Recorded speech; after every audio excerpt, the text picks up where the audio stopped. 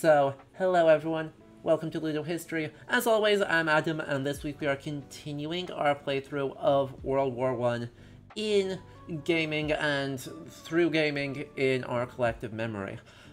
This week we're going to be playing the Great War Western Front, a game developed by Petroglyph Games, uh, extremely seasoned RTS developers that released earlier this year. So we're going to be moving genres dramatically from last week with Valiant Hearts uh, in order to take a look at how a brand new game um, in the RTS genre uh, deals with that memory and what they do and do not let the player do uh, as part of navigating World War One. It looks super interesting. Um, I think there's going to be a lot of value here, um, and well, that means we'll also be able to talk a little bit about um, the operational side of the war over the next few weeks or next few streams, and then some other cultural issues relevant to it. Um, as usual, some disclaimers. Uh, I'm not a historian of the First World War. I'm not even a historian of the 20th century. I am, however, a cultural historian and a historian who's really interested in memory frameworks, so cultural and collective memory. And so that's how we're approaching um, these adaptations. Uh, there are plenty of great resources for learning the raw facts and dates of the war, and we'll try and do that side of it justice, but th that is going to be primarily my perspective as someone who is more interested in the memory of the war, um, more so than the numbers and dates and logistics of it. Anyway, if you enjoy this, do make sure you hit that follow button and chime in in chat. It's more fun when more people are around, uh, and, you know, it, streams are generally more fun when everyone's participating, having a conversation, having really interesting, nuanced, and sometimes difficult conversations. So I highly encourage that. And if you want to help support the channel, either consider subscribing, uh, Twitch Prime subs, regular subs, gifted subs, and cheered bits all go directly to help the channel, or you can head over to patreon.com slash ludohistory, where for as little as $2 per month, you'll be able to help keep making this show happen and keep making these big projects happen. So, let, let's hop over um, into our Google Doc to catch up on what we explored last week, uh, and then start talking about this week's project. Well, might want to explain what the difference between strategy, operations, and tactics are. I mean, basically, right, you're zooming in. At each stage, right, strategy is the longest term perspective, uh, operations are specific medium-term campaigns, uh, and offensives and logistics to make those all happen, and then tactics are your moment-to-moment -moment during a battle, right? Th that's the that's the quick and dirty version.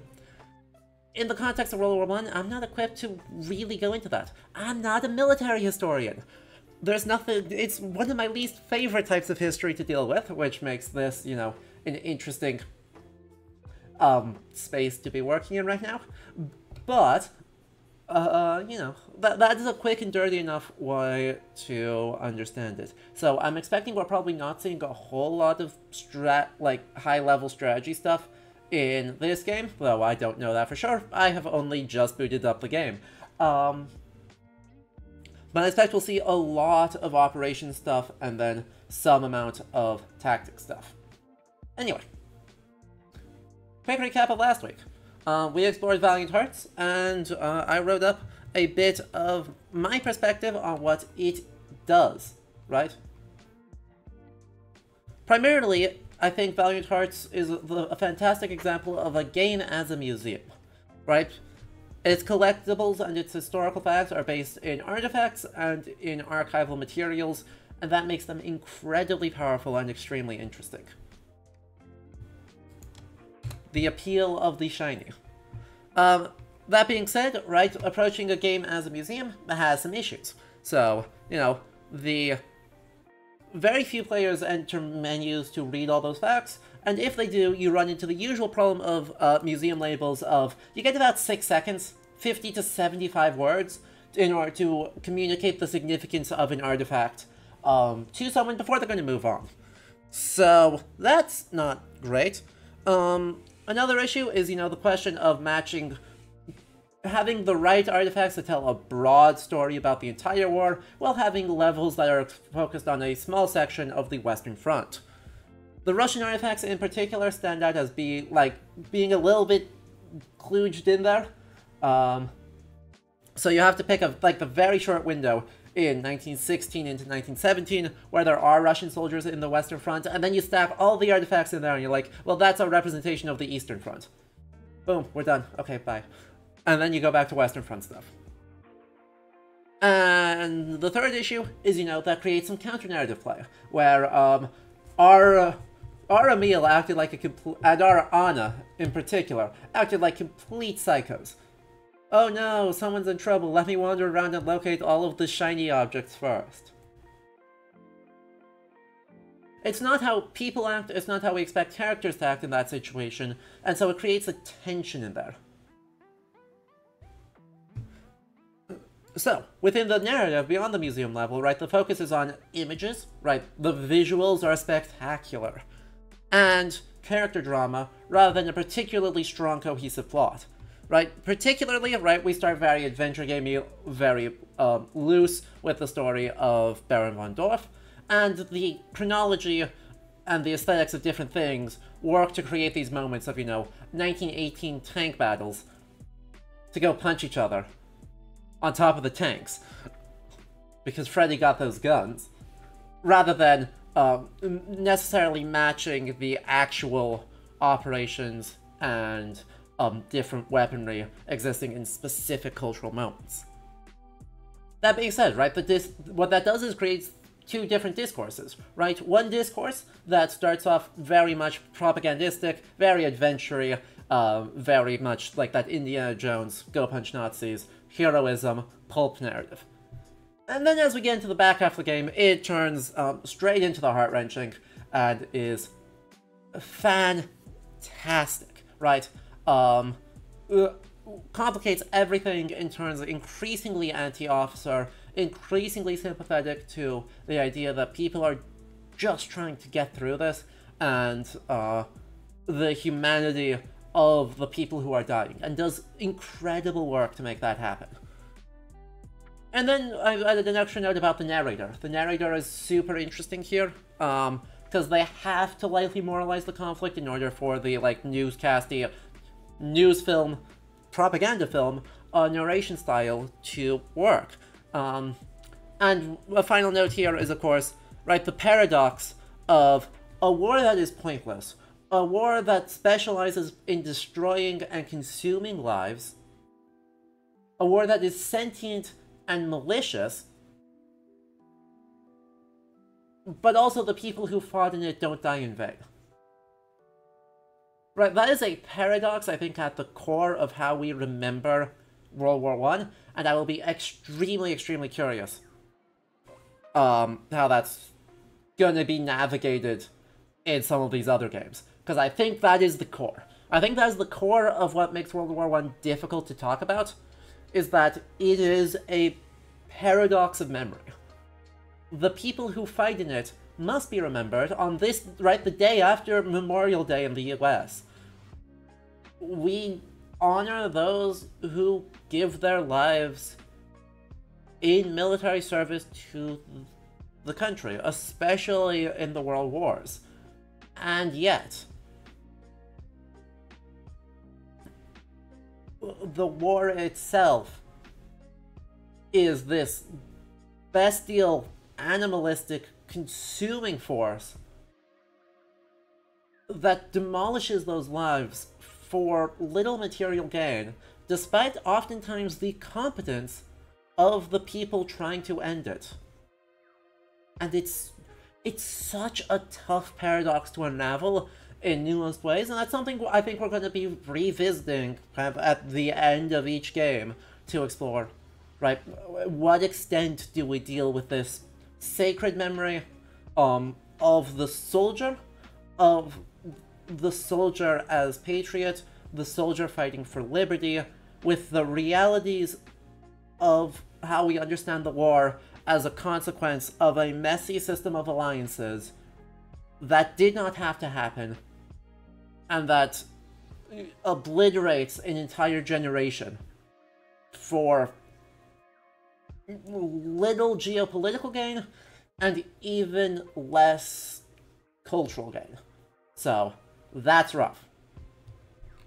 But overall, right, um, I'm so happy we started with Valiant Hearts, even though, you know, it hurts my heart, um, because it is massively successful at making us care about the people on the ground, in the trenches, and I think that is the emotional center around which all the other games we're playing are is going to be operating. So I think that's right. That is the most important World War One game for a reason.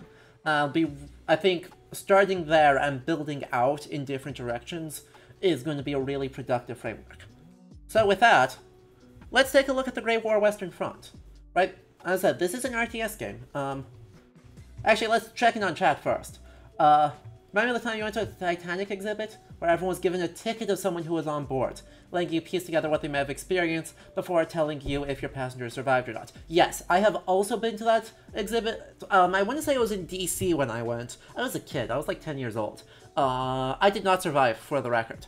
Um, but yeah, right, that's a very common thing. Um, the I think the Holocaust Memorial Museum in DC also does something similar of giving you a real person, right, through whose individual perspective you're going to go through the exhibit and talk, right, interpret the exhibit through, and then, um, you know, did they, did they get gassed in Auschwitz-Birkenau? Most likely, yes.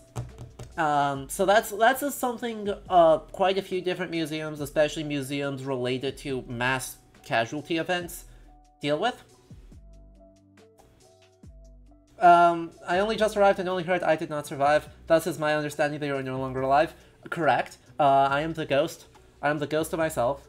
Um, but we were actually talking about the Titanic Museum. Uh, and how, you know, it, it structures the museum through giving everyone a person that they are going to relate to. Uh, and, right, that's something fundamentally similar to how Valiant Hearts understands its role as an interactive museum of World War One. But yeah. Also, JCDC, I'd like to thank you. Went to a history museum with a family and realized you've learned a lot of history critical thinking skills. That is awesome to hear, and I'm glad that, like, being around here, uh, talking about my perspective, you feel like has had that impact. That's that's genuinely super heartwarming. Thank you. Yeah, so right that that's super common in museums these days. Um, the museum there's a Viking Age museum in Aarhus that does something similar, but with somewhat semi-fictional, like five semi-fictional characters, and you get a little thing that you can tap at various points, and it will give you their perspective on it. It's so much. You would not be here the whole time, and you hope you'll sleep this night and not sit in the corridor listening to explosions. I hope that for you too, Parisian. I just sincerely hope. I know, right? I know Kiev has been under pretty heavy bombardment, and I really hope that it lets up um, so you're able to get rest and take care of yourself. But while you're here, we're happy to help you, or happy to have you, and hope that this provides some distraction and relief from that. So yeah, where I want to start with talking about the Great War, uh, Western Front, is actually by looking at the achievements.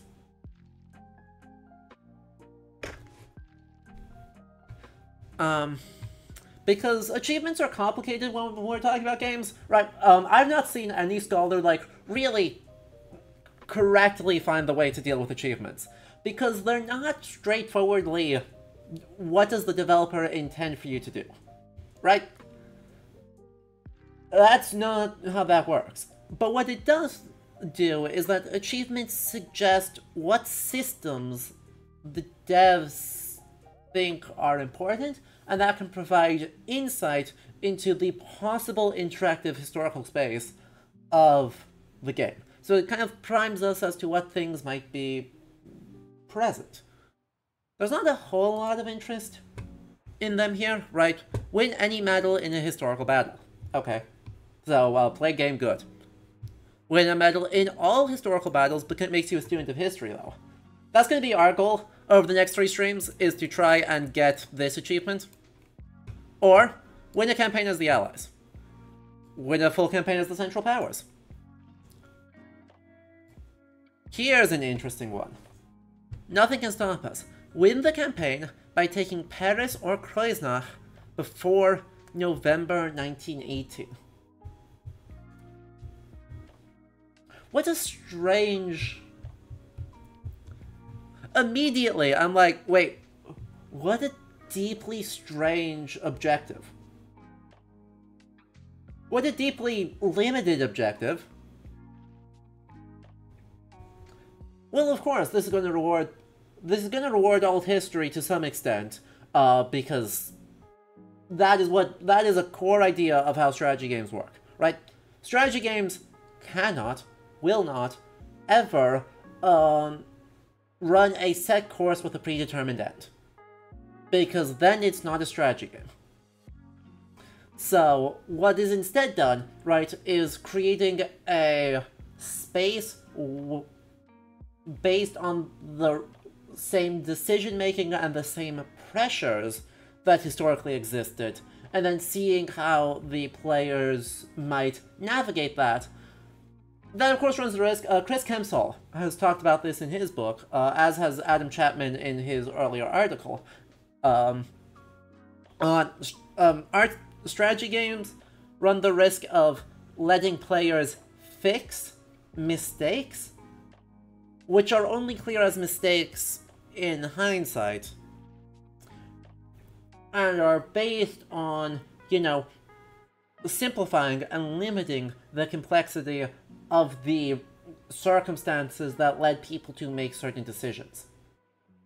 Right? You can fix the Nivelle offensives by doing something different. You know that's a bad idea, right? You can see that that is a bad idea with the information in the game plus historical hindsight. And so you can fix Nivelle's mistakes and see how that changes the war. You can fix the um, failure of the Schlieffen plan, right? You can fix the breakup of the two armies because you're not... You're, you're not... Uh, what's his name? Von... Um... Hell. Hang on. Quick, um, I've got the Oxford Illustrated History of the First World War here to help because, yeah. That's Falkenhayn, that's not right. God dang it.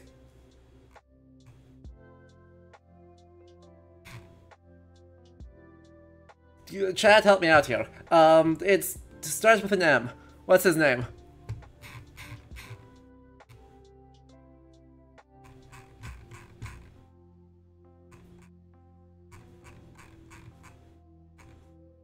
Moltke, thank you. Von Moltke the Younger. Thank you, uh, Gazishan and Enclave Microstate. Is it clear that I'm rusty? I read this book last week and I've already spaced all the names. Um... Von right, we are not Von Moltke the Younger. We do not have the mm, issues that uh, Von Moltke the Younger's general staff had we don't have to deal with the big egos of um, the German commanders. And so we can fix the Schlieffen plan by not having the army split up, and therefore take Paris. Or maybe not, because, yeah. Not to be confused with his considerably more capable uncle. This is true, but given that his considerably more capable uncle had been dead for, what, 20 years at this point? Um, helpful. Anyway, so yeah, this is going to be interesting. Um, I think this is also interesting because this takes a very, mm, I don't know, paint the map approach to what is successful, what is winning. This is admittedly, you know, taking Paris is what the German army um, wanted to happen, right? That was their 1914 um, operational goal, right? The Schlieffen Plan is designed to take Paris. And German soldiers brag about, I'll write to you in the fall from Paris. Obviously not. Um, but... Uh, I don't think this would have actually ended the war. I don't... I don't think, right, if, per if somehow a German offensive had taken Paris, I don't think that would have actually ended the war. The, the government had already retreated to Bordeaux. Britain wasn't about to stop uh, once they were that committed. It would have been terrible for morale, but I don't think it would have actually done it.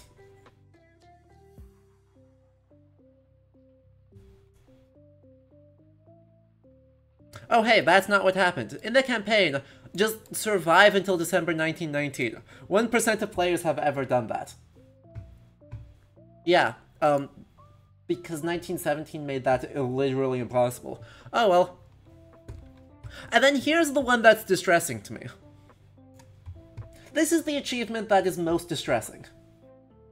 The Chemist's War. Cause 1,000 infantry casualties with gas weapons in any game mode.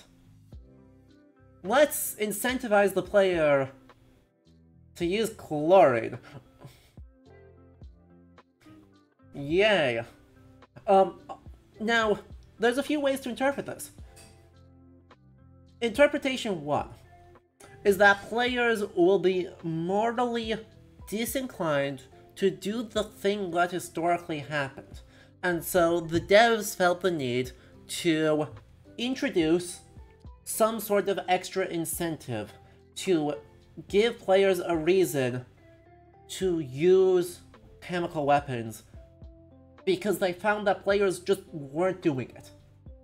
That, I think, is actually fairly likely, right? That this is a way to try and drag player behavior closer to historical practice, which includes war crimes.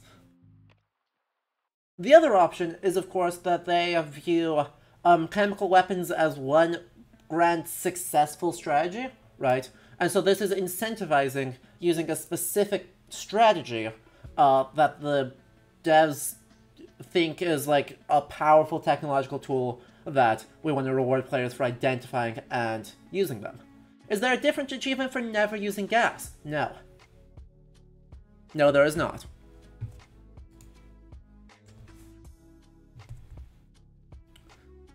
So, you know, that's that's the one that I think has a lot of juice to it. Uh, it's the one that, like, this is where achievements don't necessarily reveal developer intentions, because are the developers pro doing war crimes? No, of course not. That would be a ludicrous claim that requires absolutely extraordinary evidence.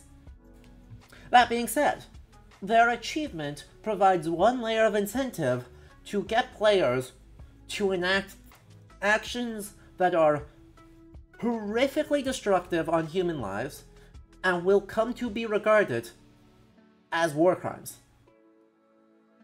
Never underestimate RTS players from using an effective tactic, no matter how immoral. You say this as an RTS player.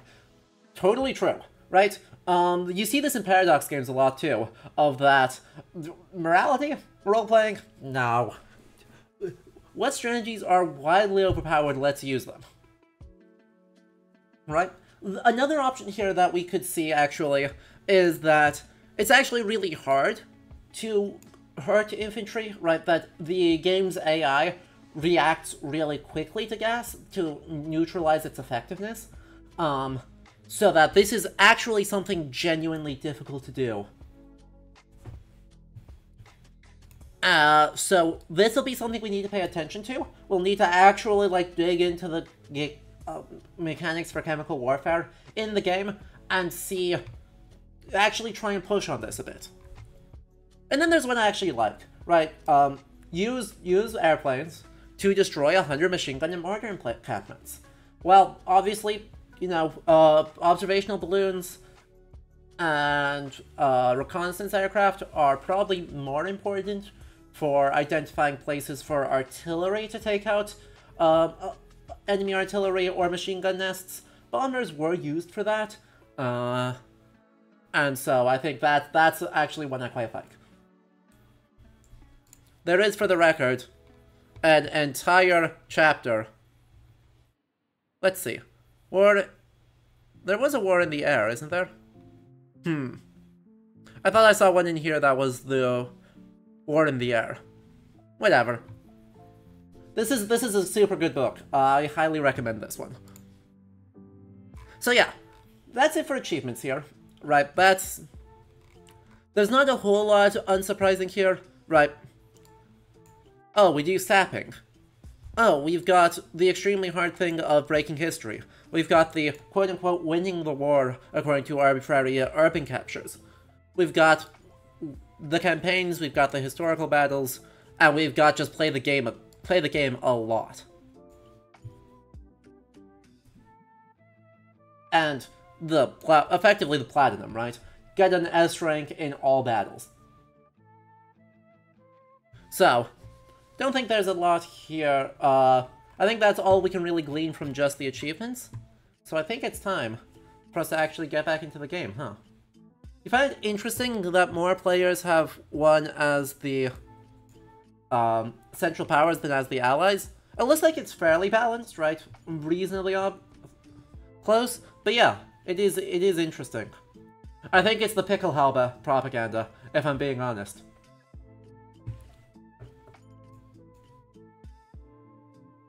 Also, let's just acknowledge that Petroglyph Games are incredibly seasoned uh, RTS developers, right? They've done... They rebooted Command & Conquer. And so I'll be curious to see the extent to which, you know, Command & Conquer and standard RTS mechanics end up making their way into this game and sort of exist in tension with or are adapted into such a difficult historical setting. They're former Westwood staff, right? Like they are seasoned RTS developers. Like you, uh, one of the one of the most seasoned uh, devs for RTSs in the industry. So like, I think there's a lot.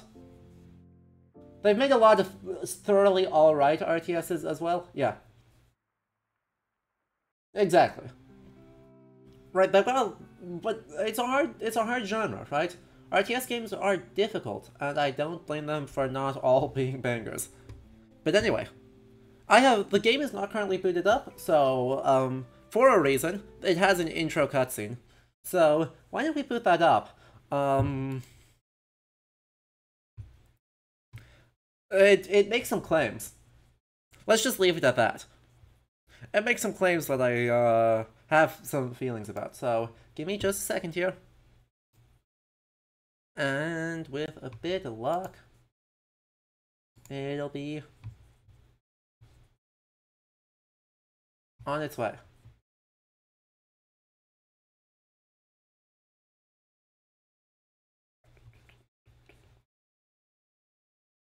All right, let's. Oh, Everything's breaking. Hold on.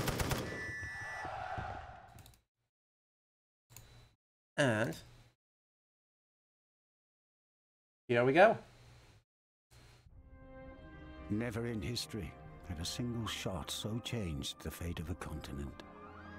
Archduke Franz Ferdinand, heir to the Austro-Hungarian throne, and his wife Sophie, Duchess of Hohenberg, are assassinated on a visit to Sarajevo sparking a conflict that would engulf the world.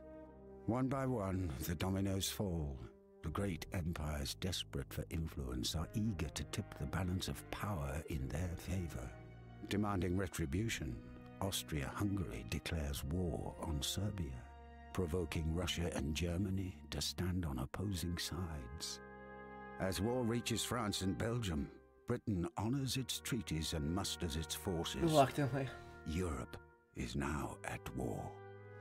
Countless thousands of professional and reservist soldiers Millions. would march toward their fate onto the Franco-Belgian border.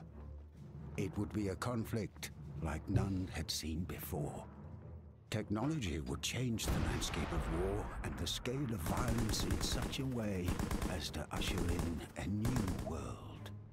Within four months, gone were the cavalry charges and battle lines of old now dominated by the thunder shock of artillery and the blistering hail of machine gun fire. This new reality would force entire armies to dig deep into the dirt and fortify their position with a line of trenches. The measure of victory now to be drawn in inches. Thus the Western Front was established, from the fields of Flanders to the borders of Switzerland, the great nations would make their stand. The fate of millions was now in the hands of a few. This is a very common... This is a very common narrative about World War One. Right, the idea that... Let's turn that down just a smidge. There we go. Um, the idea that the, um, that warfare prior to World War One was cavalry charges, right? Napoleonic tactics, battle lines. And this is the, as uh, Maraxa just says, that dreadful watershed with, uh, of industrialized total warfare. Crimea says hello, doesn't it? Um, yeah, this is this is simplistic. Uh, this is this is basically. I mean, let's. Gosh, let me actually, having booted it up, why don't I locate the right spot in the Oxford Illustrated History um, that talks about right at the end of the introduction talks about this kind of exact phenomenon. Uh, so, hang on. We're gonna get rid of this, though the music will continue, luckily. And... B. Right, the introduction actually um, specifically engages with three different claims, which I think is super useful uh, to help frame this. Let me... Oh, we got some lag happening. Oh, hell.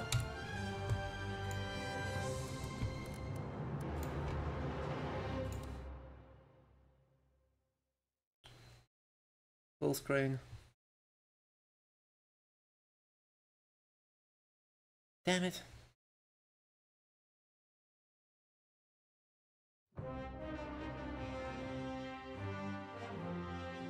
Okay, so the lag appears to only be when we are in window, or out of window. That's good. So we'll have to just be careful with that.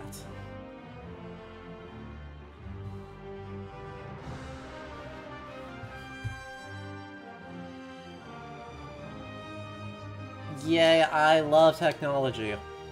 Why is this eating so many resources? Um, anyway, right, the global total modern war, right? Uh, thinks about those three things. And at the end of the introduction, it notes that despite lots and lots of words being mentioned on the centenary, right, uh, quote, deeper scholarly understanding has not uh, penetrated into public consciousness. The third big spike in the effort to shape understanding of the war is and will be that generated by the centenary.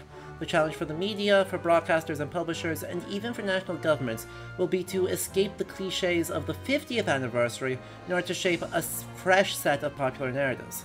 It's clear that many of these will be personal and local, and deal with family history and community engagement. They also need to be global, the history of the war needs to break the bounds of national and parochial debate to become genuinely comparative and international, so more fully reflecting both the war's nature, with its independent variables, and its impact. This book aspires to match such an agenda.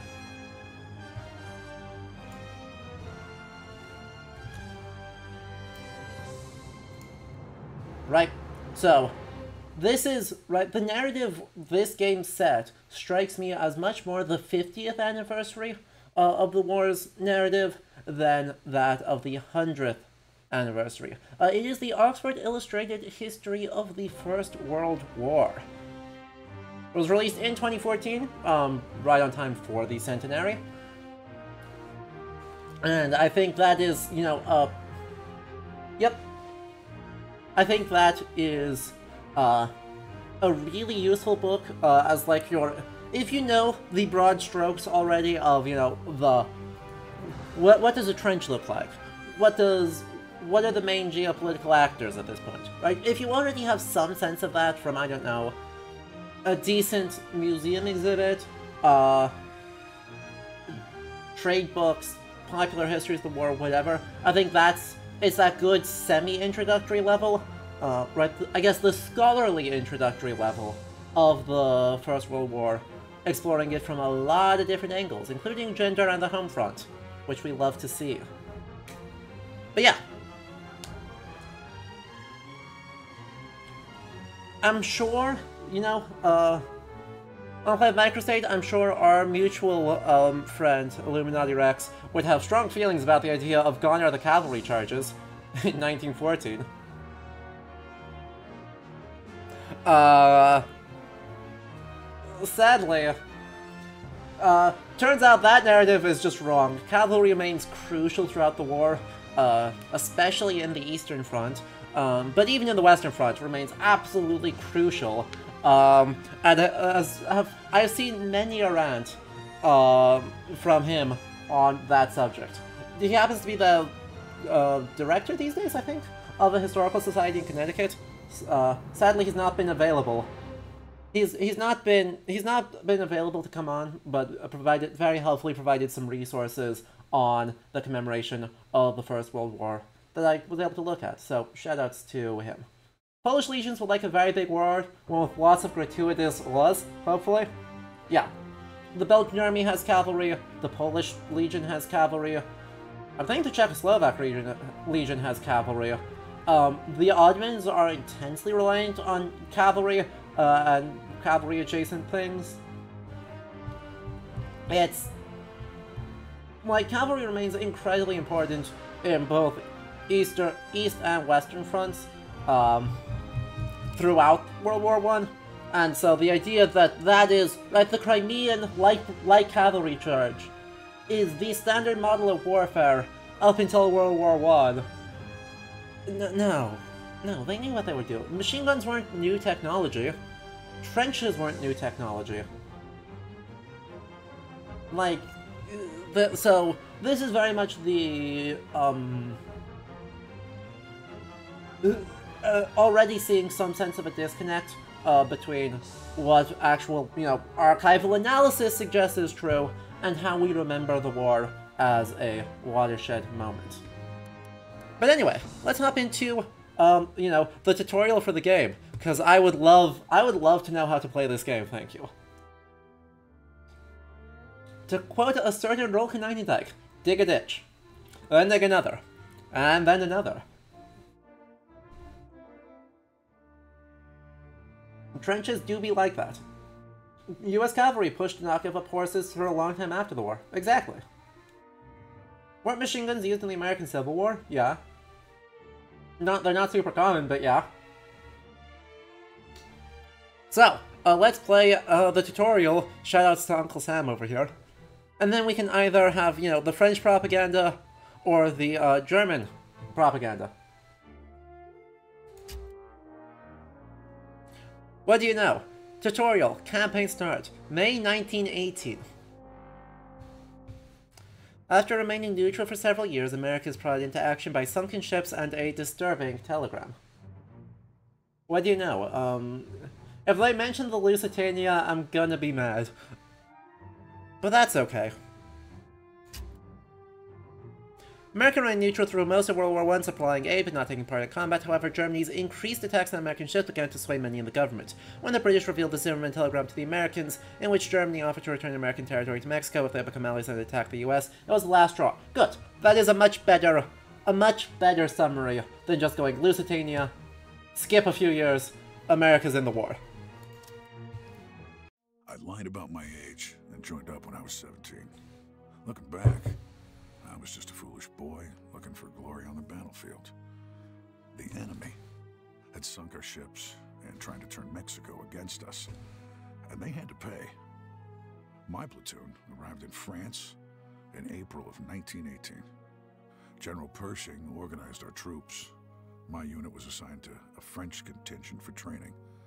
None of us had any experience with the new way of fighting, and the trench lines were a bit of a shock.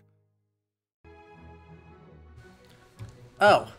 Bonjour, I'm Lieutenant Colonel Andre Laurent. Welcome to France. I understand you are eager to fight, but this is the Western Front. The trenches are no place for the inexperienced. Advisor Overview. The top advisor box contains general information or story content, while the lower box will contain specific how-to information. I don't know at the time, but Laurent had been in the Battle of the Somme. You can see a kind of distance in his eyes, though he didn't let it show in his voice. Reviewing the past, you can click the left and right arrows to review any previous dialog boxes. Be advised the tutorial will sometimes lock the camera. When it does, you'll see a camera symbol in the lower right corner of the screen. You can do that, and you can do that, and you can do that. This is the theater map which depicts the Western Front, including regions in France, Belgium, Luxembourg, and Germany. Each region shows the current controlling faction. That's Central Powers, that's allies. Well, France. France, France, France, France, France, France, France, France. Yep. The map is divided into hexagonal areas called regions. All regions of the map are under the control of either the Allied nations or the Central Powers. Allied nation region boxes are highlighted in blue, Central Powers are highlighted in red. I will be blunt. The Russian treaty with Germany has freed up nearly 50 divisions of German infantry to be transferred to the Western Front. Your men are needed to shore up the line and push back against this new threat. The front line is where combat happens. Regions can only initiate attacks on adjacent hexes. As you capture or lose regions, the front line will adjust position. That's General MacArthur? National Will. Oh, National will is a measure of an alliance's willingness to continue the war. If an alliance's national will is reduced to zero, that alliance loses the war, and the game. Oh, interesting. Our civilians see this as a German spring offensive as something to worry about. A worrying civilian is one who does not support the war and begins doubting that we can win, even talking about surrender. That's a way to understand the home front. While this army can't worry about the feelings of civilians, the threat of new German manpower is not something to dismiss. If we are not vigilant, Germany could reach Paris. The second way to win the game is to capture the region containing the faction's headquarters. For allies, the command HQ is Paris. For the Central Powers, the command HQ is Kreuznach.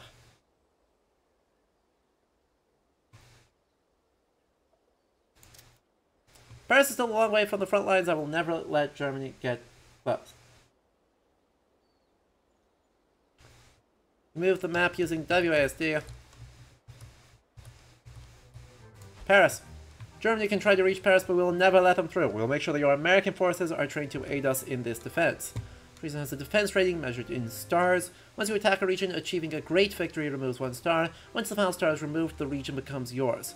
One star regenerates per turn for the owning faction as... Oh. Oh. Oh, that's how that works. So even decisively winning,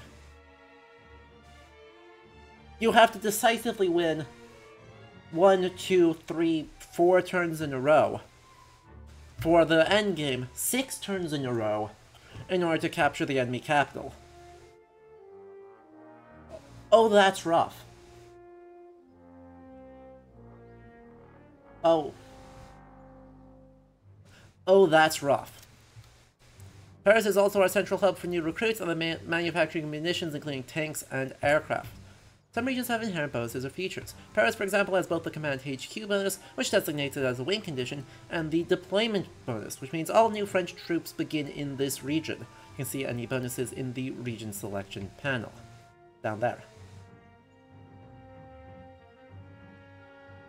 This does paint the war ending as a bad thing, right? Uh, this paints the war ending as an excruciatingly difficult thing. Yeah, trying to create the feeling of it being a real struggle to exploit even a seemingly massive victory at the front. Yeah.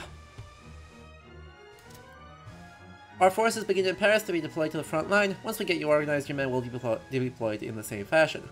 Military units can be moved on the map, units can have different names but act the same way.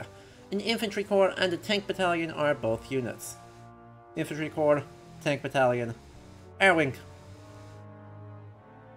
Combat supply, combat supply, combat... Oh boy. These types of companies found in a unit are not always the same. For example, an infantry corps can contain multiple infantry types and artillery. So these the so this is the units in the region. Gotcha. So yeah, the there are nope. Let let me nest the tooltips. I see a flamethrower unit. I see two artilleries. I see a sapper, and I see twenty riflemen. I see tanks, and I see two bombers. The influence of Axis and allies on this um, feels very present. You know, there is a World War One version of Axis and Allies that was released in, what, 2013, I think? So, I haven't actually played that version. Anyway, reinforced Chateau Thierry. Uh, Intel is expecting a German assault. French command requests that the newly arrived Americans be moved up to reinforce the French forces at the chateau. Hans, get the Flammenwerfer. Move three American infantry corps to there. Um, plus 30 match, no. Move two French tank battalions there. Uh, it seems this will be a trial by fire. I'd hope to have more time for drills, but orders are orders. Objective events are optional requests that grant a reward if you complete the within the time limit in turns. Objective events are just one type of event that can occur during a campaign. In the campaign, there is no penalty other than not receiving the reward. In general, it'll be worth the effort, but it's ultimately up to you. Alright, so there's Chateau Thierry. These are, are these the American... Uh, our forces here have been fighting bravely, but they have had little rest or peace for a long time. I'm sure your reinforcements are a welcome sight. You must achieve a victory of great victory level in combat to remove a star from a region. When a region is lost, any defenders will retreat to the nearest uh, friendly region. Some units, such as siege artillery, cannot be moved in a retreat. What? Okay. We have designated Le Marois as a staging ground for American forces. Any new American units will begin there. Our logistics people keep the unit types together for each reference, but a thoughtful distribution of forces is necessary for each victory. The stuff that's at the back can't be moved on the tree? Exactly. That is exactly the same thought I had. Uh, siege artillery is the first stuff you can pull out. Because you can have long-range bombardment from elsewhere on the front to cover that sort of retreat. Cannons are heavy. Okay, but have like depending on where you're on the front, either have like competent rail line, or have, you know, if you're aware that something's going badly, route draft animals to the front. Right, if it's a route, then absolutely, yeah. Um, if they get blown to smithereens by enemy bombardments uh, before the initial push, absolutely, yeah. But if there's an organized, like, retreat, you want to get your siege artillery out of there. Yeah, like, they have a bombardment range of miles. Anyway, uh, units are displayed on the map as four stacks of four types. Infantry, tanks, aircraft, and siege artillery. All present units are shown in the region pane. Left-clicking on a unit will add it to the units to move box, or back, while right-clicking adds the entire stack. Okay, so we do this. So we select four of them, right? Well, actually we'll move all six, I think. So let me move all of them. Oh, select three. You can only do three infantry corps. Okay. And then we right click on here to move them, and they just go, they zoom. The infantry has filled in the defensive gaps as planned. We should take stock and see what else is needed there. So the same type stack on the map, even if they are different nationalities. So if we go here, Despite the language barriers, our soldiers seem to get along. Your soldiers will be tired from the transfer, so they will be on defensive duty only for now. Units can either move or attack once per turn. Units can defend whether they moved or attacked, but if you initiate an attack, only those units that haven't moved can participate. You cannot attack from a single region more than once per turn.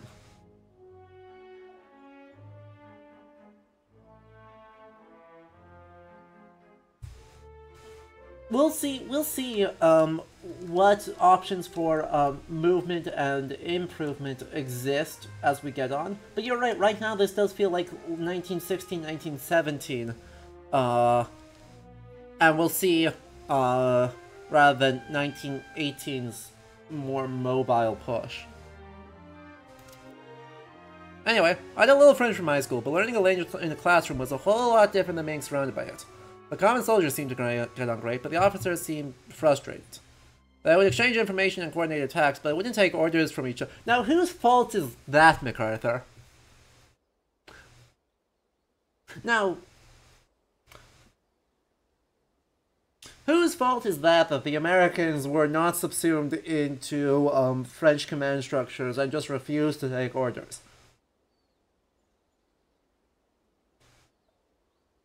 It's the Americans' fault.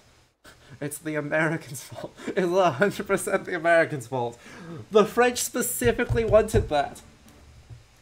Uh, Pershing, even extra, right? Yes, Wilson, but also Pershing. Mixing units from different nationalities in the same region can reduce morale. There are three groups Britain, Canada, Australia, and India form Group 1. France is Group 2, and America is Group... If units from more than one group are in...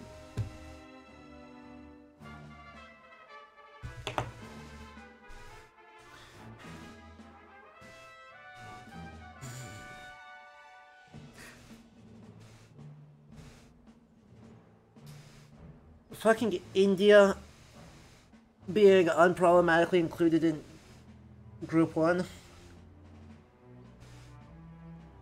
Are we, are we for...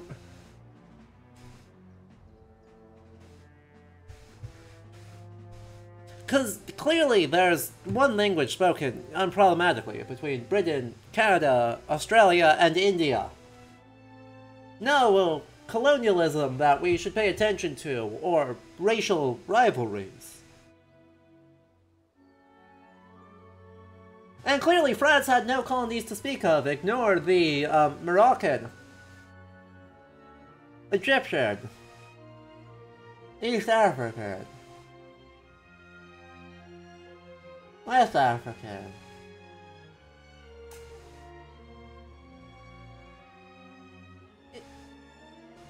troops that served. Like, there's a whole thing of, like, Tunisian French forces having to be in their own divisions and move to southern France in the winter because French officers were super worried about it hurting their morale too much to fight.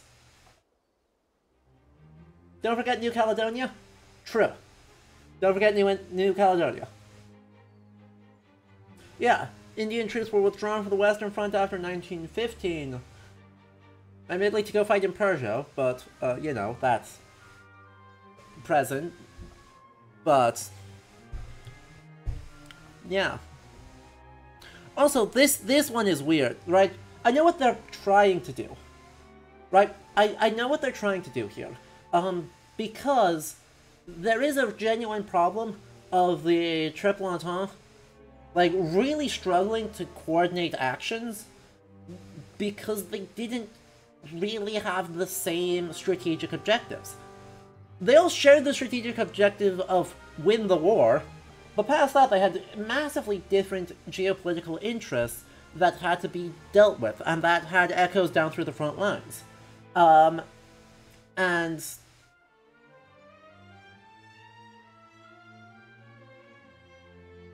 I mean, yes. Th thank you, One because I appreciate it, yeah. Uh, John Horne calls it a hierarchy of fronts corresponding to a hierarchy of races. Absolutely true. Uh, but, but, yeah, I mean, they, they were transferred to Persia for colonialism reasons. Um,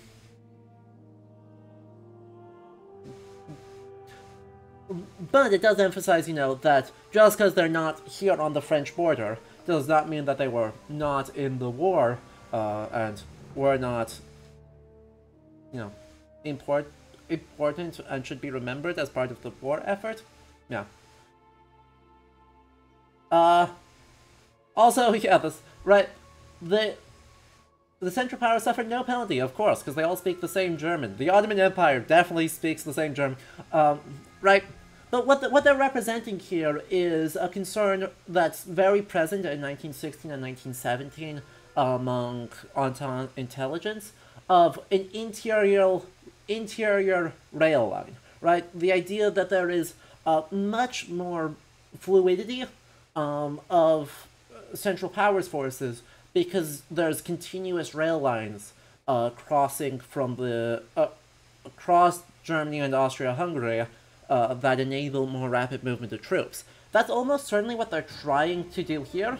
I just don't know if it's that successful um, here by just turning that into a language thing rather than and a shared operational or a shared strategic goal thing versus the Entente's disunity. Yeah, Hungarians famously being Germanophone. The, Czech Czechoslovakia being um, famously I mean, you know, the, the Czech Legion, uh, which, you know, was triple, the Czechoslovak legion being, you know, serving with Russia because they all defected from Austria-Hungary immediately. But still, you know, famously Austria-Hungary, a place of one language and one culture with no ethnic, um, disputation or tension.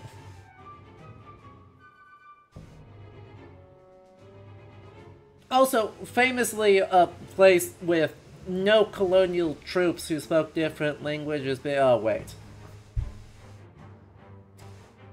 The the Afro-German infantry would like would like a word.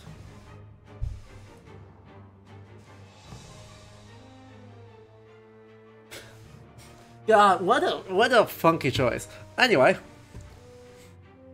Belgium Belgium can stack groups 1 and 2, Central Powers just don't have that problem. Alright. If you're ever unsure of your orders, we have a logbook. The event will show a list of all active events and their duration. Clicking on individual events will display the event pop-up. Clicking on the exclamation icon will toggle the list between active and completed events. Instant events, such as headlines, will not be listed in the log. Intel is expecting a German assault, French command requests that newly arrived American forces do that. Move two French tank battalions. Alright, so when you go here, whereas it will take time for your heavy armaments to get across the Atlantic, they're extremely mad about that. What do you mean, we realize? They're mad about it. For now, I have taken the liberty of requisitioning some of our tanks for your use. I've heard that your men have taken a liking to them. So we select here, and we uh, selected the tanks. Fantastic. And then we move them up here. Oh, yeah. The Czechoslovak legion went all through Russia and back. Uh, it was a lot. Oh, yeah, no. Um, I've seen... Like, the movements of the Czechoslovak legion is wild. Anyway, we got 750 gold. I don't know why we got gold for that besides it's a video game, but that's fine.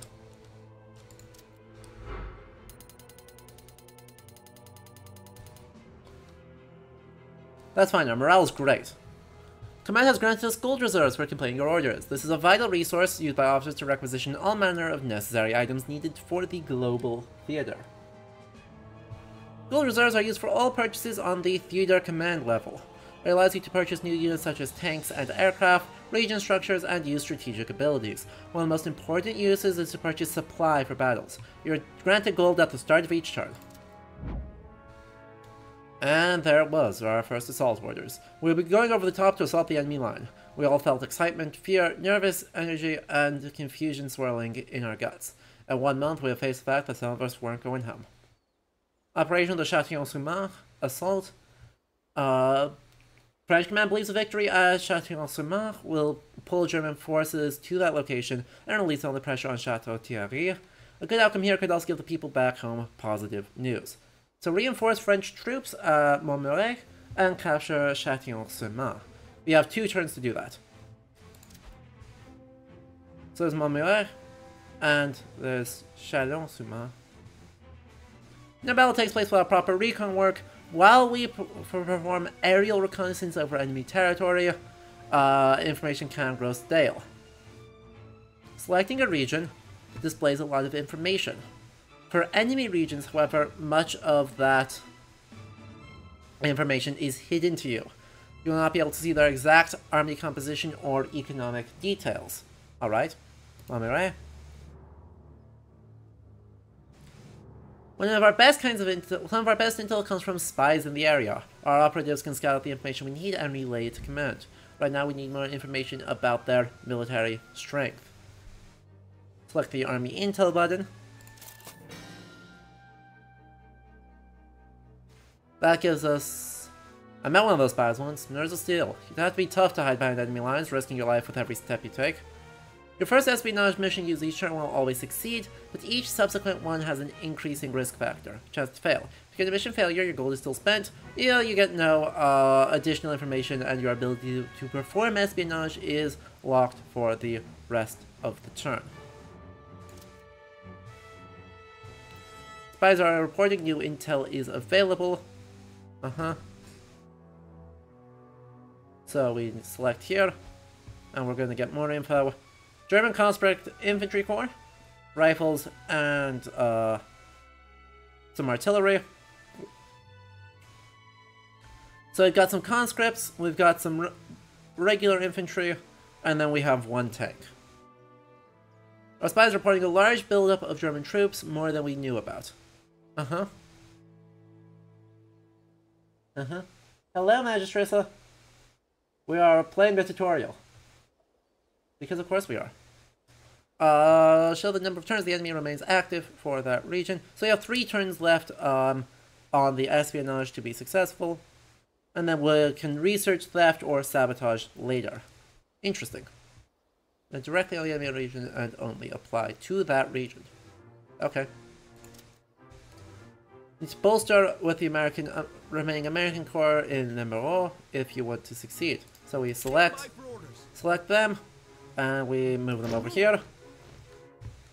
And we reposition new tanks, which is the purchase menu, which is down here. French Tank Battalion. Those machines were amazing. Our boys were already coming with new ways to use them that will hopefully surprise the Germans. I think they also wanted to take them apart and see what made them tick. Then we close that, and then we just have new tanks immediately? We just have them immediately. What's the vibes on this game? Well, Ends of History is a teaching. Um, right now, right, the immediate vibe feels very much, uh, the opening cutscene was very 50th centenary, or 50th anniversary, rather than centenary understandings of it, but we'll see. Uh-huh. It'll be beneficial to have air support for this uh, battle, while recon is essential. Keeping enemy bombers and balloon busters away from our lines will allow us to concentrate on the trenches. We'll need to transfer them to the battlefield. So we've got these. And then we'll move them over here. And then we do that. The home front sure doesn't exist in this game, does it? I believe we have sufficiently equipped our frontline trenches. Now we turn to outlying support for Montmirail. Uh, so we do this, we select them. Our unit moved to the, with the rest to Montmirail. As we near the trench line, we can see the siege artillery setting up well away from where we would be fighting. Those guns were designed to be to pound trenches. I would hate to be under one of those shells when they landed. Siege artillery are unique units that do not appear on the battlefield. Instead, they allow you to use siege bombardment in battles. They do not affect its unity of command. Any siege artillery still in a region when it is captured will be lost. Okay, so we need to so we need to retreat them manually, make the call that we're not going to be able to hold a spot, and then move them. I guess that makes a little more sense. The fact that they're not appearing on the battlefield, though, is actually quite frustrating. So then we should set up counterintelligence. Um, so we go here, we go co-intel. What does this actually cost us? It's 360 somethings, but, um... Gold. It costs us gold. The spies work quickly. By the end of the week, no less than three German agents were captured and interrogated. Okay. We have been, we have been using gold reserves uh, to bolster our troops and add firepower to the lines. On the battlefield, however, supply is needed, not gold. A soldier without ammo or bandages is a soldier who cannot fight. An artillery cannon with no shells is nothing but a rock to hide behind. Alright. Supply is the currency used during battles. Supply is used to build trenches and other defenses, call in reinforcements, and to activate abilities such as artillery fire and air missions. It made sense, our packs contain our essentials, ammo, first aid, and hygiene, There's no way we could carry enough ammo for an extended battle. Supply trucks could bring in what we needed, but if we had a more permanent storage solution, we could fight without worry.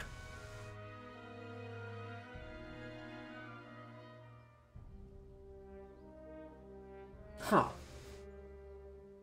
Gino, the strategic map sets grants a set amount of supply to the region. This is refreshed to each battle. Supply depots allow us to store what we need for combat in a safe location and keep it in reserve for the region. Fair enough.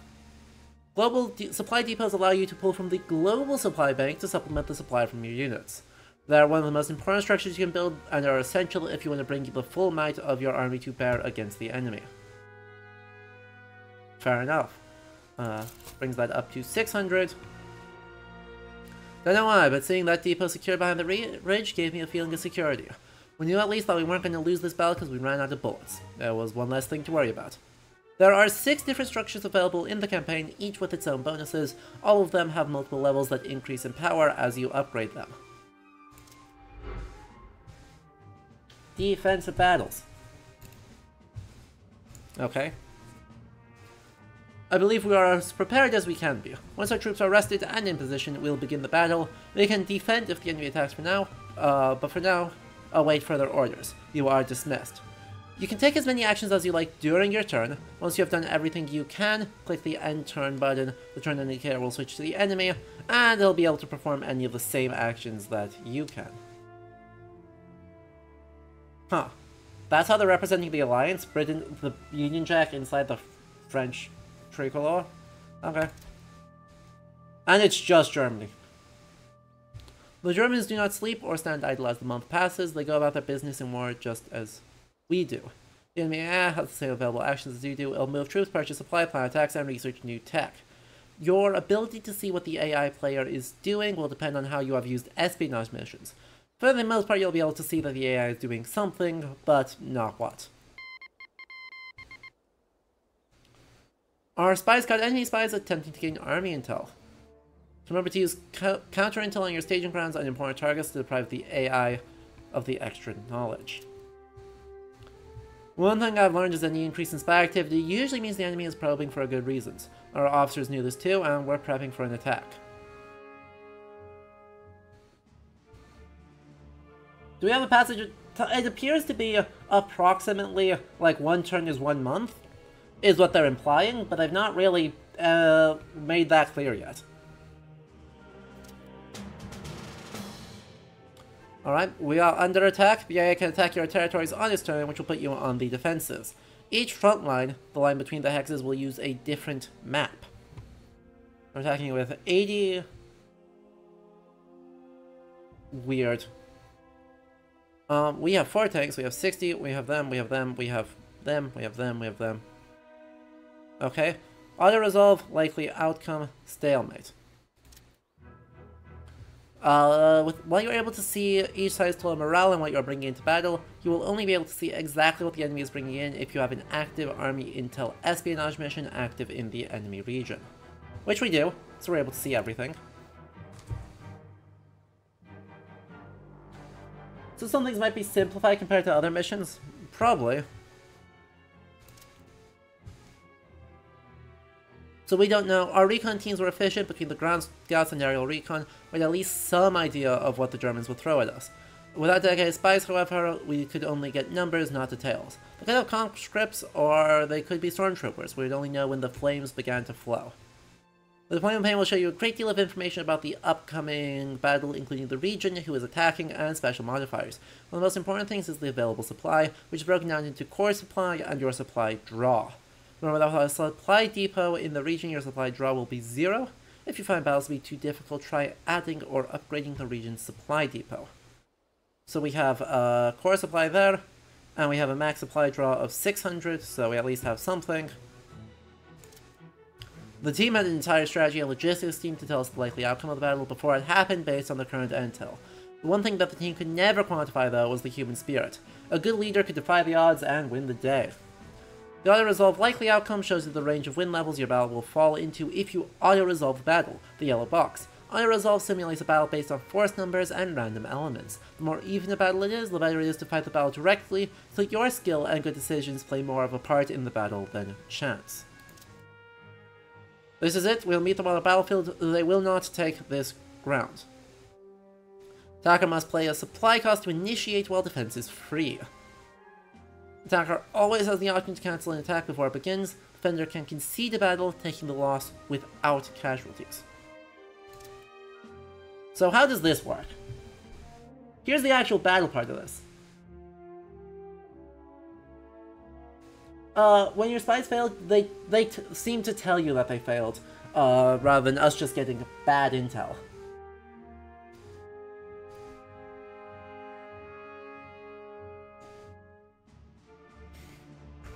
Force available. We have 60 Americans, 60 Frenchmen, American sappers, Amer French flamethrowers, uh, French sappers, bunch of French tanks, 12 artillery, and some airplanes. So we're behind on airplanes. Um, welcome to the front line. I am Adjutant Chef Garnier. Lieutenant Colonel Leroy has spoken highly of you Americans and your ability to get things done. Sure. This is 1918?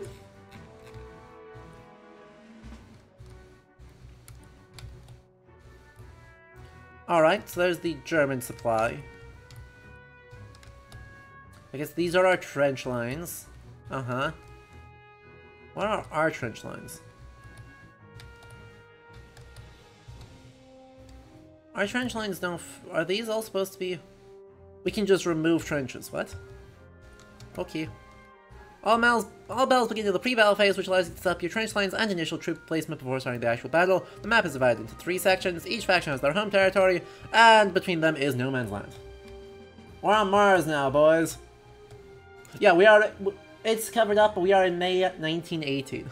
Feel free to look around and get your bearings. Battle will soon be upon us, so getting familiar with the territory will be beneficial to you. Click on the mini-map in order to go wherever you need to. Boom. There's German, I guess, command there. And this is going to be friend ally command. What a flag. What a flag. Yup. Mm-hmm. There were already some trenches in place when we arrived. You can tell some of them have been there longer than others by how well they were built. Some were dirt walls, barely held in place with planks, while others had wood walls and concrete reinforcement. On your first time fighting in a specific location, the battle will begin with a few pre-placed trenches. You are free to use them or replace them as you see fit. Any trenches you build will remain in place in all future battles in that location unless they are destroyed. There is... That's what I was looking for, it. Right, why, why are we starting with a relatively unmarked landscape? But no, we're not. It's just that this is the tutorial, they want to give you a chance to place new things. We actually do have turn-to-turn -turn consistency between the uh, landscape, which is a good touch, we love it. Looking around, the soldiers were digging even more trenches attached to earlier ones we saw, artillery cannons were being wheeled in along with carts full of ammo, everywhere preparations were being made, and tons of earth was being moved. Objects such as weapon emplacements, artillery batteries, and observation balloons do not persist between battles and will need to be rebuilt each time. We have automatically added a few for this battle to save time. Our aerial recon patrols and spies have been working to bring us information on the German lines. We can't completely rely on that information, however, as delivery delays can make their observations stale. Enemy trenches also persist between battles and can be updated during the pre-battle phase. That means your knowledge of the enemy lines from battle to battle can become outdated. Using scouts or observation balloons to view the enemy lines can reduce casualties. A good trench layout serves two purposes, though not always at the same time.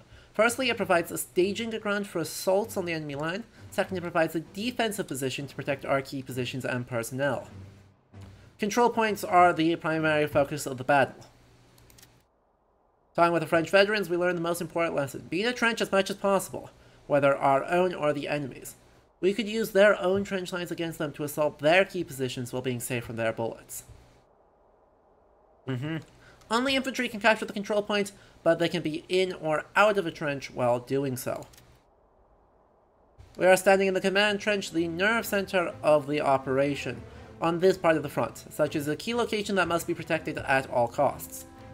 Command trench was a busy place, messages constantly ran in and out, orders were given and received, and maps were studied and decisions made. Losing this place to the enemy would indeed be a huge blow to the battlefield. Their infantry in the command trench are immune to damage from outside, in addition command trench is immune to siege artillery. However, infantry stationed inside cannot fire at targets outside of the trench. Fair enough.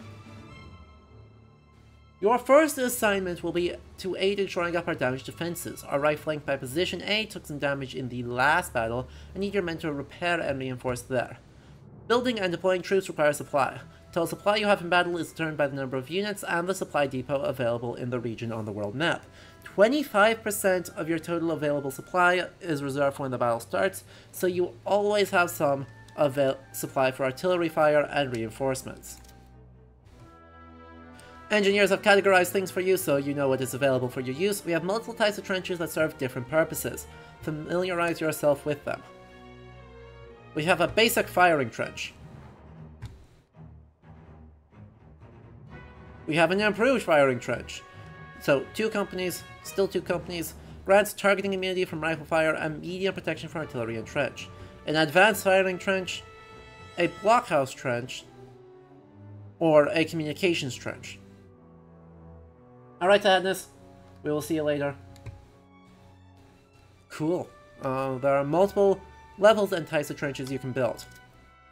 Firing trenches allow them to uh, fire at oncoming reserves, uh, oncoming enemies while remaining safe. They have rated trenches based on their protection value and material costs. So we have that. Once you have chosen what type of trench, they will dig it out to you. This, of course, requires supply. By clicking on the trench button, you enter placement mode. You can place the trench in any valid uh, location. The trench icon will turn red for invalid locations. You can use the mouse button to rotate the trench. Gotcha. So all of these are extant trenches already. So these are all, uh, looks like mostly type 3 trenches. So we can drop an extra one in there to help support it. One trench will not suffice. Remember that for soldiers to be protected, they must be able to travel through trenches as much as possible.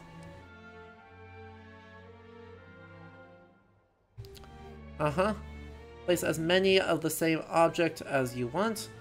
Uh, when you are done, right-click to exit placement mode, or choose another ob object to place. Okay, but like I want to...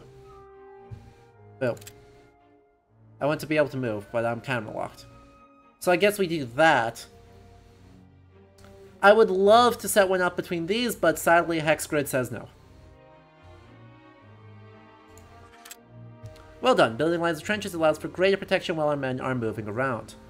You can upgrade previously placed trenches by placing a higher level version on top of the existing one. You upgrades cost less supply than building the higher level trench from scratch, you cannot downgrade, but you can just remove it. While protection is a primary goal of trenches, so is movement. Communication trenches are meant to swiftly travel between the main, the primary firing trench lines to get to where they need it. Uh-huh. Click that. These are just small... These are small trenches, which lets us go here and here. Blockhouse trenches or bunkers are heavily fortified, used to house reserve troops. They're impervious to just about anything. Uh-huh. Trenches are not the only thing our engineers can provide, we can also build support structures. Gun emplacements, including machine gun nests and mortar positions. Click the machine gun nest. Check your a badly aimed machine gun might as well be another rock on the battlefield. It must be attached to the trench lines at various spur points. Interesting. Uh, machine gun nests have an arc of fire, cannot shoot anything outside of it. So we can either, we can have something covering up here, like this big, big spooky forward position.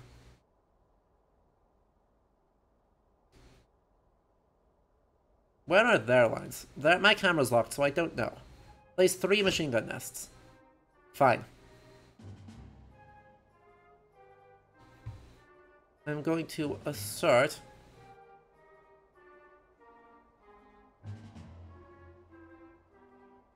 that uh, we actually want this to be a cross. Engineers can reinforce your weapon emplacements if you feel the need, though it digs more heavily into our supply. Both machine guns and mortars have two versions, uh, a standard and a reinforced. Fair enough. Uh, reinforced versions have much higher health and are more resistant to artillery and grenades. So, weigh the likelihood of attack versus cost when making the choice. Uh-huh. What we strung up around farms uh, is now used as a weapon of war. Uh, if you want the enemies to stay in the sights of machine guns for longer, what better way than to tangle them up in a nest of wire? Slows any infantry that pass through it uh, to a crawl, allowing you more time to murder them. As enemies pass through, they damage the wire until eventually it will snap and be destroyed. It can also be destroyed by artillery fire, bombs, and crushed by tanks. Uh, we are sure doing trench warfare today. Infantry are immune to your own barbed wire, but your tanks will still Okay, sure.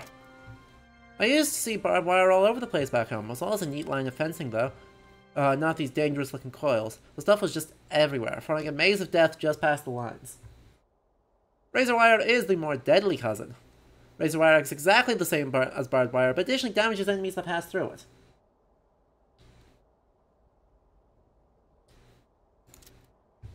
Observation balloons are a vital source of intel for the trench lines. Our observer can rise above the landscape and radio down to the ground crew about what he sees. With this information, we can better see troop movements and trench layouts. Where you set up balloons will determine how much of the battlefield you can see. As vulnerable as they are, keeping them to the rear. Uh... So how far do they actually see? Because it feels like something like that reveals... Okay, so let me highlight how much it... Right, right here is vulnerable to a lot of stuff. Oh, wait, we can go way farther forward. Yeah. We can do, like, right there. Command structure on the front lines is word of mouth and messenger travel. So we can only track and coordinate a supply. Um, and so we can, yep, command cap is limited how many units can place on the battlefield. In the campaign, this number is 30, though it can change in other game modes. Weapon emplacements, balloons, and aircraft do not reduce command cap. Infantry, tanks, and artillery do. We track all the companies currently deployed to better handle their orders, if you use command cap, it appears in the unit tray button in the center of the screen. Each company is represented by a portrait. Clicking a portrait will select the company, while double-clicking will select and center the uh, camera on the company. These are very far back. Um, but I guess what's their bombardment range? Oh, their bombardment range is the entire goddamn point. I can bombard the command point. Gotcha. Artillery batteries are not mobile, they do require special men to fire them. Uh-huh. Uh-huh. Field artillery is primarily used to cause damage. All the various shells they can use are designed to destroy. Um, while this is best used on defense, in some cases a more offensive use is called... Sorry, what do you mean artillery is primarily used for the... The, the standard operational, like, process of an offensive starts with artillery.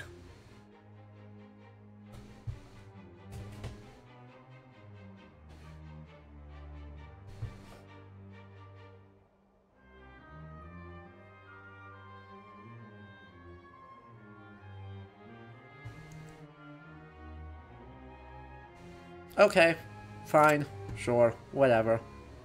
When as large as the siege cannons I had seen, the heavy artillery lived up to its name. Uh, while I did not see any poison gas shells, I was told they existed. I'd heard stories about Ypres and did not want to experience it for myself.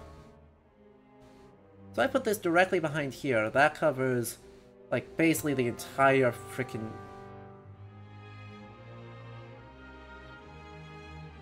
Wow. That covers so much ground. Now that our stationary defenses place, it's time to fill our trench line with men ready to defend our country. Troop deployment. Uh-huh. Exactly. Wasn't World War no known for both sides in any given battle shelling the hell out of each other until one side got enough of an advantage to actually send troops? Yes, um, it's the standard tactic, certainly by 1918, as what's called, I believe it's a rolling barrage. So you concentrate fire on one strategic point. So say, you know, if we're attacking over here, oh, our camera's locked. So if they're attacking over this way, they're going to artillery the hell out of this area with the goal of busting up the barbed wire, the machine gun nests, and enemy any enemy mortars that happen to be in the area. Then, having forced everyone to move out of the way or get shelled to death, you're going to run everyone in. Then you take this, uh, your artillery then moves to the next area, presumably somewhere over here, because that's where the trenches are moving, while your infantry run and tanks run forward to claim this area and then having shelled the hell out of this area and effectively uh, force them to back up even further, you're going to move forward into the next area. So it is like the standard offensive plan. Anyway, we don't want our men milling about outside the trenches when the firing starts. Uh, the infantry companies cost less supply to deploy in battle, but they must be placed into trenches. In addition, they may be subjected to siege artillery barrages before the battle starts. Gotcha. We've got Having talked with soldiers from multiple countries now, it seemed that all of them had a knack for something that was a cultural thing. The French were very efficient with their supplies since they were fighting uh, in their own country. Our boys took to tanks like ducks in water, the British were crack shot. Oh, no.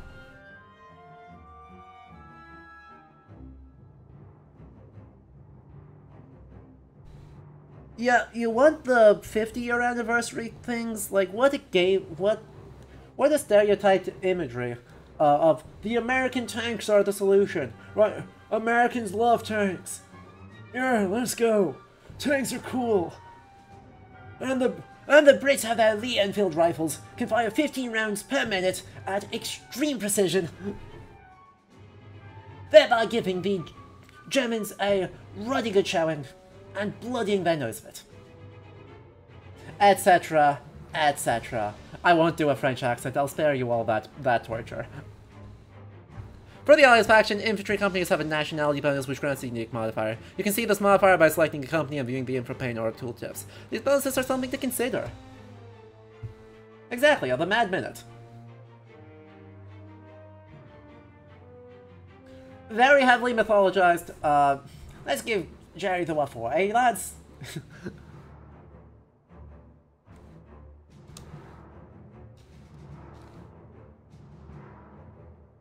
Meanwhile, the German army had like really good artillery or something. Yeah. Done in 1918. 95% um, of German artillery positions were known um, by the time the May 1918 offensive starts. So um, the American and French artillery was well equipped to deal with them.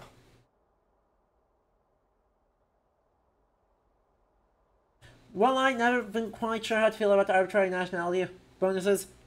Mm, there's a reason I'm making fun of it. Um, it's a very gamey thing, right? It's not that it is completely ungrounded, because there are, of course, cultural and logistical differences between companies from different places, because they're under different commanders who operate in different ways with different restrictions. But it's also a very gamey thing to distill that complex set of idea of different training, um, of different command structures, of different everything else into a nationality bonus. It's like having half orc ancestry background bonus. Exactly, right? It's it's very much coming out of like old school war games. Um, which in Dungeons and Dragons evolves into race or ancestry bonuses, uh, which then ports back into war games.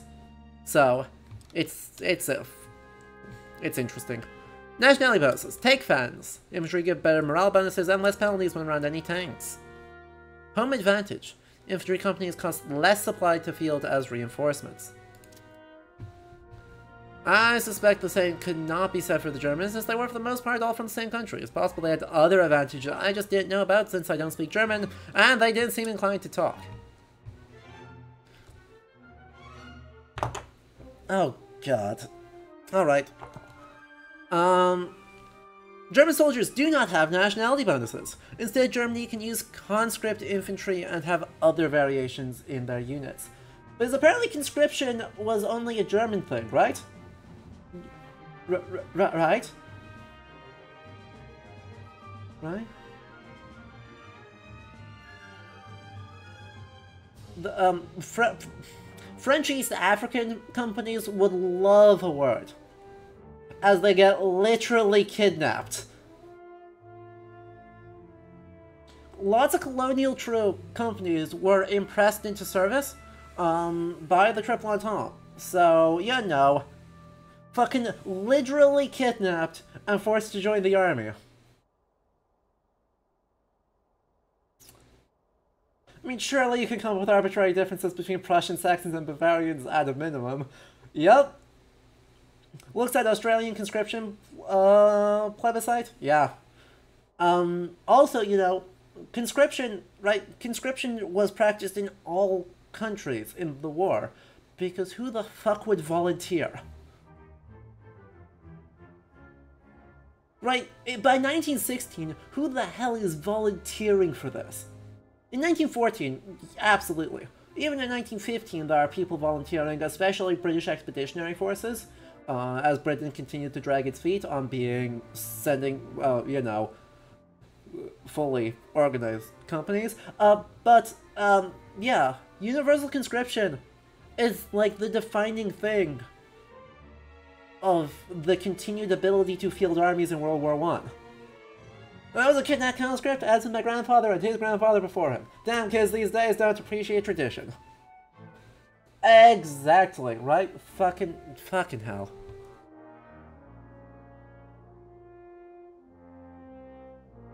So, we're gonna select American infantry, I guess?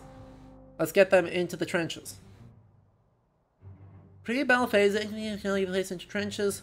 Uh, as with other objects, clicking the infantry button and replace with button, you can place multiple companies. Left click to place the American infantry into a trench. I guess we'll put them here. It's a good start, but we still have holes in our line. Uh-huh. Each of these can hold two companies. Um. Oh. Reinforcements reporting. Reinforcements ready. We've arrived and await orders. Looks like we're late to the party. Each of these numbers is not a person. Each of them is a company of people. So, what, like a thousand?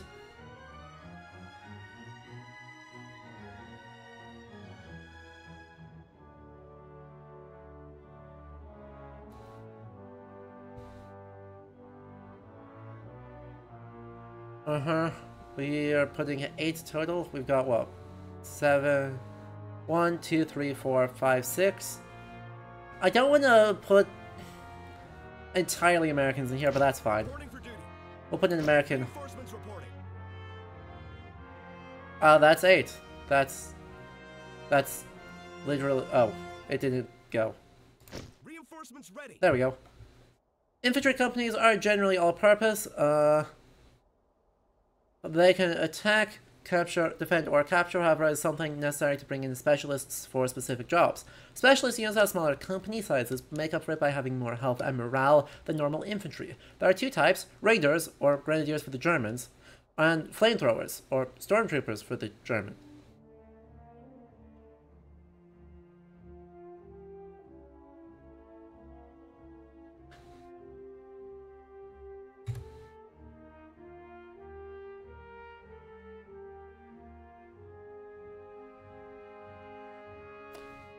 Flammenwerfer... Flamethrowers are a stereotypically German World War One invention. I'm just gonna point that out. Um, the if I'm remembering my reading correctly, uh, the Oxford Illustrated History says that the British Army at least never used flamethrowers.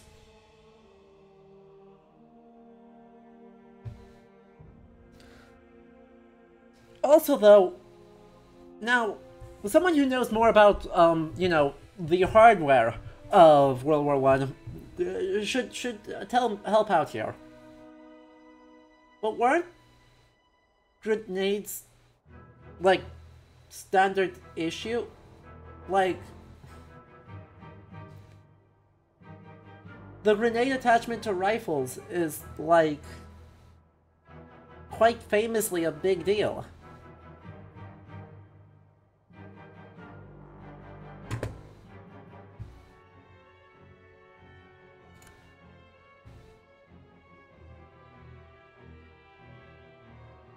From outside, the raiders are one of the few units that can fire on entrenched enemy troops from outside. They are, however, vulnerable uh, to long-range everything. Place just two American raiders wherever the hell I want. Alright, I guess we'll put one here and one there. If our lines are sufficiently manned for now, we'll hold back the rest of our men as reinforcements so that we can react once the battle starts. We'll also hold back our tanks. Let them be, uh, the surprise for the Germans. As with infantry, tanks cost less to pay, place in the pre-battle phase, unlike infantry, tanks can be placed anywhere in friendly territory. Our siege artillery have been moved from this battlefield to cover another portion of the front. We'll have to do without for this encounter.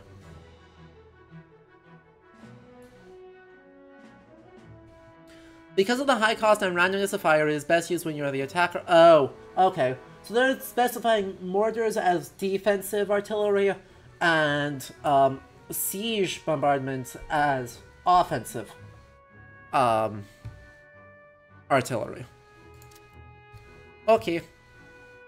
Money spent supply in pre-battle is a key element of the game, and it's why you do not spend your pre-battle will be added to the reserve once battle starts. This balanced the need to have more defensive built-in pre-battle versus the need for reinforcements, artillery, aircraft, and other ability used during the battle. Waiting was hell. With nothing to do, your mind could take you to some dark places. While our intel people mostly got it right, sometimes the only clue we had that a battle was about to start was the sudden silence of the artillery. If the wind in the factory stopped work for 20 minutes, uh, the Allies would lose the war. Joseph Joffre, Marshal of France.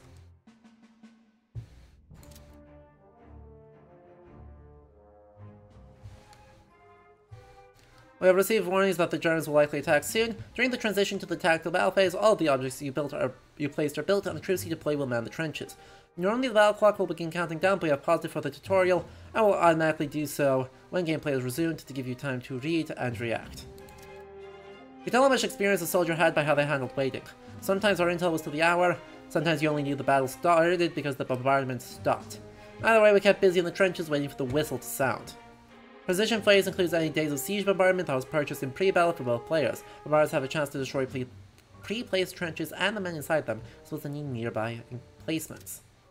Strategists use the information they have to, to try and determine how well the battle will go before we even start. Um, the red central powers and blue bars at the top of each screen show the combat potential for both sides related to each other, representing available units and supply for both.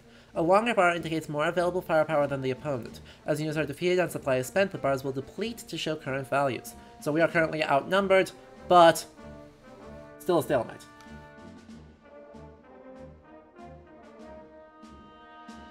So I've kind of gotten in the Discord before, speaking of which, you should join there, we have cool conversations.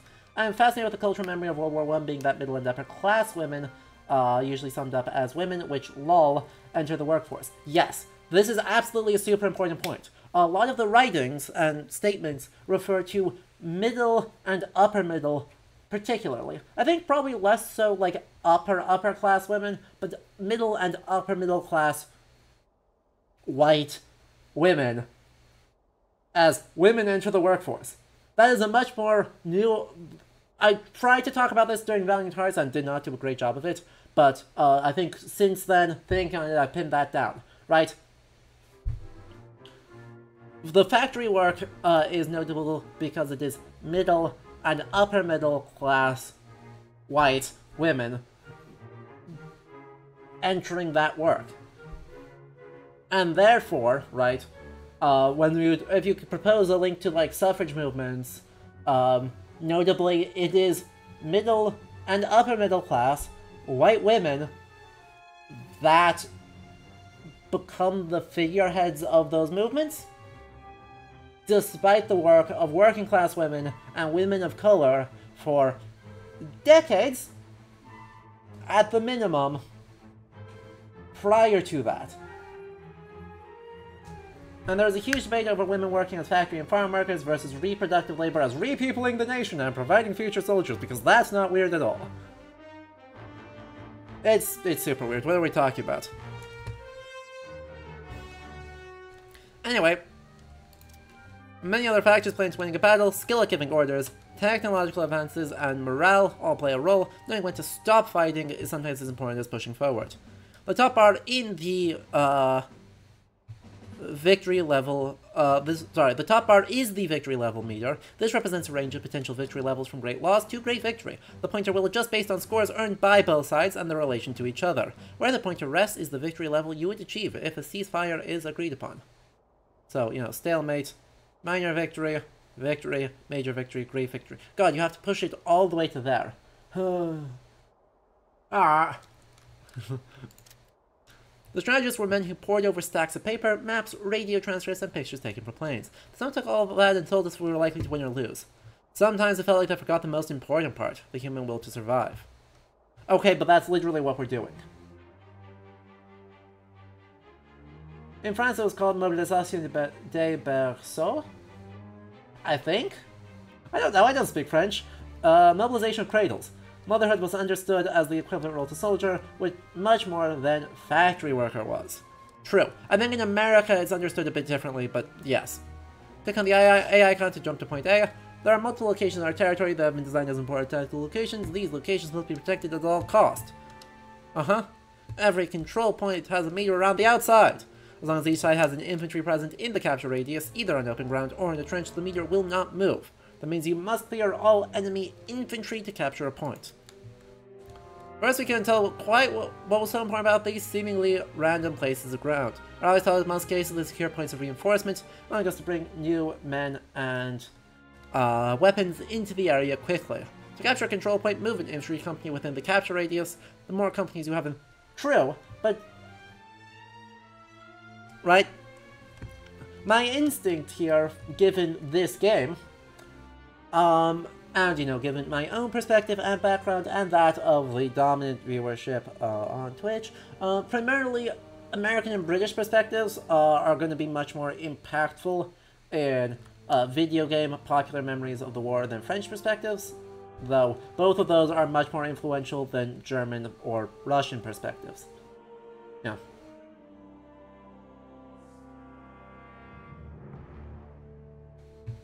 Uh, I have no idea, Flowery Space Karate. Does this game, same conversation come back around uh, in and after World War II?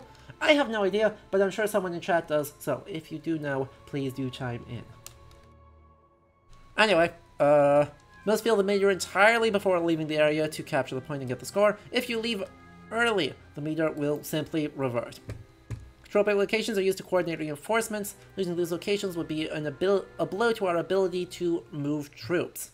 3. Control region influences the area of the map and the reinforcement cost is linked to it. Control point that is lost or contested cannot be reinforced from. See map sections linked to key points using the slash key. Our reinforcements wait at uh, key positions away from the battlefield. We have mapped specific routes into the area via the control points. Gotcha. Would prevent us from using the reinforcement routes. Each region is tied to reinforcement points that are shown on the minimap. If you capture an enemy control point that links to side reinforcement points, you can then use them to reinforce your own troops. Top and bottom points can never be captured. Reinforcements cannot use a point that is in a captured or can- That- Wait, that makes no sense.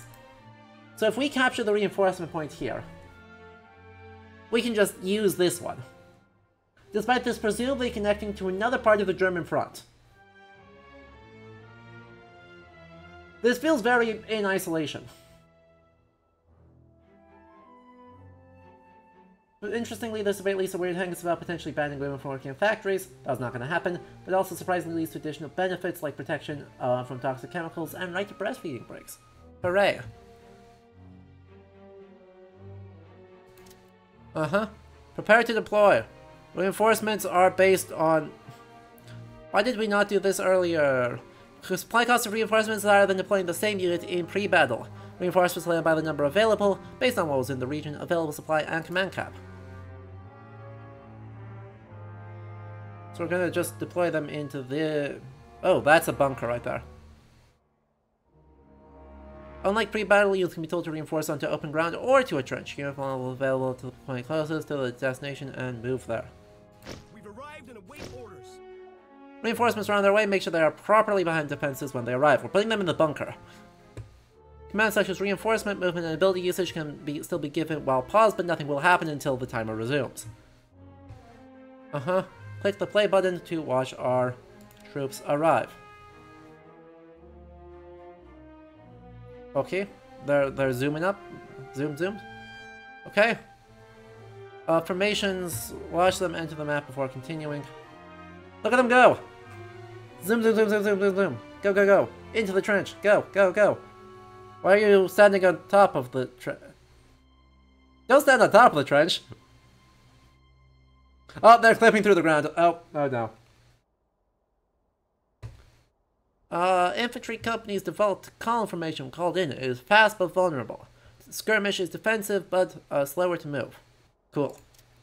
War is one of the most vital aspects, or info is one of the most vital aspects of war. We cannot shoot what we cannot see.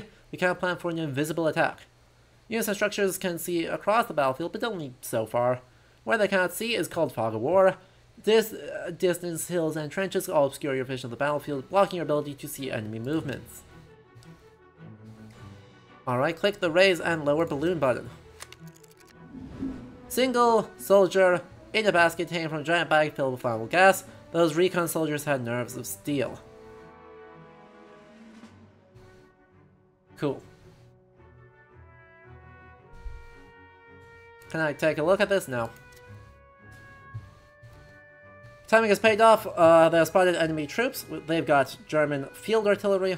They've got uh, German mortar positions. Since units cannot regain uh, health, lost health or morale, sometimes it's useful in defense to weaken the enemy units before they attack. Units in tactical may be selected by the unit tray or clicking on the banner directly. So we've got uh, German infantry, a machine gun nest there, we've got German German recon team. There's another machine gun nest. There's a field artillery. How much range does this artillery have? Do we know? Fine. Uh, heavier and light artillery have very different uses, etc. Precision barrage. We can also gas attack if we have the oomph or air burst. Fair enough. Um, precision barrage button. To lead moving targets, it takes time to load and fire, so target where a moving enemy will be, not where they are. Alternatively, oh, we have to select some infantry.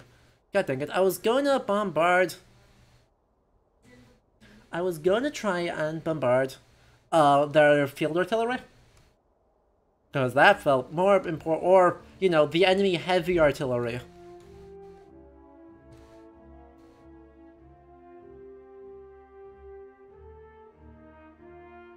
Still, let's try and clip the machine gun nest.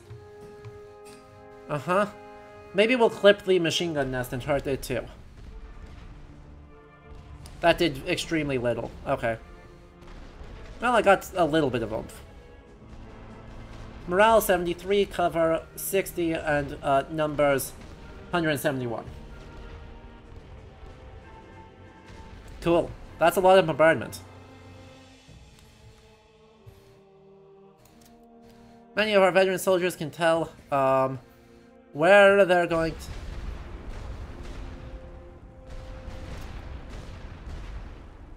Uh-huh. Incoming enemy uh, artillery laws with brief warning on the ground, while units uh, in other trenches uh, take reduced damage. Everyone else can only... Only sort of, sort of do stuff. You seem to have the lowest morale, despite your high cover. Uh-huh. Ready To your morale, your men, men with high morale will willingly go over the top and rush a German machine gun nest. Those with low morale are likely to break. Why are you withdrawing over open ground? Goofy. It's always better to see a winning friend pull back than to lose them on the battlefield forever. Wounds heal, morale can be refreshed. Uh-huh. Drawing a company removes them for play, with also saves on replenishment costs and frees up command cap. Drawing is not instantaneous and they can still take cover and break.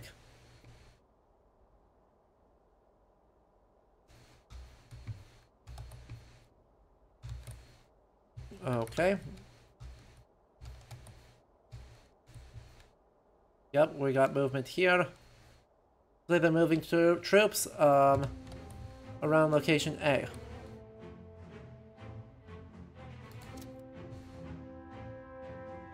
If we'll need some specialized troops to handle the attack, so we want to select one of these raiders.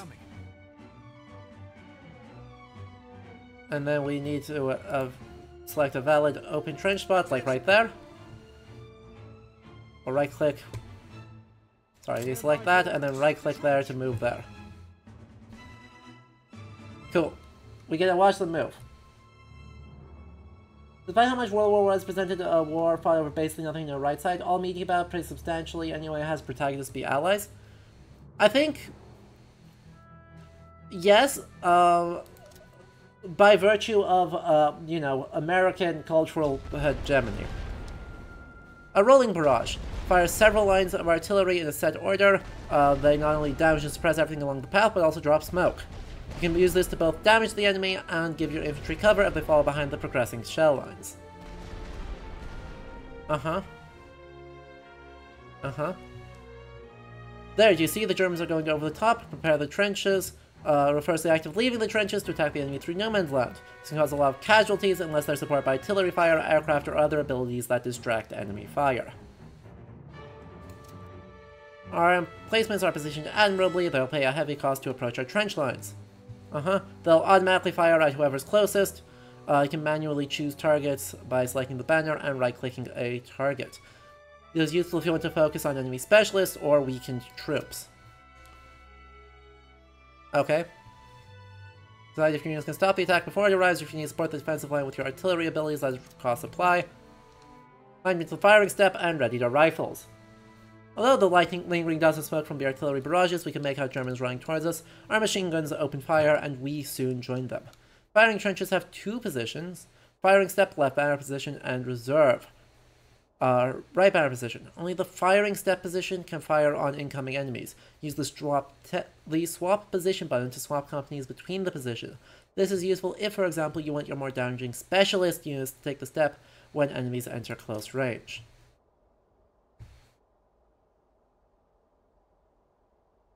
We have new orders. On the line. Uh-huh, defeat the oncoming attack wave.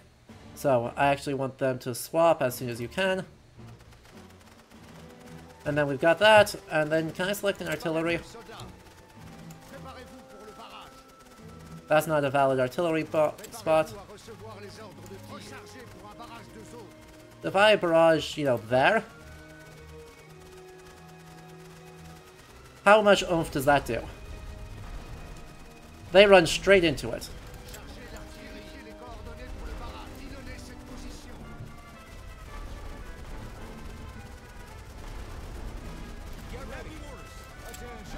Okay, they have very short range. I understand. Wow. Yeah, this is brutal.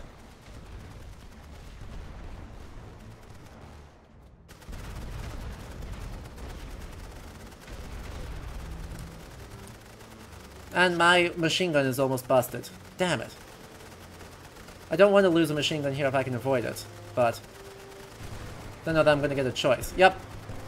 I said, I don't know if I'm to get a choice in the matter. Artillery isn't about damage. You can uh, use suppression.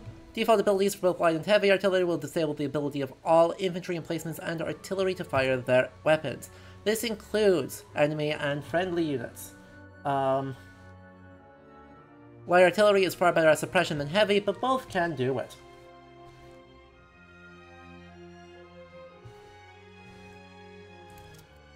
The incoming assault is larger than expected. I believe it's time to field some of our tanks. Uh, while primarily our offensive, tanks are also useful on defense as both a mobile turret and provide morale uh, bonuses to your troops. A machine gun French tank. Can I deploy them? Where can I deploy them? Will not be able to enter near a contested control point. Okay, so if they're in this area, I can't do anything. Can I just, like, drop them on the outside here where the thing used to be? Literally, what if I just dropped two of them, like, one, two? Our boys really loved those contraptions. I meant they were great to hide behind on the way to the German trenches. It was very reassuring to have them around. Tanks provide a morale bonus to them. Because, yeah. Watch your tanks enter the map. They're on the map. Get those tanks into position and stop the incoming wave. There's... that's a big wave. Um, I have completely lost...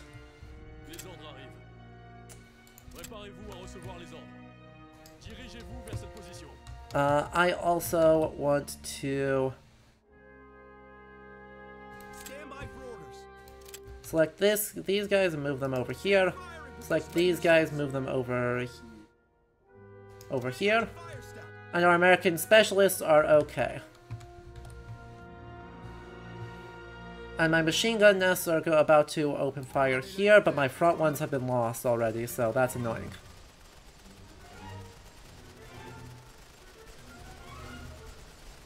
And there, that just mauls them. Holy crap.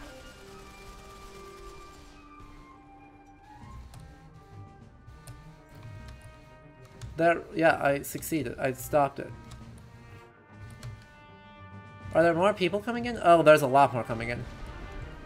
Understood. Where are our artillery coming in from? Oh.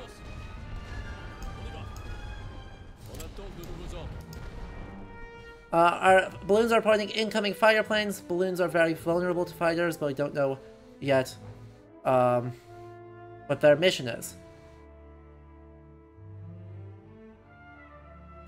Cool.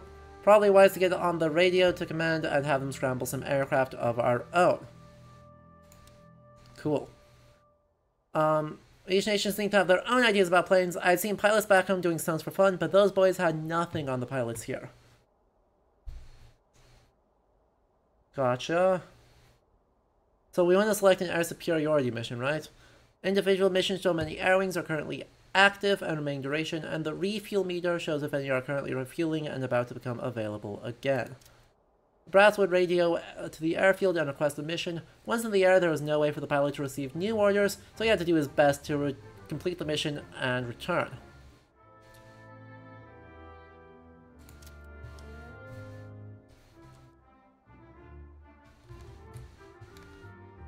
Uh-huh. Back up with the closest if you're going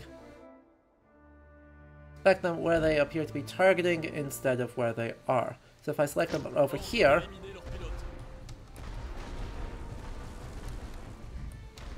unlike other... So I have the final attack wave, we want to back up here, back up the tank, there's the French uh, fighters. Oh, well there went one of our planes, that's bad.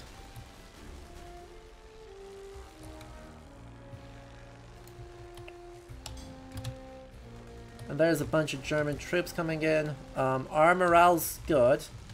Our reinforcements are good. Our tank health is bad. I want to back this tank up if I can. Ah, there's no good way to do that. Damn.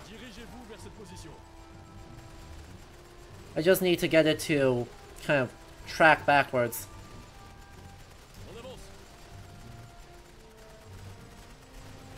Okay, your morale broke, you're running away.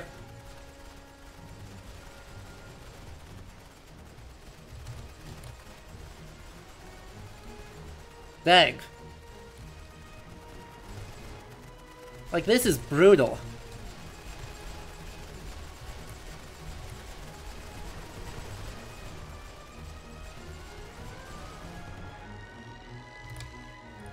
I mean, good lord. The reinforcements are slowing down and the soldiers are showing signs of low morale. I believe their momentum is faltering. The attacker has the option to cease fire at any time to end the battle and total the score. The defender can only surrender, which gives up all the control points at command trench to the enemy. Uh, battles can also time out. When it reaches zero, you're out of daylight and the battle ends.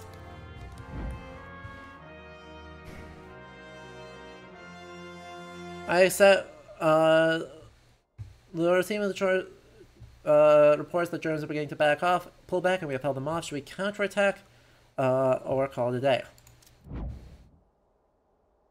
Hooray!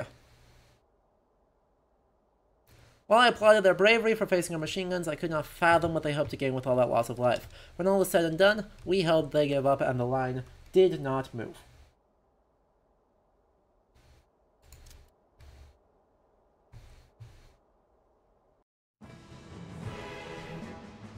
Enemy ceasefire. Battles in this war are won by inches, not miles. In decided to cause losses and end hostilities for now. Our forces have taken some damage, but we can fight again another day. With an archival photograph of the, um, you know, that guy's doing great. Look at those crazy eyes.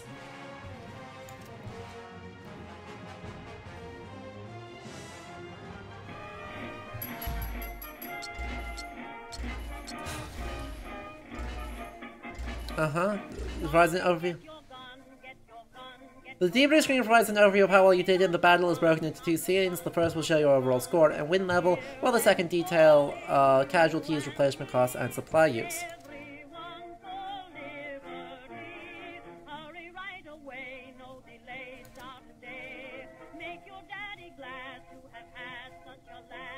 So we won a major victory, I guess?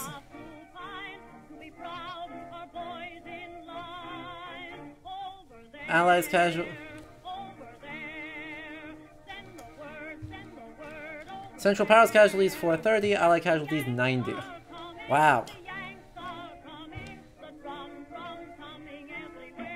And we won a bunch of medals.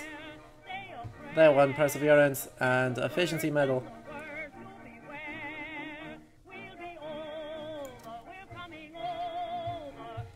It's not just your level of victory that people back home count for.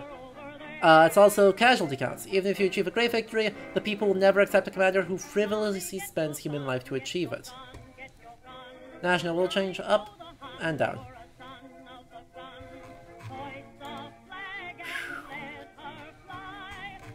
A lot of German infantry just got mauled. But the German stormtroopers did not even get touched.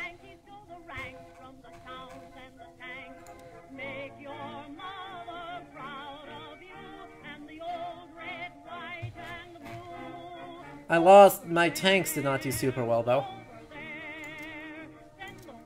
Well, um, did the game just crash?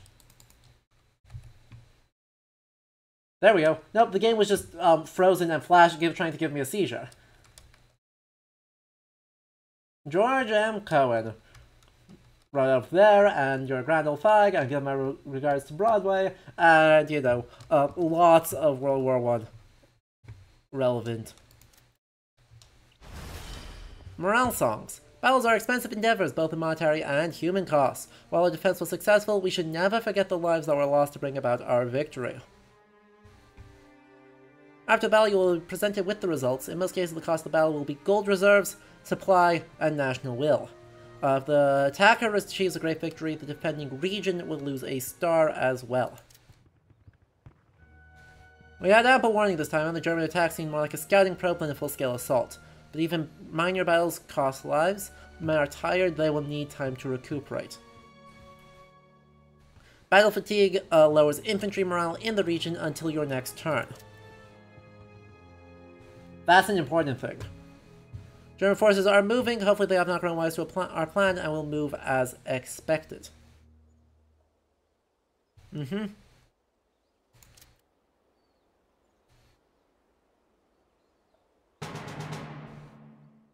New turn begins, June 1918. Alright, that confirms that it is um, one, one thing per, or one, I guess, what, one month per turn? Research points, plus one, and 1200 new gold reserves. We'll take a look at what those uh, actually mean after a brief ad break. So we do take ad breaks every hour here. Um, it's been two hours. Oops. But that means I need a stand-up stretch, and I recommend you all do the same. If you've been enjoying this, do make sure you hit that follow button. We're going to be playing through the rest of the tutorial, taking a look here. Um, this seems, well, largely what I expected, um, but that's not exclusively or entirely a bad thing. So, uh, once again, um, don't go anywhere. We'll be back in just a couple of minutes uh, with more Great War Western Front. I shall leave you, of course, with some snails. Alright, be back soon!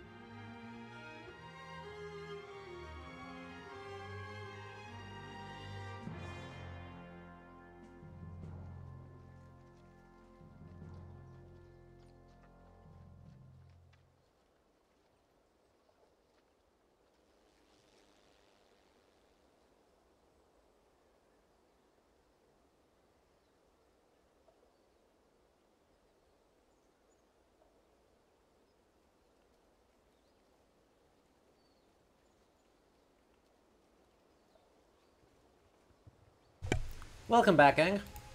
Hope everyone's doing well. Hope that I break past smoothly and quickly. I have acquired pretzels. Showing my true allegiance to Snyder's of Hanover and nobody else.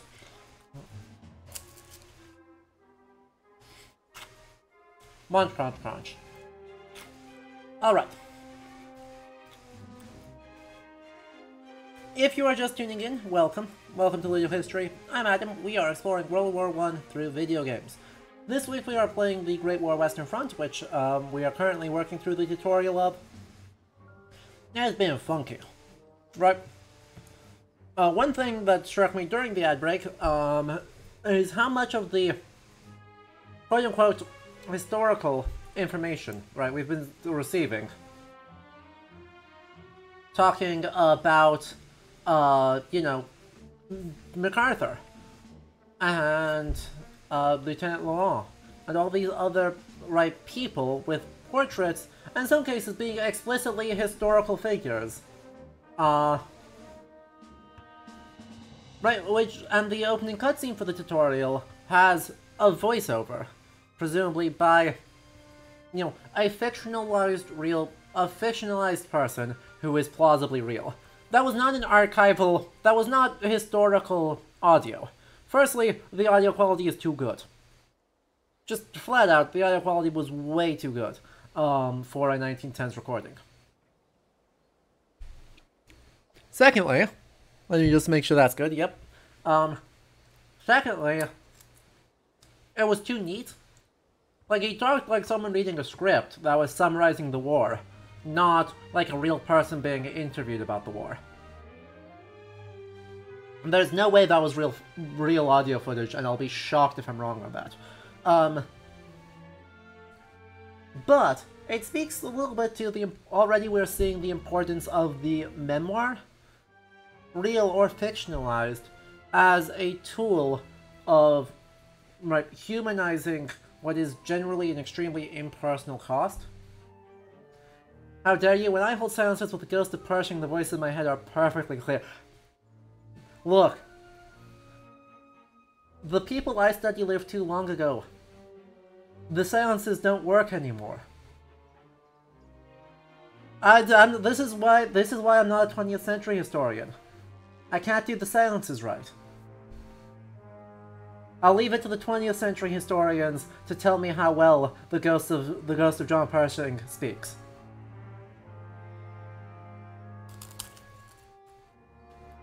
Anyway. Let's hop back into the tutorial here. Um, we're pretty good at them. Damn. I'm jealous. Houdini would like a word. yeah, let's hop back into the game now. I've got a feeling we're about to do a big attack this turn, so um, we're gonna see. We're gonna we're gonna see how well I do at that. My bet is not very.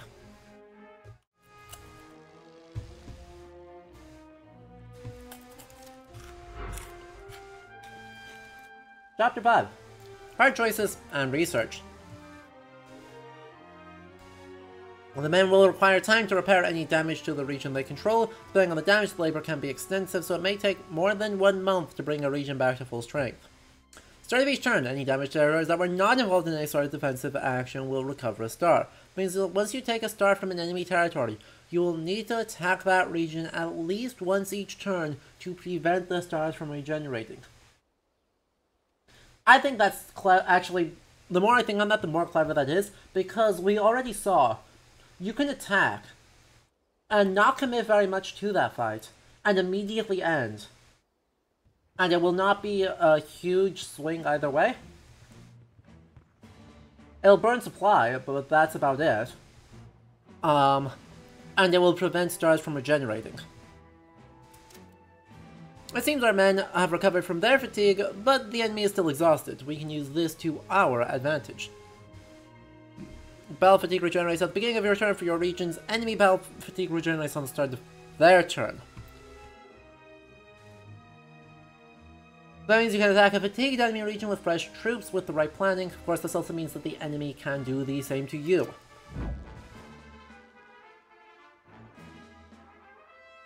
Uh-huh. As officers, we're faced with many difficult uh, decisions. There are many things to weigh when making choices, but I find that choosing what best supports our plan for the war effort to be the correct method.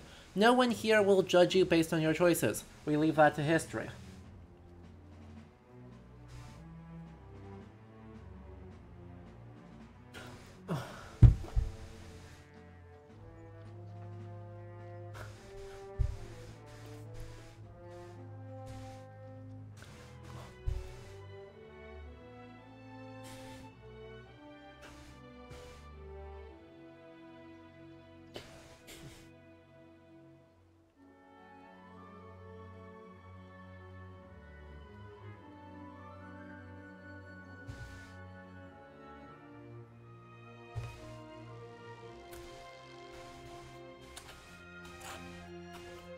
I...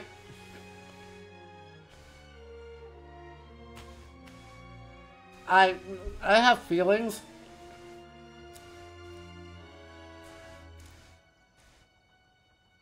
How, I, I wonder if this game has ever looked at, um...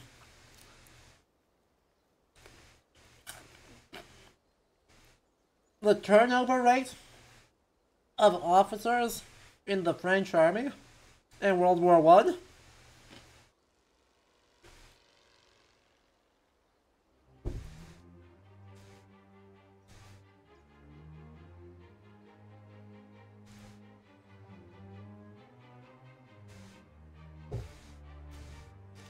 Because officers can and did get replaced. Rapidly. Across all levels. Because their superiors didn't like the choices they made.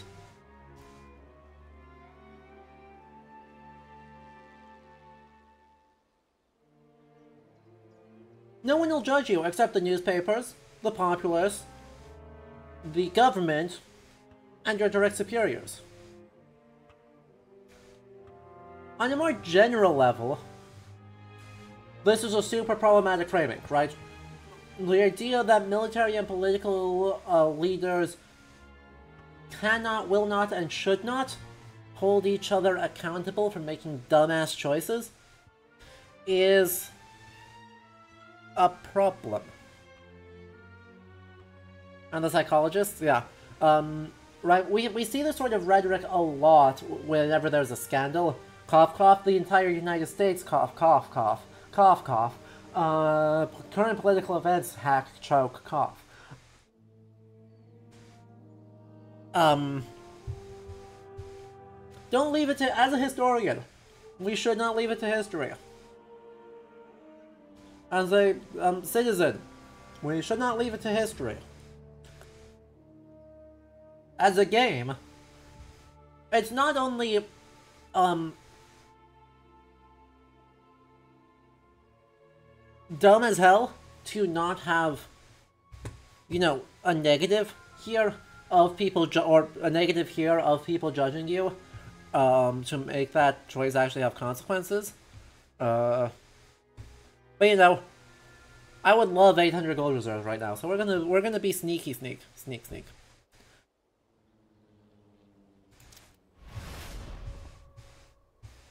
In my youth, had the mistaken impression that choices were black and white, good or bad. But I learned quickly that in the war, that life wasn't that simple. All choices were just people trying to solve problems with the information they had, while causing the least amount of harm they could. Remember, there is no right or wrong answer in a hard choice event. Those who faced the same choice in history made their decision and dealt with the consequences. Well, that doesn't mean that there wasn't a right or wrong choice. I just always like you have to live with it. Yeah, I'm curious whether the event is a randomized one. It almost certainly is. Um, the decision to keep our discoveries classified is sure that we'll have the upper hand against our enemies and erodes the need to overspend on counterintelligence. We know let's release the data after the war. R&D is a vital part of war. If we can find a new combat strategy or develop a new weapon, we can gain an edge in battle and win this. It's 1918! What are you talking about? Broken down the research into display potential avenues we can pursue. We can't possibly research everything, so as well we can concentrate on research that will fit within our plan strategies for victory. Oh boy.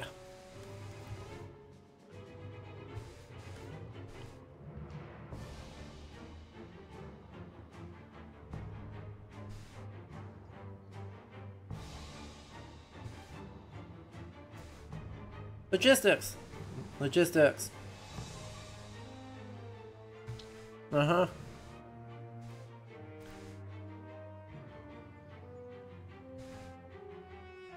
So we have flights. We have trenches, we have engineering, which looks like it's mostly artillery.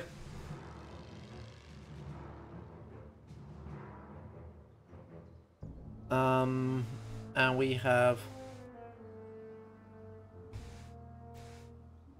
intel, which does a bunch of stuff there, and we have infantry, which does a bunch of stuff there.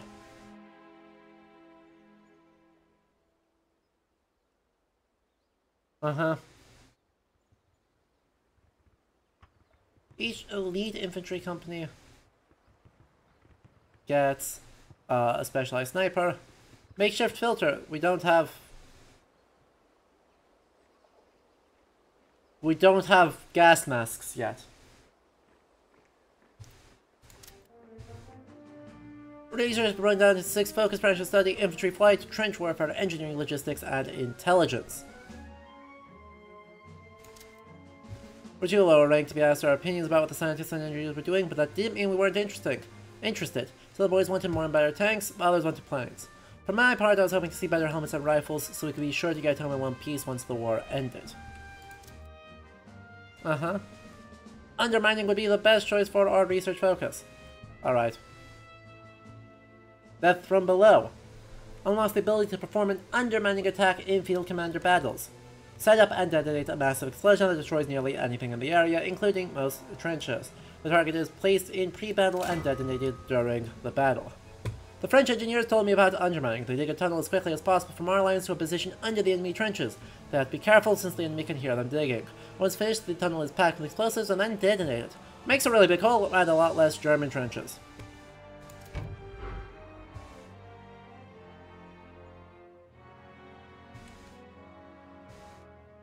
Hey look, offensive battles. Seems our enemy has not been idle, uh, reporting recent enemy activity in the target area. That's quite a lot.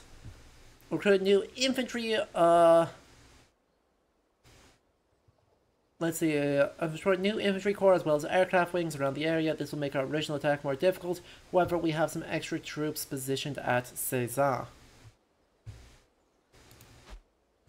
Attacking from the south should divide their forces and tire out their men. During doing so weakens them to further attack from a different direction. I thought that experience would numb me to the fear before an attack, but it never did. There is no way to get used to climbing out of a trench and running into a hail of gunfire while avoiding death by barbed wire. Click the auto-resolve button.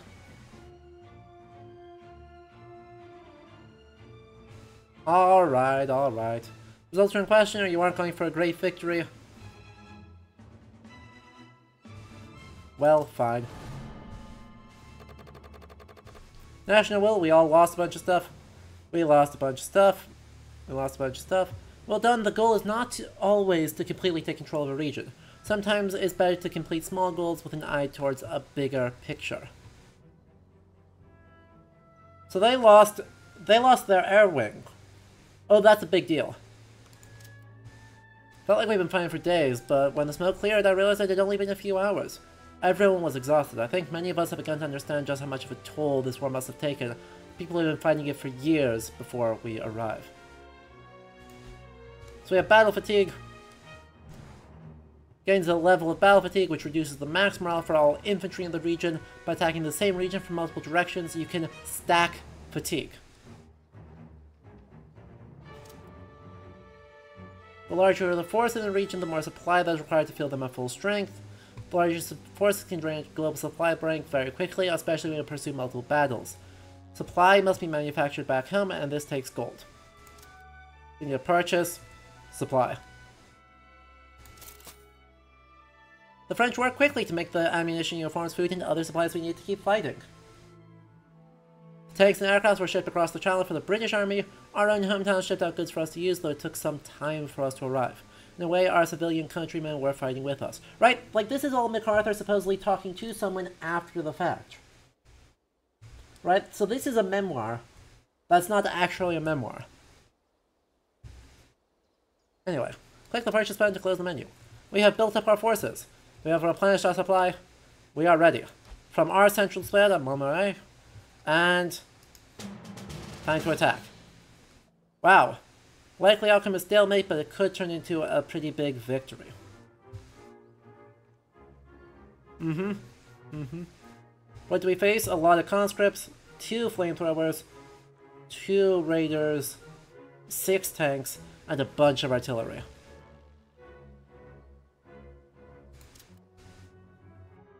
This should be interesting. I'll be curious to see how this battle goes.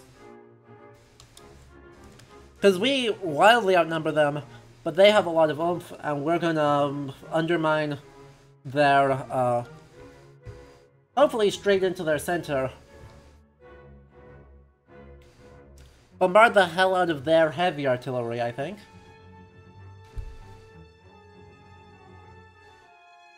And then go from there. Because it looks like we have one siege artillery. Like, we we should just win this. They also have nothing to stop um, my air wings. So I can just run bombing missions. Welcome to the trenches. Our boys are putting the finishing touches on our defenses, so now's the time to get your bearings. Uh-huh. Trenches have the smell of fresh earth, uh, gunpowder, sweat, and a hint of blood. We knew to expect this time, but the stress from waiting never got easier.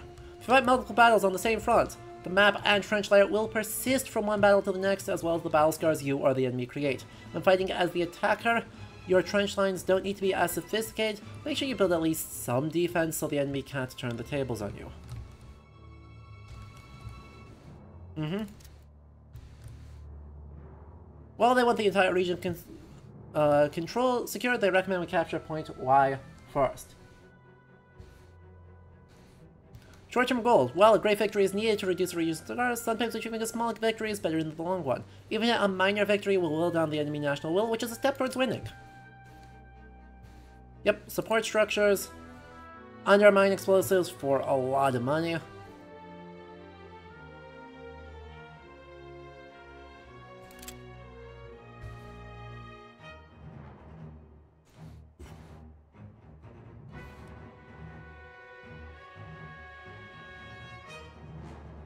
I think we drop it here, because that blows out the bunker.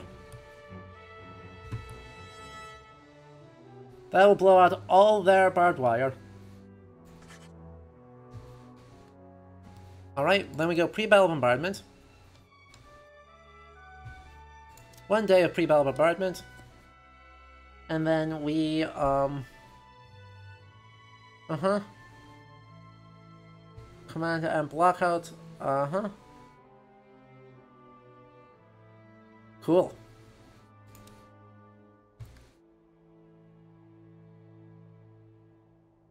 Troop tab, uh-huh. Infantry companies can be placed into trenches, while anything else can be local. Uh, okay. Goals to take enemy territory. Our men must reach that territory safely. Remember to plan for support. Okay. Building balloons to scout them all out will make it life easier. And then we just need to place some stuff. So we've got a balloon there already. We've got a balloon there already. So how much can we actually see? I feel like we can see most things already, right?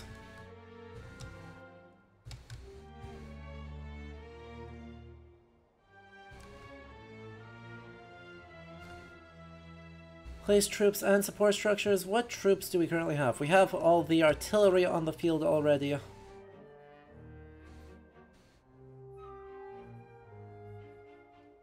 Um, how much field artillery do we have? We have two there. Let's look at troop deployments.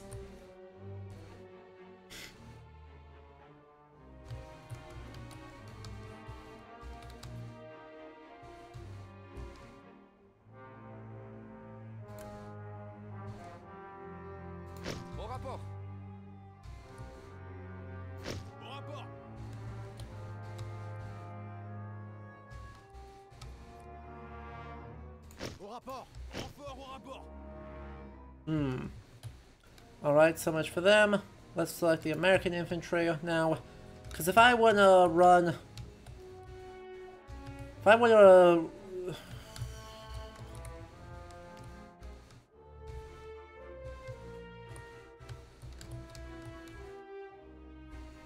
Do I run a bunch of American troops up here with a tank and try and push into this side?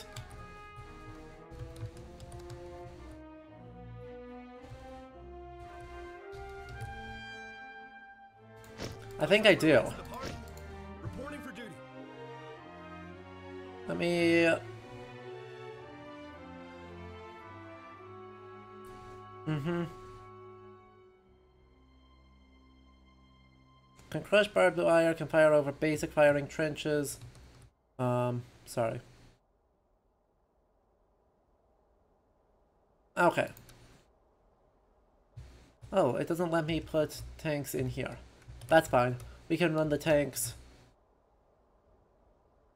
On est arrivé et prêt à recevoir les ordres. I'll put two tanks there. And then I'm gonna put some American specialist troops over here. I guess the same deal is right. The goal is we want to push up through here. Reinforcements reporting. Au rapport. And we'll put one tank with these lads. I'll put one more American. Well, we'll put them there. Okay. Um, I don't think we have any new structures to put up here. What other support structures can I put?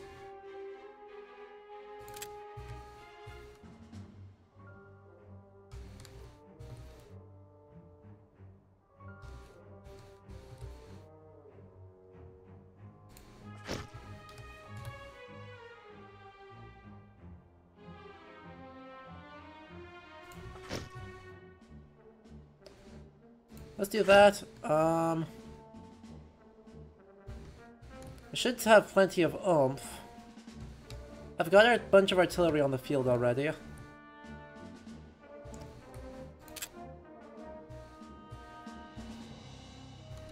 And barbed wire can only go into friendly areas. I understand. So I don't need that right now. Okay. Uh, I have nothing right here, do I? I've got a French machine gun. That's fine. We can reinforce into there if we need. Machine guns are taken through grit and determination. Douglas Haig, the first Earl of Haig. Um, British Field Marshal. Yeah, um, that's... Yep. See, blockhouse trenches, barbed wire, make sure they are... Uh-huh.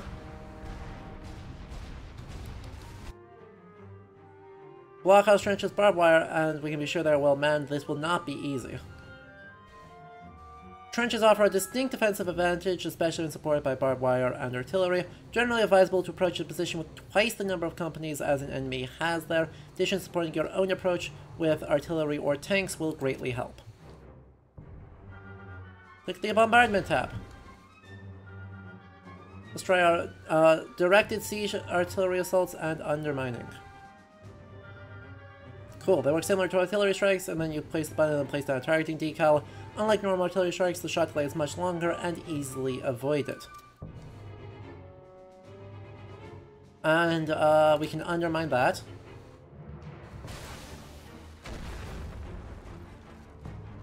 And there's that. We have blown them two smithereens.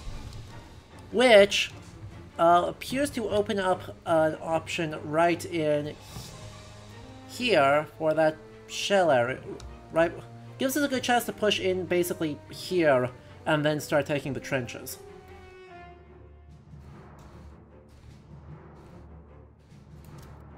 That was indeed impressive, but their area is still well secured.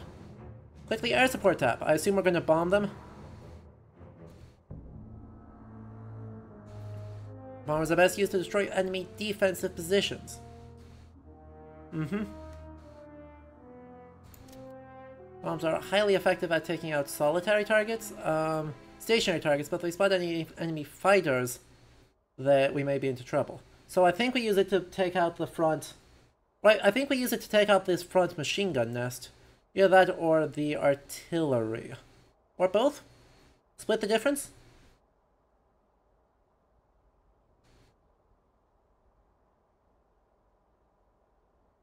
Now we'll just drop it We'll drop it primarily on the machine gun nest. Mission pour un bombardement. Well done. All that remains is using knowledge and experience we have gained to... Uh-huh, we're ready to go. Send troops over the top and secure, uh, number Y. Uh-huh. I want to use, take out this. Préparez-vous à exploser les ballons. Perfect. Um, now, let's select... Let's start by selecting the tanks, yeah? Um, where are there... So there's, uh, Stormtroopers there. That completely hit the wrong guy, but that's fine. I'll take it. There's nothing there, there's... There's an artillery nest there, but that's it. So let's... Guess let's start moving these tanks, yeah?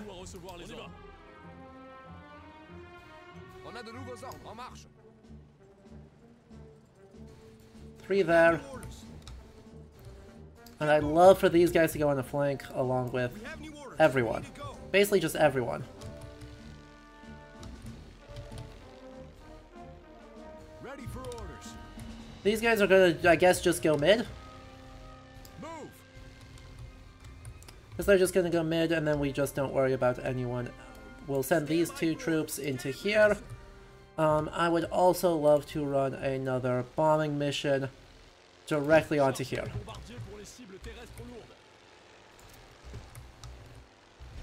If we can break that, it would be hugely impactful.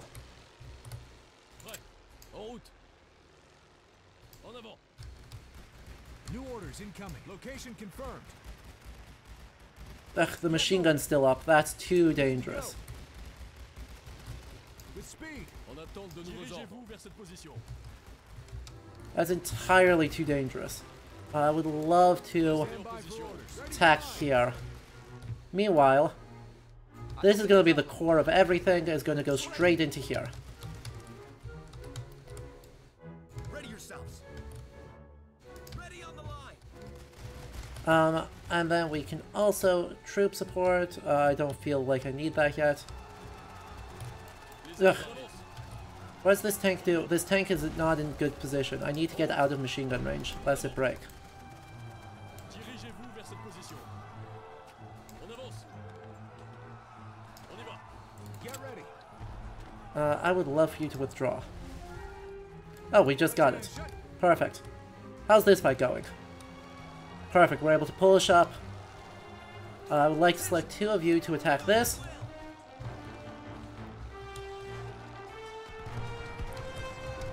And what else can I do? Air support, another bombing run onto this machine gun nest would be awesome. Their balloons are down. Their balloons are not down. Alright, let's try that again. Ready for orders. Tenez-vous prêts. En position de tir. Because I, if I can get behind the nest... Actually, I am behind the nest. Like, this is not... We have new orders. Oh, can I... How do I withdraw you? Yes, yes, yes. I'm aware that I need to do that. Préparez-vous à recevoir les ordres. En route. En avant.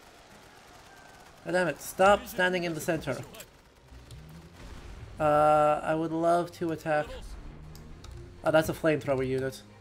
We have new orders. On the line. You need to back the hell up. Préparez-vous à tirer. Uh, I would like to send another American unit into here. Take firing position. Ready yourselves. Ready on the fire step. Where are my other American or my two co companies there? They're not alive.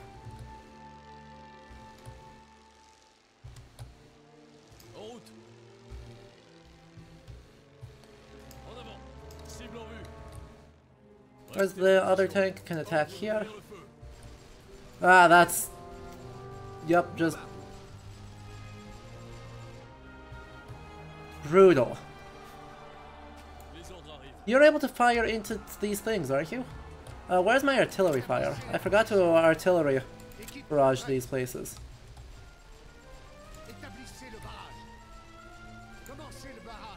That was my bad. Suppression barrage and... Uh, let's just precision barrage that again. And that I am drinking water. And another compliment. We're just gonna bombard the hell out of them, actually. And then once we've captured this, we can reinforce from here. Which will be really impactful. Uh, let's also have one of these American companies just take out the... Ah, we'll have maybe the French company try and bust down. Also, I'd love for this guy to be able to withdraw. How do I withdraw? Company withdraw. Thank you.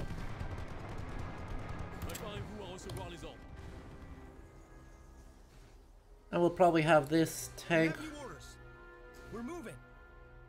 Actually, we can if we can stand inside that, that would be hugely impactful. Uh, this French company can also withdraw, and then we will look at reinforcing. Is that close enough? Is that actually capturing? Like, there's no infantry I can see in the area.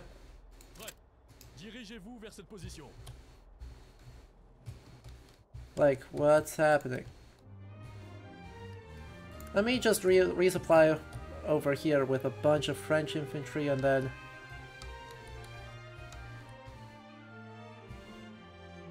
Renfort au rapport. Renfort au rapport.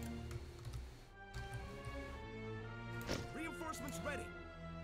two American companies, and then we'll roll them in with another tank, uh, and we'll go from there. Oh, my balloon's just lowered. Uh, that was done with me. How do I capture this control infantry? By for orders. There's no in, there's no one left in here. What the heck is happening? Attention. Ready on the line. Like, do we see anyone here? Does do we see anyone else here? Uh, anyway, we do have a compliment. Uh, like honestly, in terms of like looking at what appear to be relatively effective strategies, the idea of Pulling- one of these big, big chunks of people forward. Uh, actually, let's run them into here. That's protected. Right, there's no one. There's no one here. Where are these companies are supposedly preventing them from capturing the control point? Where are these companies?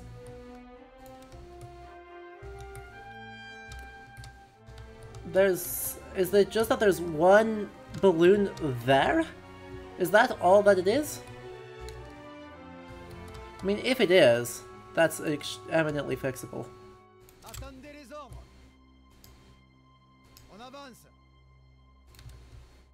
But right, like this is doing the, um, this is doing a lot useful in terms of like constructing Préparez-vous à tirer. uh, the, in terms of constructing uh, a good sense on a high level of what like successful operations might end up doing and looking like.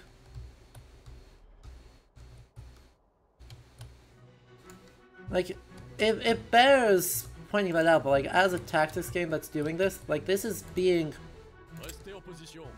really successful. I'm just not sure what I'm missing here to help capture this control point. Like, I got plenty of infantry in the area. Hello?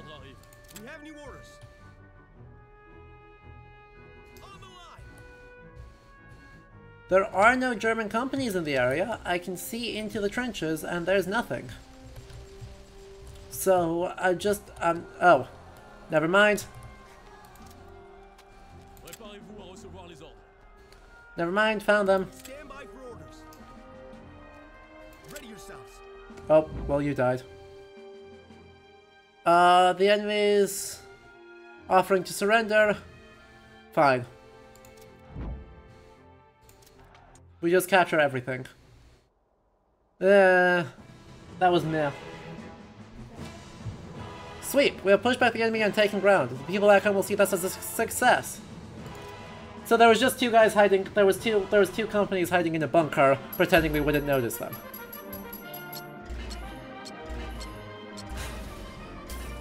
We cost it cost a lot though. I did not do a great job. I did pretty good. But I didn't do great. They got Perseverance, They got efficiency, we got more efficiency, we got more everything. Oh, and then we have an epilepsy warning that you all don't have to worry about, but I do. There we go. The bad line, when I click to go back to world map, the screen starts flashing at a high rate, is extremely bad. Um, you, you gotta patch that. Like, you just gotta.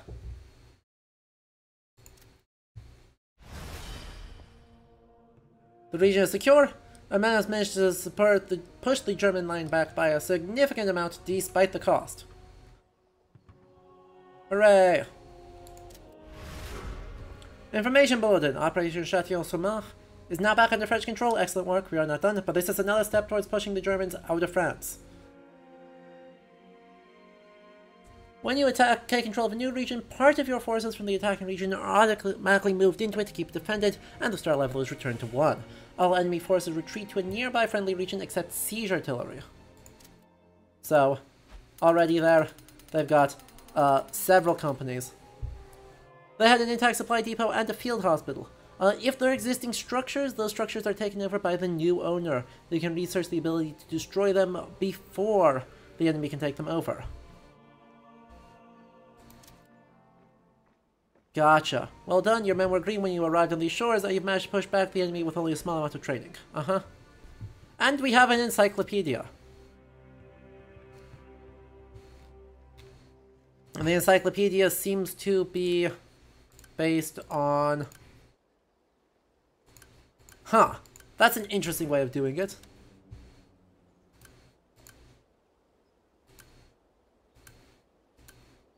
That's an interesting way of doing it.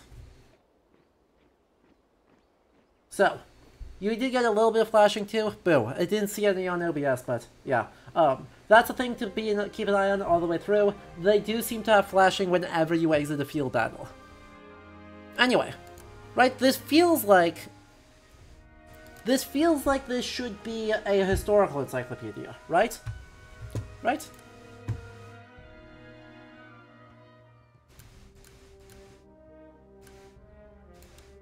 I mean, if you click on the... Uh-huh. There's a little bit. There's a little bit of work here in the World Encyclopedia.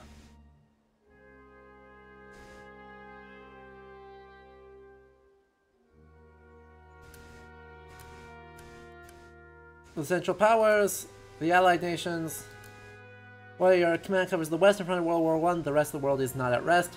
Various other things. Uh, various major event strategies and trials may occur in other parts of the world that will occasionally be revealed. There are also maybe times when you're presented with missions to accomplish or choices to make. There are six event types. Uh, choice. You'll be presented with two options, your choice determines the outcome. Headline. Front page news from around the world based on the turn date.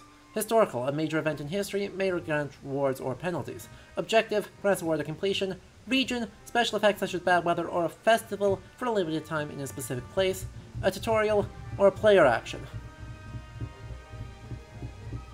There are more events uh, than there are turns, so there will be uh, bonus stuff. Hooray.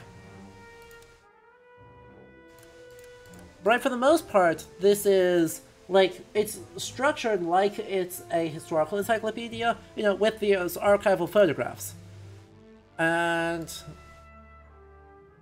mostly the photographs. Honestly, mostly mostly just photographs. And then the actual thing is fully uh, gameplay related, with only occasional things here uh, saying that.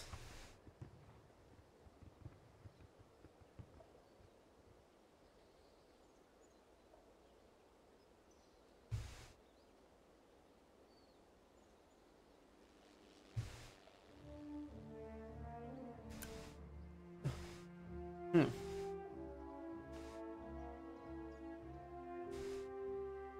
Russia lost its Tsar, uh-huh.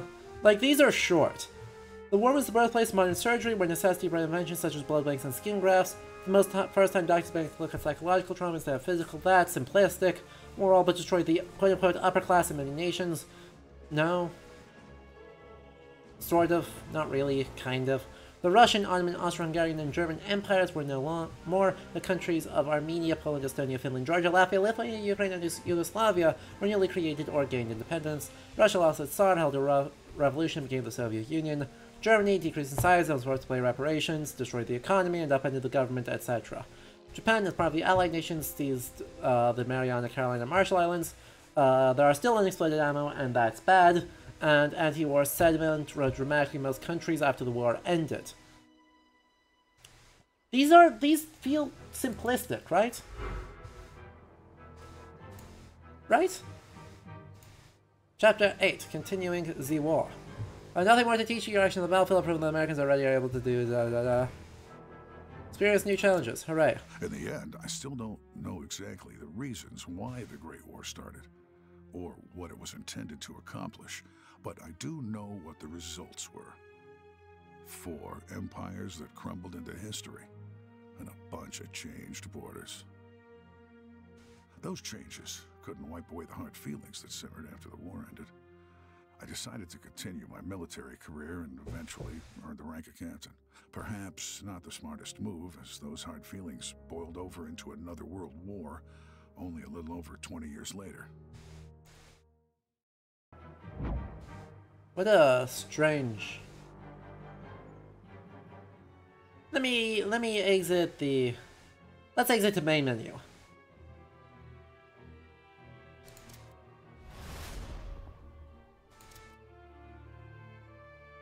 Let's exit, the main menu because that feels more interesting.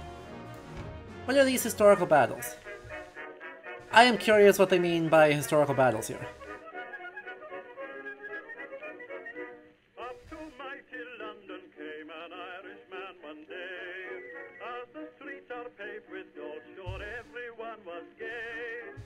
We have um, Ypres, such a high tactical value, value target. The town of Ypres in western Belgium saw much conflict. Frustrated with the stalemate, German chemist Walther Nernst suggested using gas to empty the opposing trenches. While many times were discussed, chlorine was chosen as it could be found in high quantities. 5 p.m. on April 22, 1915, the German lines opened cylinders and poured 160 tons of gas of gas onto the battlefield, the first use of chemical weapons on the Western Front. Long Way to Tipperary is a good song. So we play as the Allies.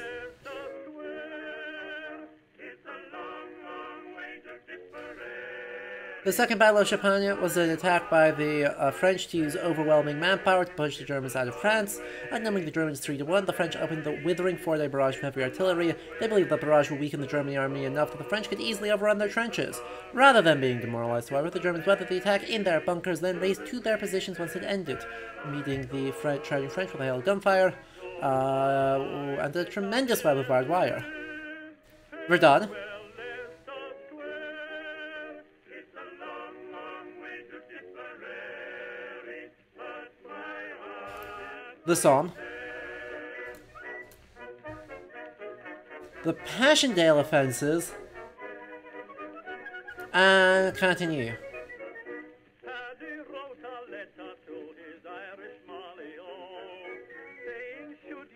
receive it, write and let me know. Okay, chat, which one should we do? Spelling, Molly dear, said he. They're all equally difficult, uh, though. I'm just saying, I maybe, I maybe I'm gonna play on trainee instead of on soldier. I'm just saying.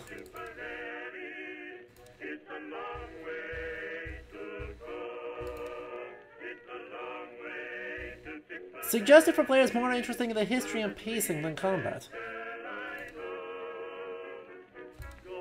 Alright, maybe we'll play on standard. We're done for continuity's sake?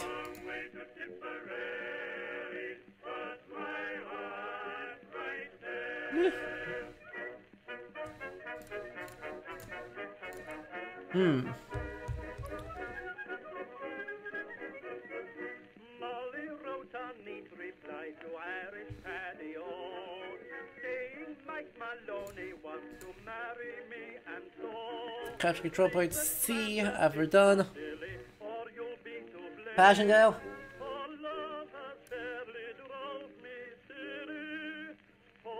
Why do old recordings have such terrible bass? I'm actually not sure. I'd assume it's something with the uh, way the sound wave gets encoded on the record, but or on the wax cylinder in some cases. You know that answer. Hey, I love chat. Or we just try and not die.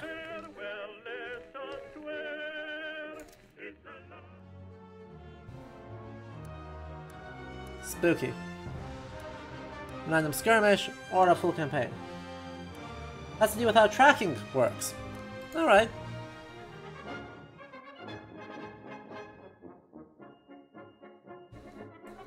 Interesting, it's a random one. Okay. Maybe we'll...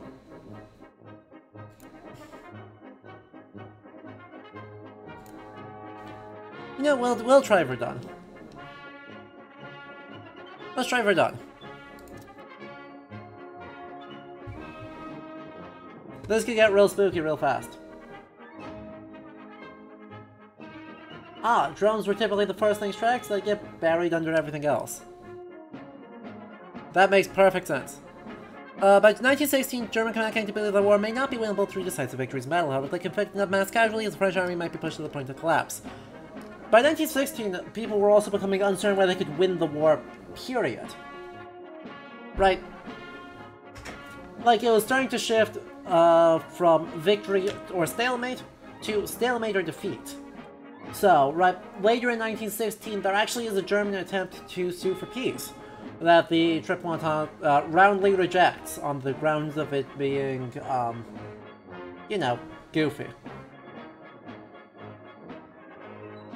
Would have saved a lot of lives, but the uh, requests was not basically like no consequences, and France was not about to let that happen, and even England was like, mm, you sure? How about now? My dearest, your letter asked for truth. I hesitate to speak it since I do not wish to worry you. But from your words, it seems as though the people back home do not hear the reality of what truly happens on the front. I can hope that my words here will remind them of what their husbands, fathers, and sons have sacrificed for them. The bombardments are nearly constant, day and night. We have had no communications with the rear for almost three days, nor have we been able to get any rations. Biscuits and chocolate keep us going. But the lack of clean water is worrying. Those shells bring casualties. It is almost impossible to move without having to step over a body. They are left lying where they fell because the stretchers teams can't get to them without falling prey to the shells themselves. And that risk is reserved for the still living. The smell is overwhelming at times. Dysentery is rampant, and the men blame the corpses and filth. Perhaps rightly so. And yet, through all of this hell, we persevere. The shells destroy the lands, the barbed wire, and sometimes the trenches, but the French spirit lives on. We will fight to the last man to protect this place, because it is our home. As long as we live, no Germans will pass our lines. The shells have stopped. We may be moving soon. All my love to you. We will see each other again. Gérard. Will a letter like this even get past the censors? Yeah. A letter like this absolutely could get past the censors. Uh, that's how news of the Somme leaks out. Um, is, you know, it just, there's a delay between official press and uh, British letters uh, back to their families. But yeah, absolutely. Uh, letters like this. That at least strikes me as a plausible letter, though I'm still not persuaded that that is actual archival material, since it doesn't provide a citation as to like what archive it comes from. Right? This is why you need to cite your sources in a historical game. I know it's weird to do so, but right, just a, a little pop-up that says uh, if this is actual, like where did we source our things from, even in the credits, if you cite what archives you're using for these, uh, it'll do a lot of good to help distinguish what is invented, what is plausible, and what is real. Also, is that an actual French accent? I know, right? The French actually spoke like they were French. An interesting experience. Our orders are to take and hold Fort Douaumont. German command believes the French will not allow us to keep this ground and will throw everything they have. Uh-huh. Completing objectives will grant additional supply, population cap, and reinforcements. Using artillery abilities will make it easier to clear French troops from the fort.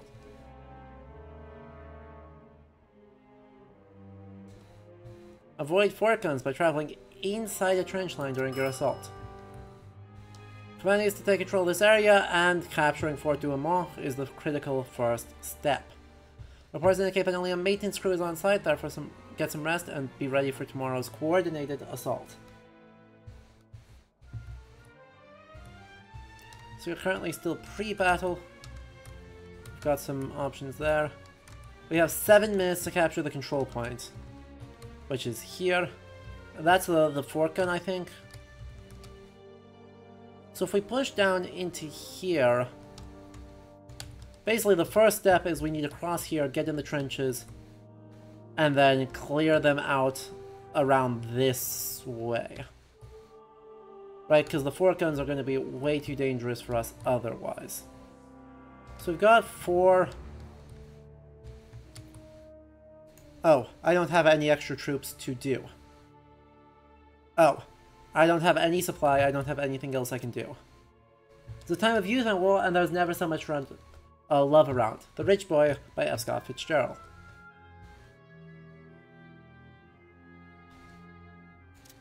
Obviously inaccurate as we know French people speak with British accents. True. Artillery targets, all, all artillery batteries target those forts to weaken their defenses. Yep. We're locked in, we know that that's what's going to happen. There's one, two, three.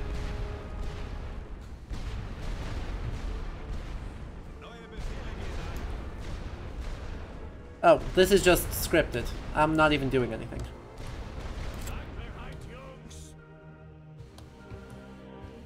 Wow, that Fort Hill did not, like, did not even slightly get caught. Need more artillery support? Yep. Oh, siege artillery. Yep.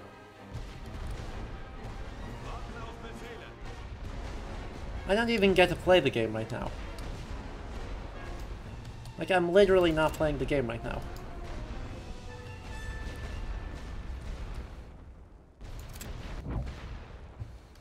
Our scouts reporting that the focused artillery strikes were mostly ineffective. Those uh, turrets will make short work of our infantry on open ground. Try and stay inside the trenches and work around them while using artillery to help clear the fort.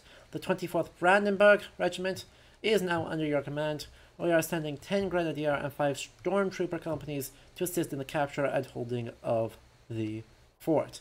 Avoid fort guns, four of enemy companies. Inside the blockhouse trenches, I can hold up to 5 enemy companies.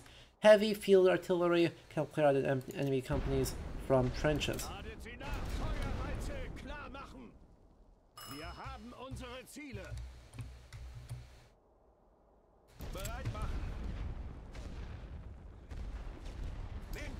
Please tell me you're going to... Please tell me you're going to, like, join them.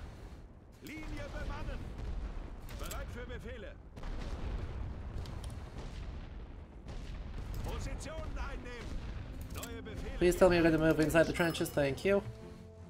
Our ports are ready, are on the way to provide anti-aircraft. That's awesome. Um, what extra troops do I have?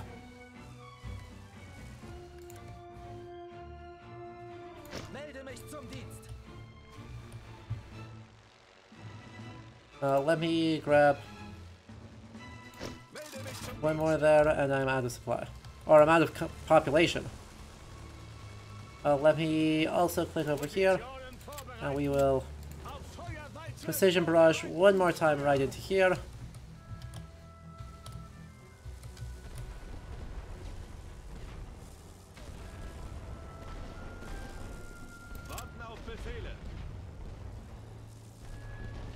Are you done? Are you done?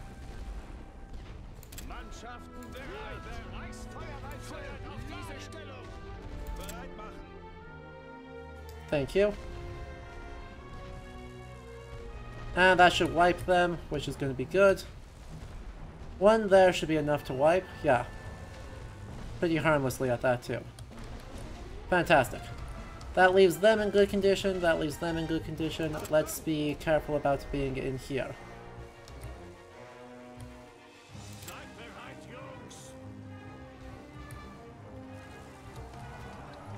I was afraid of that.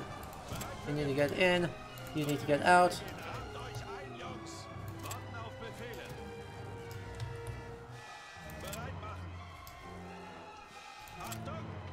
Habt I was gonna try and withdraw, withdraw but that's fine. They can both get in there. Perfect, we got those, that's awesome.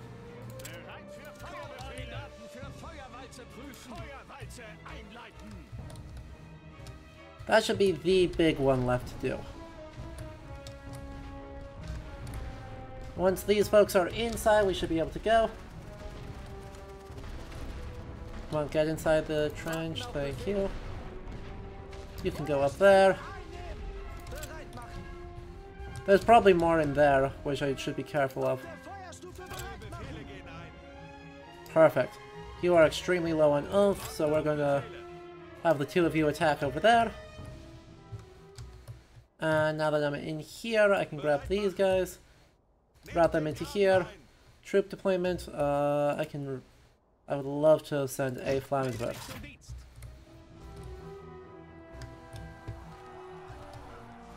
Actually, we might withdraw this guy in order to deploy another... Oh. In order to deploy another regular infantry into here. Beautiful.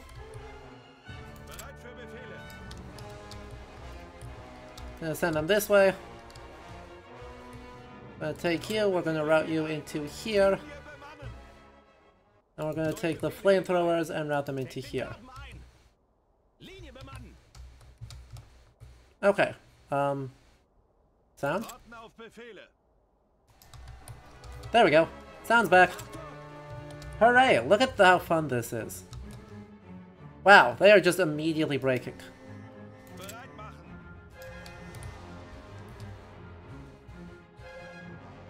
My German heavy uh, heavy infantry are just rolling them.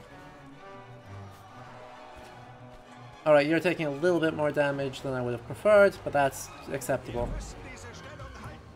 Cool. The enemy is assaulting. Where?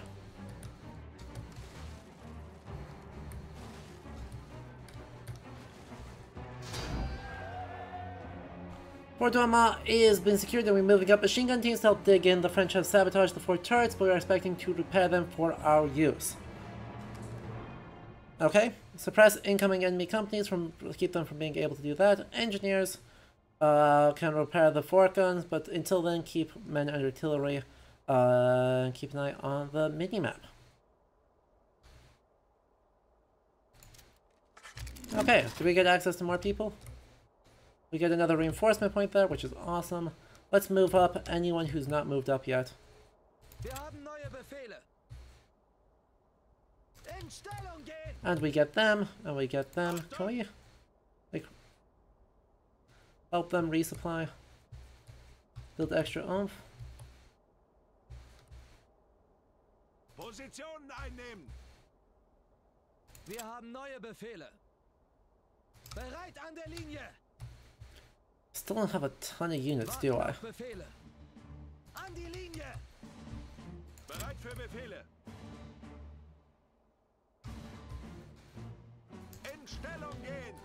Alright, we're starting with that. How is the gameplay? The gameplay's actually super fun, right? I'm kind of focusing on it because, you know... Let's raise those observational balloons. I don't know that they'll do anything, but nice to have them anyway. Okay. Yep, that did a lot, actually. Turns out that was good. There's reinforcements coming in up there, up there. Do we have signs of enemy troop movement right now? Not really. There looks like a gathering at point A. Looks like there is primarily a gathering at point A with a little bit, uh, yep.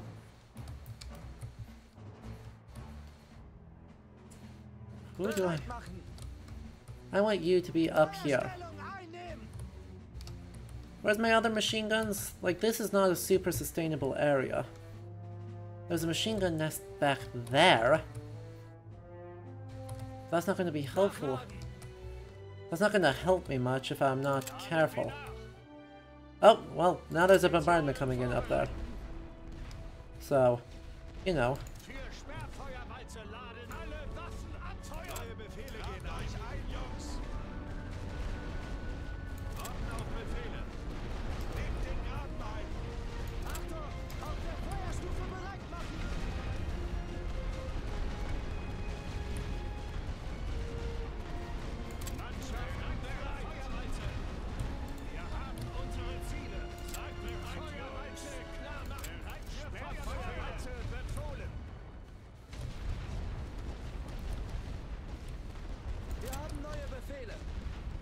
Let me just check, make sure there's nothing off there.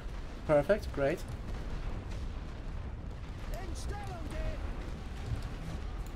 Let me... Come on. Come on, make the crossing. I dare you. I dare you. Now we can grab the light artillery,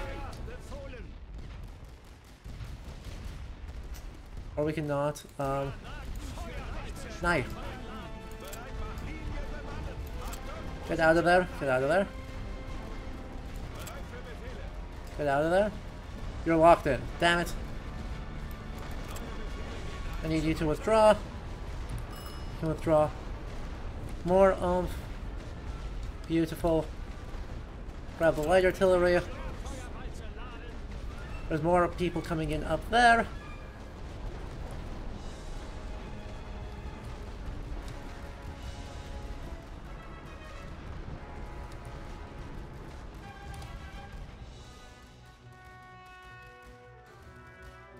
Where are you running to?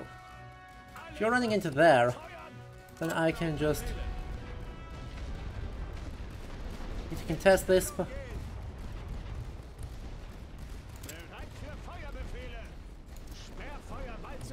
mean, right, you can kind of see it, right, that the...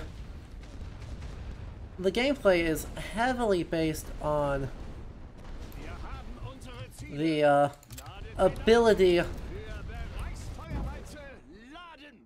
Cool. Um... Master Power, uh, Platoon Machine Gun...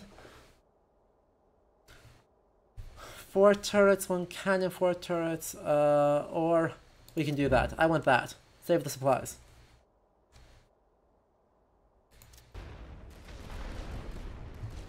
You need to move.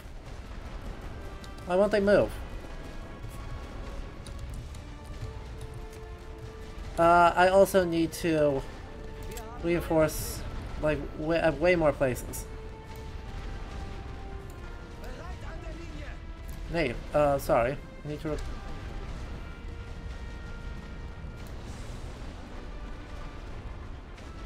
Let me reinforce.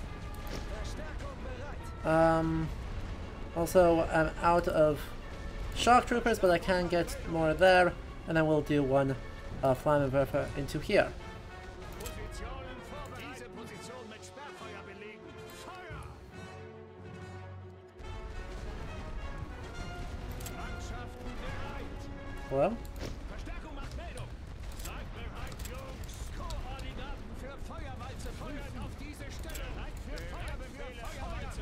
Einleiten. Also, stop this troop deployment thing. Where are you going? Oh, hell. That's actually quite bad.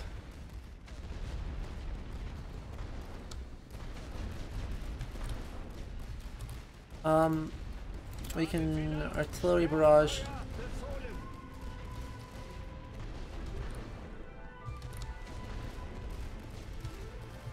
Let's big artillery barrage here, and then um, I need you to withdraw. That we will instead troop deploy the grenadier through here, and then we'll grab these guys, drop them into the trenches. Hello? Artillery has arrived. Commander requests additional artillery and supply and deployed them on our flank. Cool, we have air wings now as well. Get in the trenches. Get in the trenches. Stop standing in the open. God damn it. Stop. Why are you why are you not moving? Get into the goddamn Get into the goddamn trench.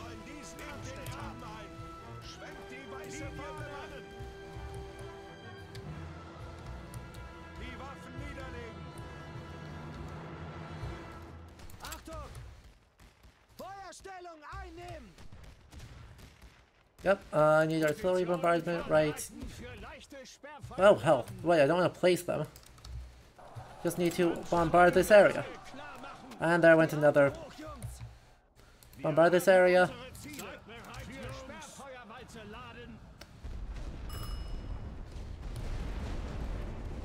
Cool.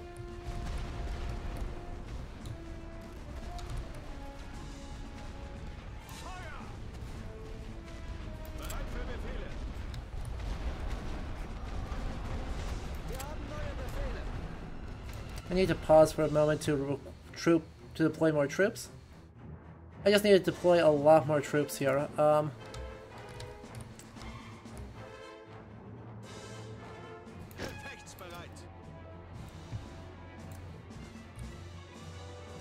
to deploy into here. Uh, now we are at that. Air support. We can run a strafing mission here, and then order heavy bombardments here, and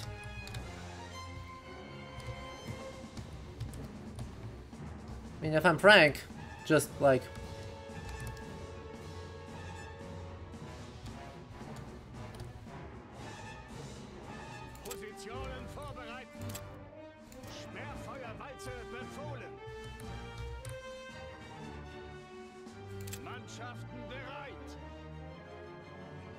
Okay, let's let's run slowly. But danger close time a little bit.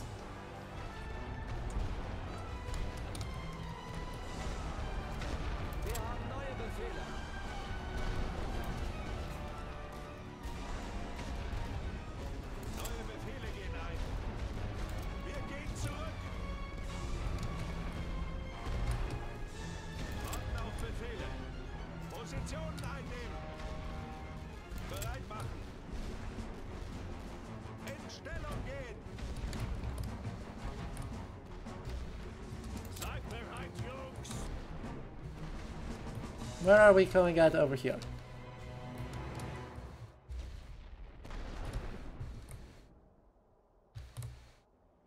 Well, well, game is lagging like hell.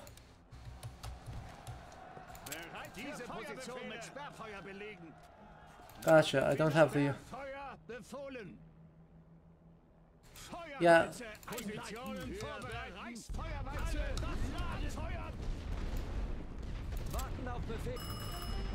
Enemy fighter spotted, damn it. Ugh.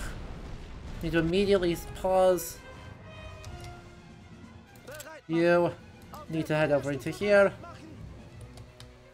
How's this position doing? There's more reinforcements coming in over here. I need to pay attention to that. Uh, I need to immediately scramble an air superiority mission, right?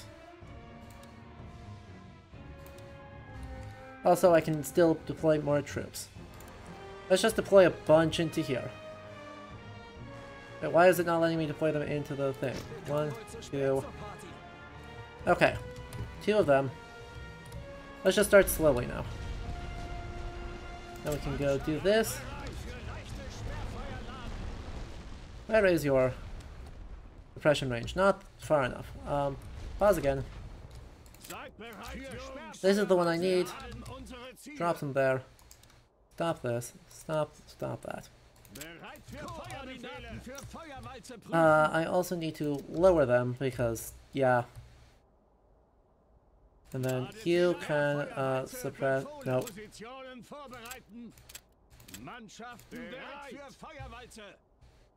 There's a bunch of guys there. There's no one actively walking this. Oh, there's a French company back here. We're just going to assume the French company back here is going to be fine. And then we're going to not worry about it. Let's start this slowly. Yeah, the couldn't lower the balloon fast enough. That German bomber is going to be in trouble. Why don't I have enough oomph to do the air support?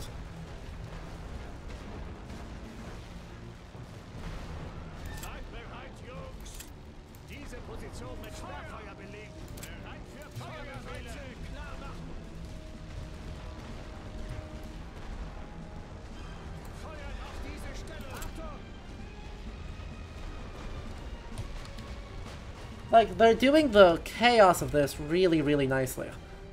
Right? Those are enemy fighters. I just don't have a solution to enemy fighters here.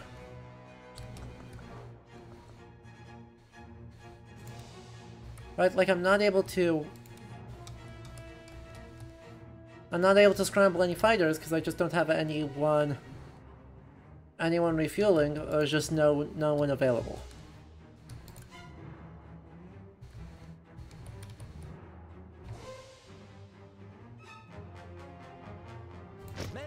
Let's deploy two companies into the trenches here. And then we'll do this. And we'll stop that. We'll raise our balloons again. So. Just for a bit so I can see. Let's stop this troop deployment. Thank you.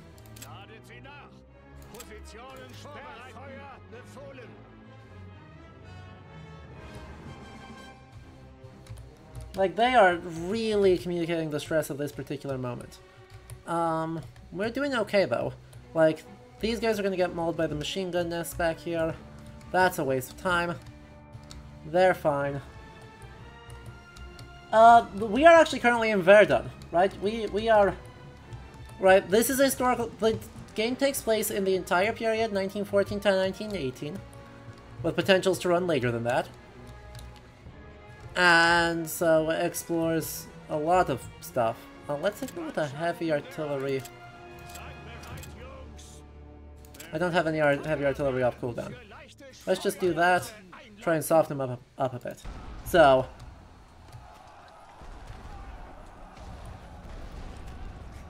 Ugh, the fact that there's no... I need to reinforce one guy there. Let's actually reinforce two guys there.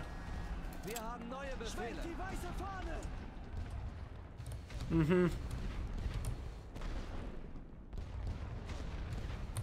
I can reinforce one from there into there.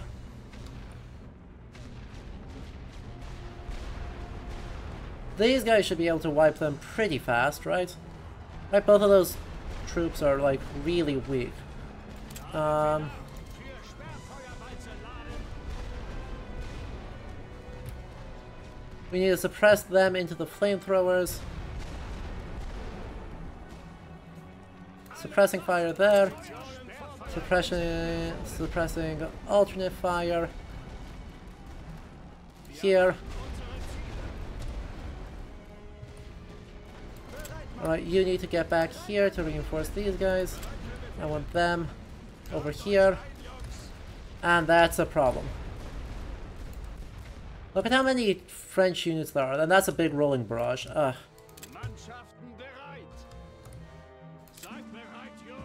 Don't have the tools to do a rolling barrage.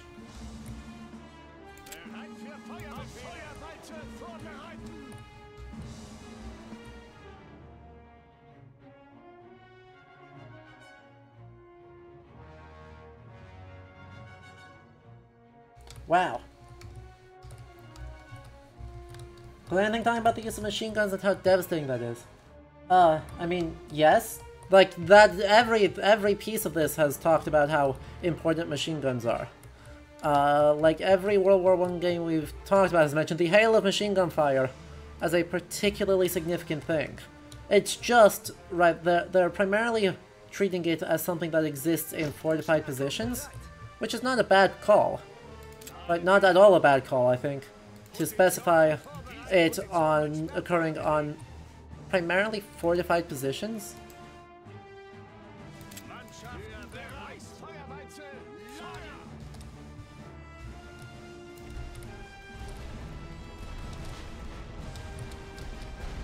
I mean, we're also seeing the Flammenwerf, right? Lots of flamethrower usage. In here. And we'll just drop that there. We'll move you. Hopefully one thing over. Damn it. Get out, get out, get out, get out. Uh, let's drop one of these in there. That would be huge. Um, dang. That's bad.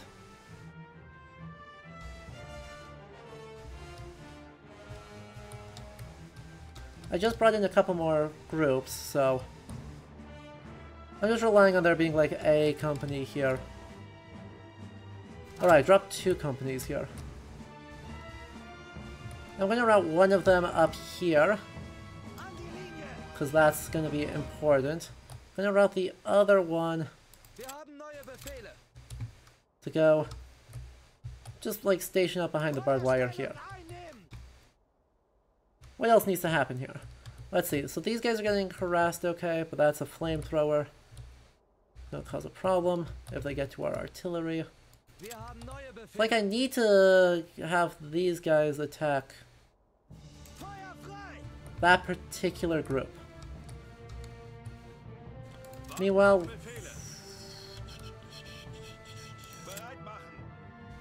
since you're not in firing position, why don't we have you route into here? You should be able to actually stay put. What other air support do I have available? Nothing. Everyone's re refueling. Alright.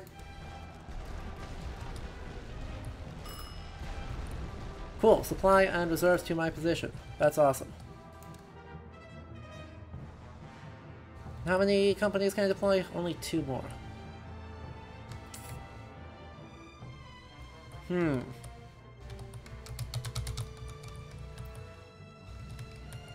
Yeah, right. They they are doing something they are doing something meaningful and interesting uh in that they are that I'm going to lose that artillery. I don't have a way to suppress this properly. Honestly, I need you to withdraw.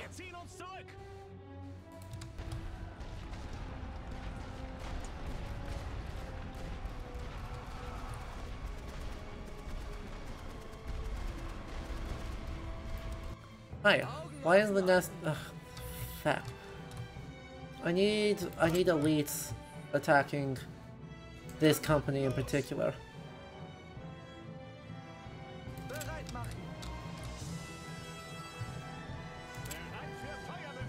It's not really good bombardment spots here. There's freaking... There's no one attacking down here. It's not useful. I can't reposition them because they're stationary.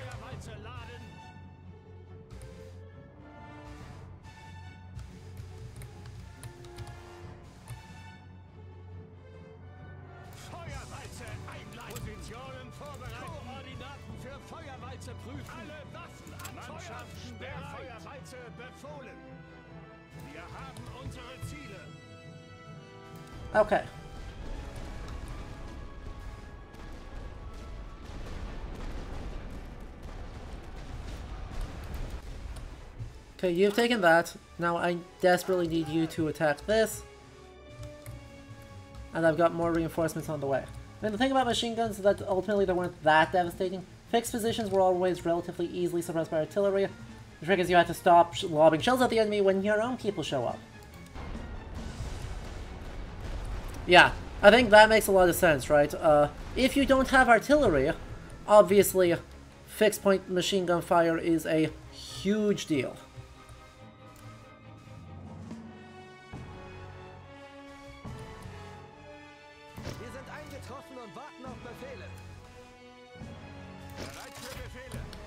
If you don't, like, you just shoot shells at them, and then that kind of fixes the problem, right?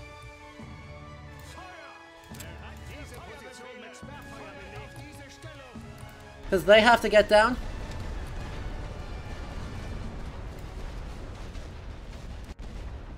Where the hell are you all? Ugh, you, you guys are currently suppressed.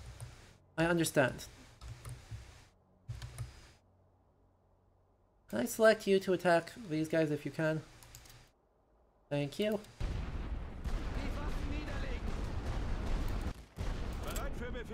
And are you attacking them? Thank you.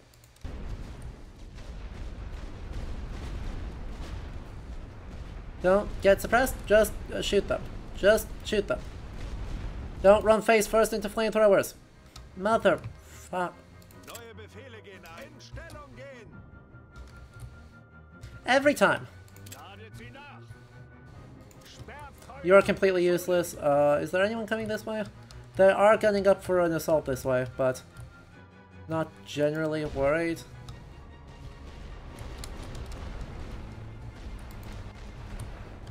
I love when my... These guys are just suppressed to hell. Reload that.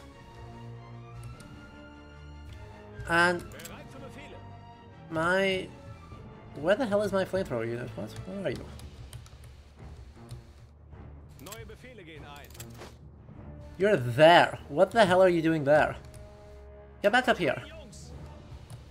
Actually, never mind. Don't go there. Attack the enemy flamethrower unit. Nicht schießen. Position vorbereit für leichte Sperrfeuer laden. And I am currently not in good way.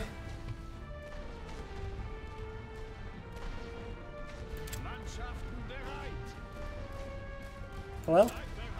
Oh, you're currently suppressed, aren't you? God damn it. French are using smoke to cover their assault. We need artillery support.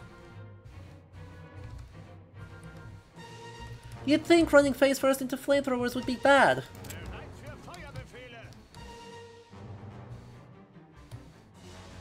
And yet, here we are.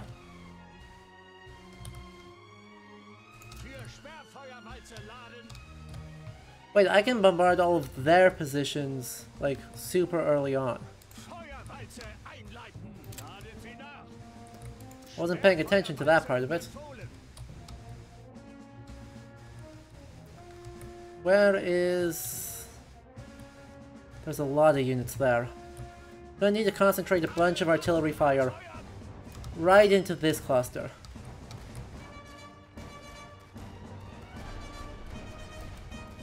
Warten auf Befehle. Auf der Feuerstufe bereit machen. Why are you still suppressed? How are you still suppressed? Get in the fucking trench. Alright, now. Oh, where's this big army coming in from? Drop that. Anyone coming this way? No? I am low on the oomph, though. Like, I'm not gonna lie, I'm super duper low on resources. So,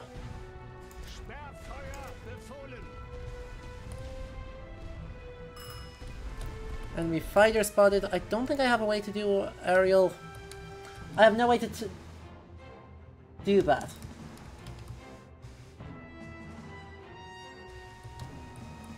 Yeah, I mean, right, everyone knew machine guns were going to be bad news, uh, because they'd seen them in action elsewhere for a while. Why do I have three units just, like, vibing? Where the hell are you all- what the hell are you all doing? Like, these aren't small forces, um, or weak forces, or whatever. These are pretty substantial. I want them to land in a bunker so that way.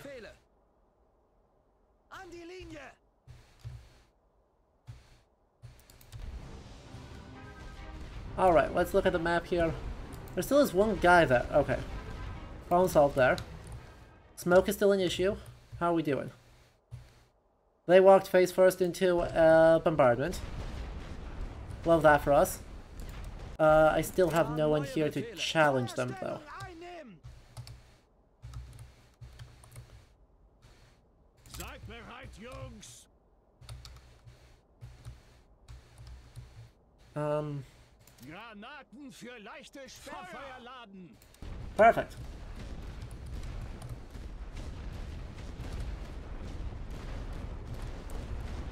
So you're the ones in firing position. You're doing good. You're doing good.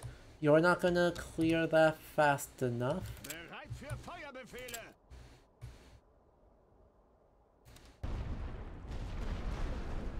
But you are at half strength, which means if I can get even up to the trenches as they do, I should do that. Alright, Wolfie, have a good night. We're not going to go for a whole lot longer um, here. I just want to try and finish this one objective.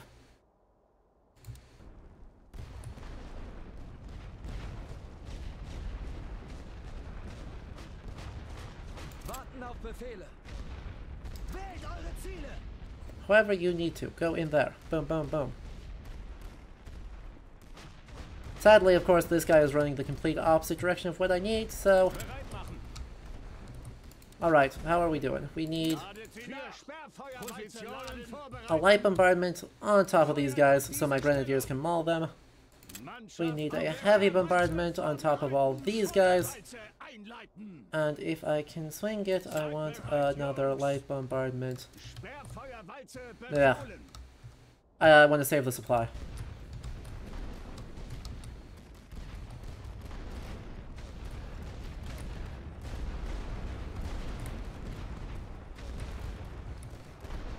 Yeah, that did it. Alright, now where can I land a light bombardment? Can I land a heavy bombardment right here? Yeah, I can. Not quite yet. Hold off there. Come on, land the bombardment. Masks? Do I get a control over that? Achtung. Ju I don't think I do, so instead, just run over this way.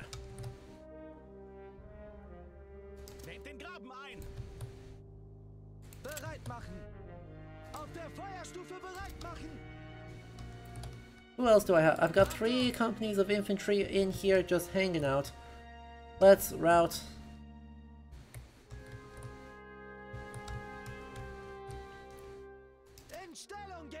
One of them over there. We'll route uh, one of the heavy bombarders over there. And then we'll uh, drop more artillery on people. Oh. No can do.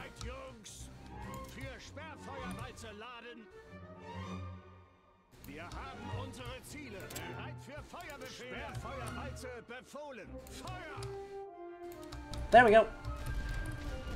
Wow.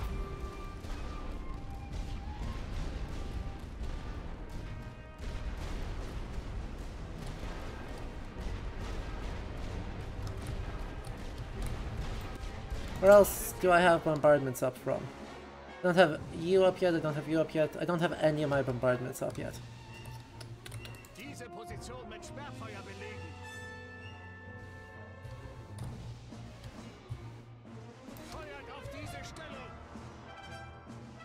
That's gonna miss. Uh, that's annoying.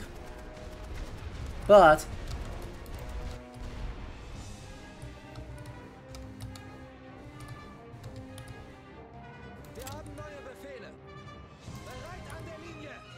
You're suppressed, you're almost dead. Don't have anyone off cooldown yet.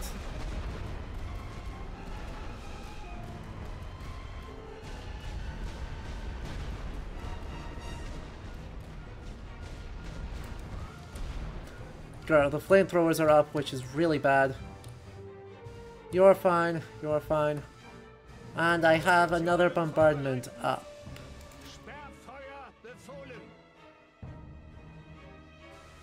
Let's try and suppress these guys as they close into here.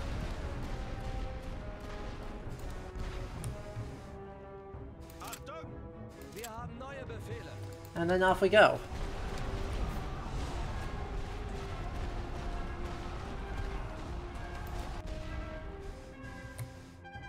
Perfect.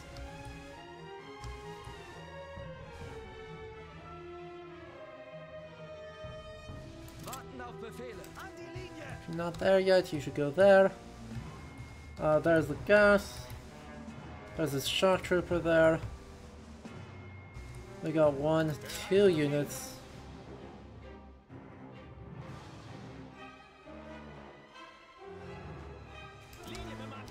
That's it. Alright. This is rough.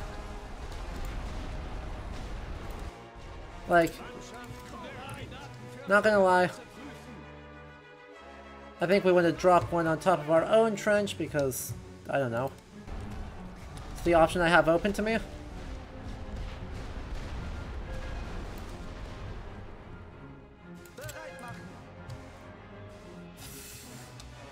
Uh, we also need to requisition more troops.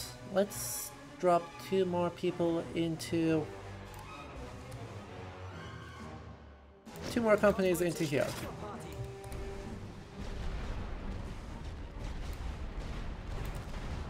How are we suppressed? That's annoying. How's this part of the fight going?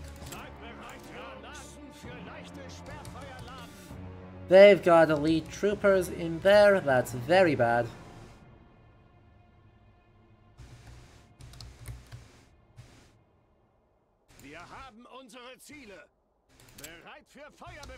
You're suppressed, so you can't do anything.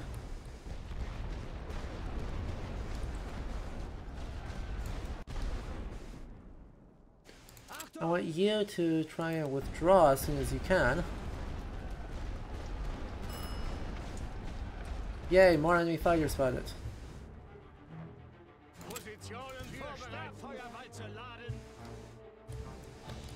Where does this put us?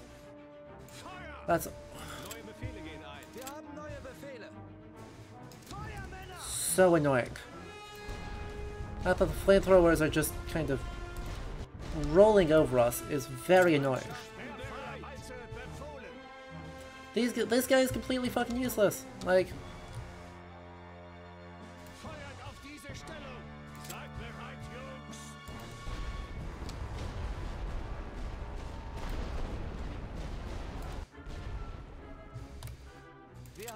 you guys are still suppressed. Where where how am I doing? I'm doing okay. But if you're trying to attack these trenches, you're just gonna lose. Uh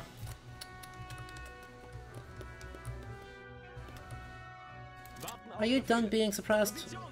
Are you gonna be able to actually like do fucking anything?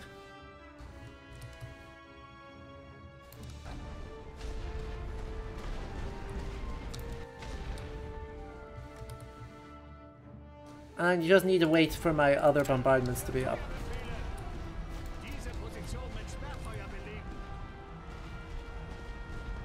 Like this is this is a lot.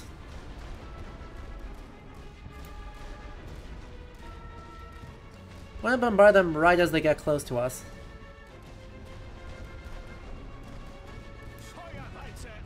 Also, we'll swap these two for the time being, so we can get the rifles.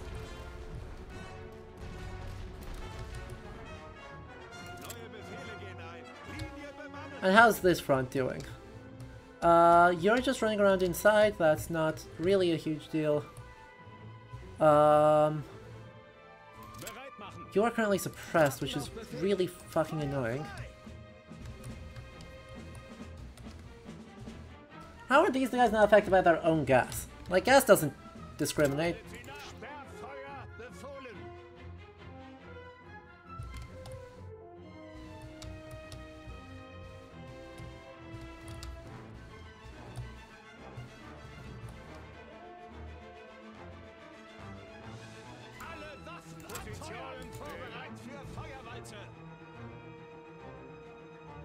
We're just gonna drop a massive bombardment. Honestly, on top of these guys as they get stuck in choke. Let's do that. Yes, there's a bunch of people running this way. That's kind of an issue, but... Do I have any own for aircraft? No, I don't. I can't call any of those, so that's fine.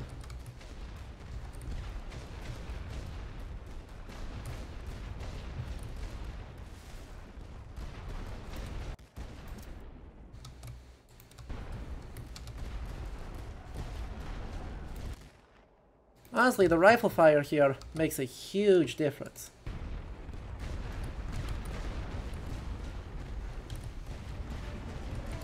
I lost a machine gun nest. Where? Also, I should ask, has anyone attacked down here? Not really. Is there a reason why you are still there? Of all bloody places? Go up here, please. God, that's annoying. Is there a reason why these guys are not going trying to attack these guys? You are still out of fucking range. There's more people making their way in there. Gonna have to start routing significant resources over here.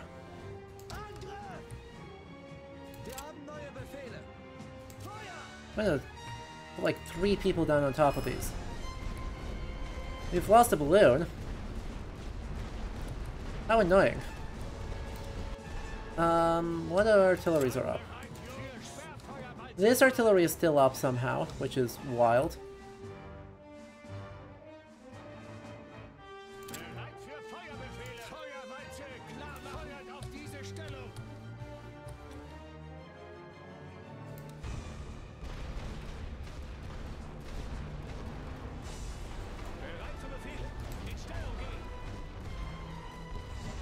Out of that. Thank you. There we are. I should be able to outdistance all of them now. And literally bombard our own trench. I don't care.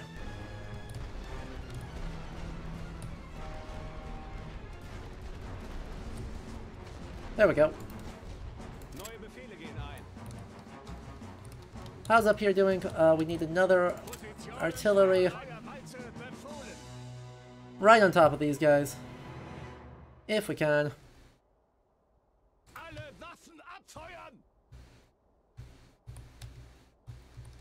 And are there any other places I should be worried about there being people?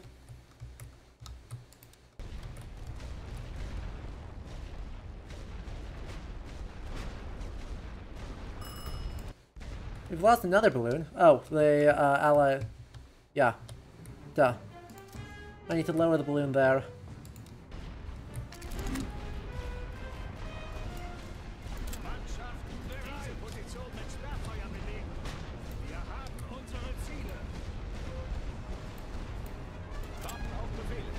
Everyone is currently suppressed. Go into the trenches there. Go into the trenches there. Hello? That's you. Trench. We're gonna drop another one in those there, and then... And then we'll be fine.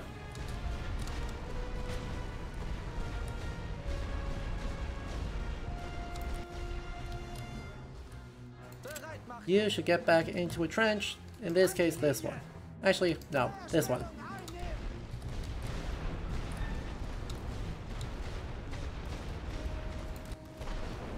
Okay, what bombardments do I have up? Not much.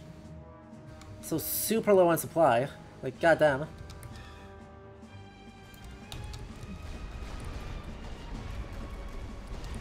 Huh. Is it just a matter of how long I've been? French has ceased their assaults because you know, we've been granted permission to commit more forces. Uh, 20 elite infantry, pop cap, or 400 supply.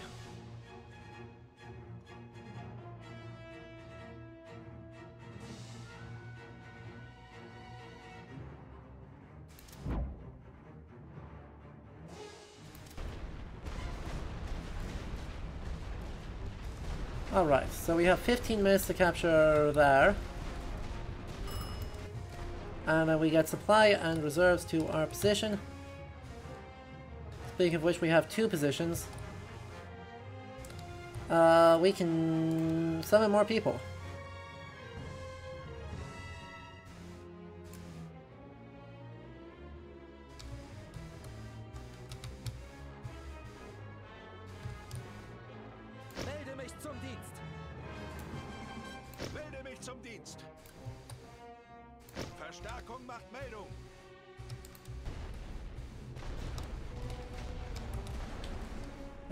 Raise the balloons again. We should be okay to do that. They're basically dead.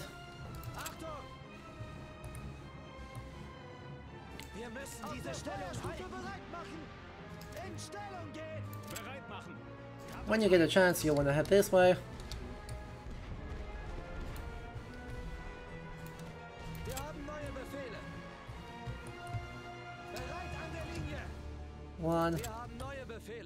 Two.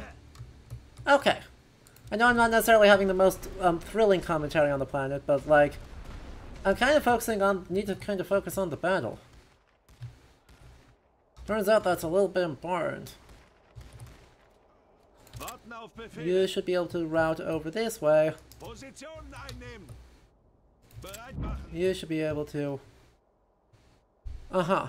If an opportunity its, presents itself, commanders request will expand or control the region and capture and hold control point A.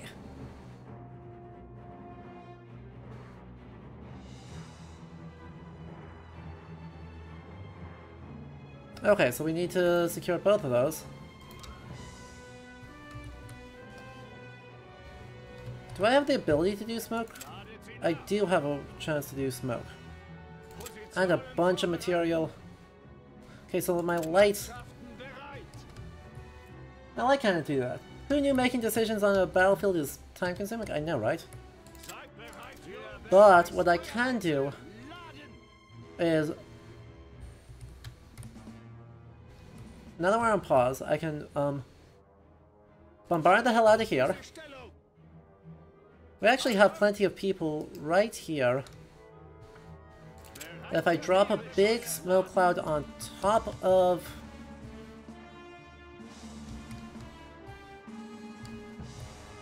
If I can capture this one really fast, which might be doable. Like, there's not a lot of oomph here. Oh no, one, two... One mortar company and a bunch of trench companies. Plus some stuff over here. What's over here? We've got a machine gun nest, we've got another machine gun nest. We've got a balloon. We've got two, four... It was like four companies and a crap ton of machine guns. So we basically just... I think since all of our resources are currently right here, that we're gonna just drop a crap ton of oomph right here. ASAP to try and at least get a good staging area here.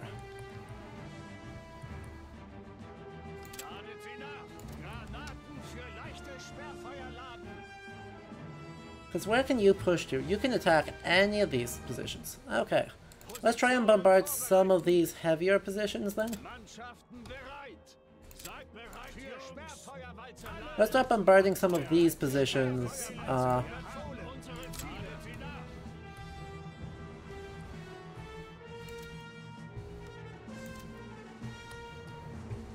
hello? Why can't I... Warten auf Befehle.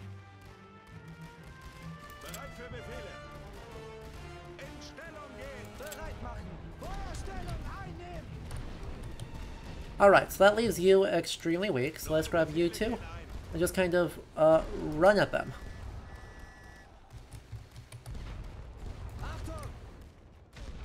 While that's covered in smoke, I think I want them to just kind of run at them.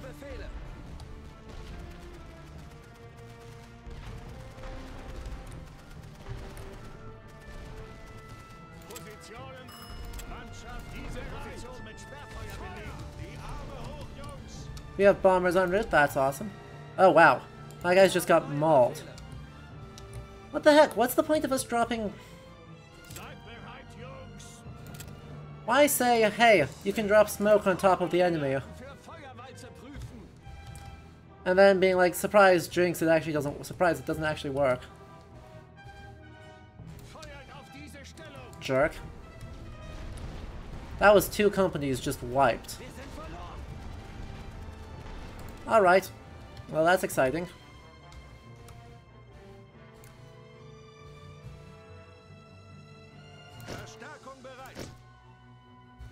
That was You Used to watch your cousins play COD Zombies and then proceed to have nightmares about it? Yeah, that sounds more right. Cool. Loved that for me.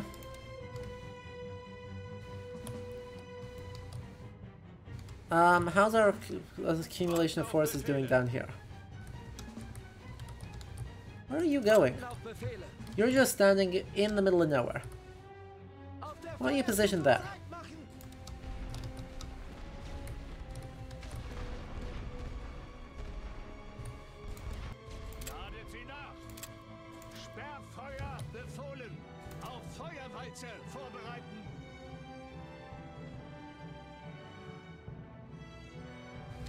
Hm.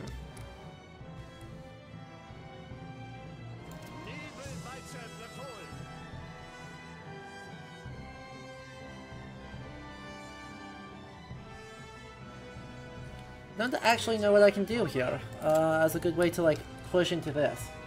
I don't know if I need, I mean I don't need to push into it, but I could push into it.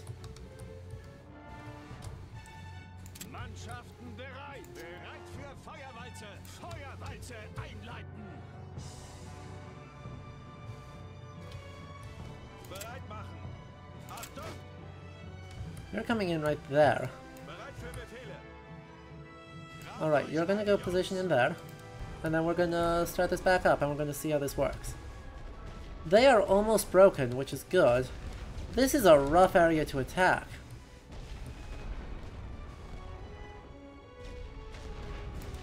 Guess let me just drop a smoke in here? Nope, that one can't do that. I drop a smoke right here, does that give me enough oomph to actually cross this thing?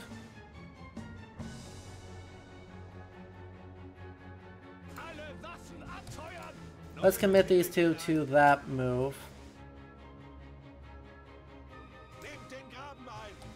And if I have a heavy that can drop that way? No, I don't. You're just too far forward. Guess I'll commit the resources to... Let's...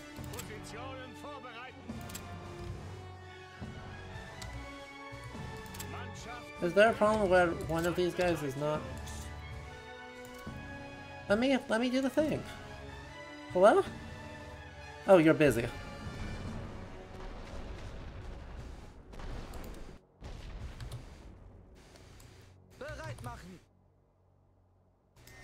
I guess let's just do that, and then...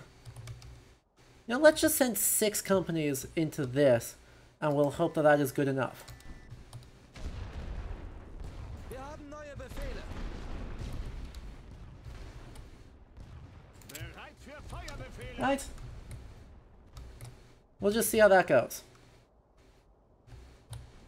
Maybe it won't go super well, but... Positionen vorbereiten! Koordinaten für Feuerwalze eingestellt! No, um... Rolling barrage starting there, and rolling straight over this.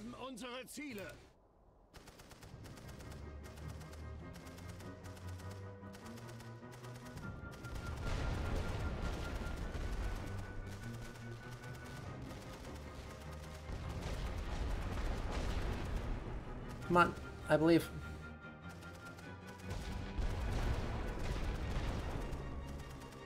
Beautiful, they are in the trench.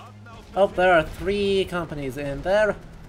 Well, they are just infantry, that still is very bad for us.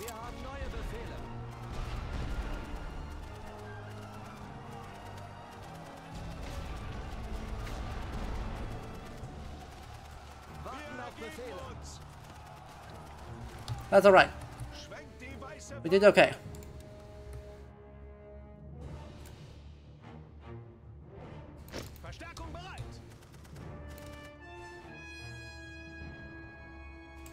The, the thing cleared up too fast.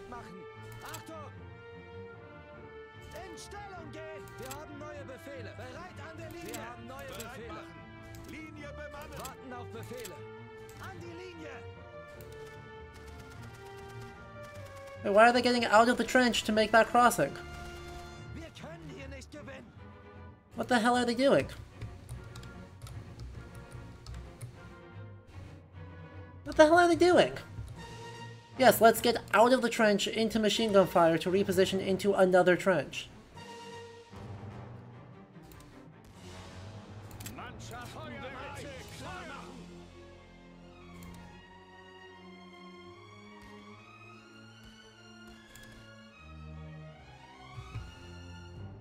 Well, that's frustrating.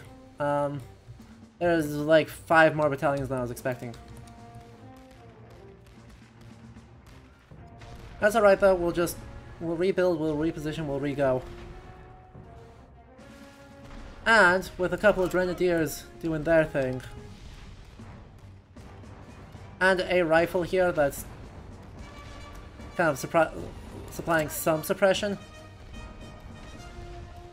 should do okay. Should do okay. Nah, it's not optimal, but it's fine.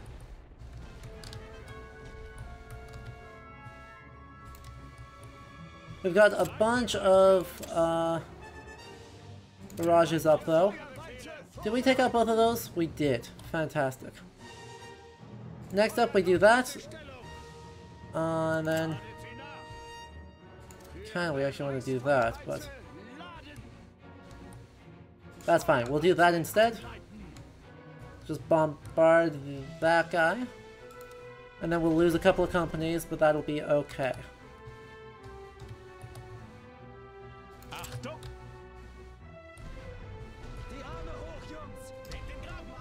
We're gonna lose people there, but that could force a bunch of resources.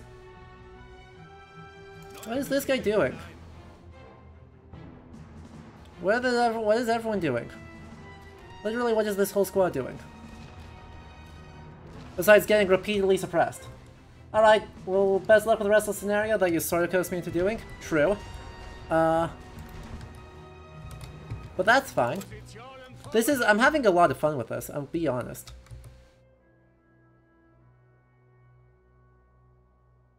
Mannschaften bereit!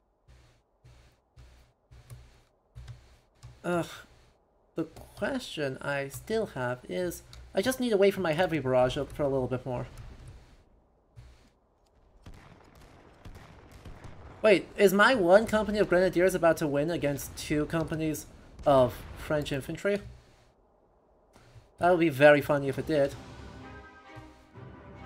Alright, and we're running a bit low on supply, but now I want to raise the balloons. Dang it. That was dumb of me. Hit the wrong button. But I don't know what good options I have for offensive artillery here. I guess I should just drop a smoke in here so that way I don't have enough troops ready to do that. Troop supply, I should just put like four four stacks of infantry!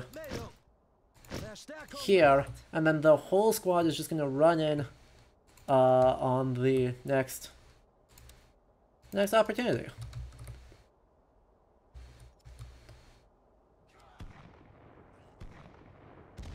Also, we are getting so heavily suppressed by our own troops. That is very funny. Uh, okay. So we've got a couple of people here. Honestly, we just need to wait for a bit.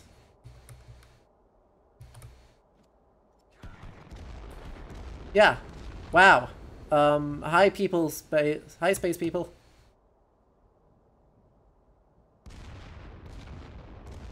But yeah, they are dropping just light artillery barrages for no particular reason to suppress us.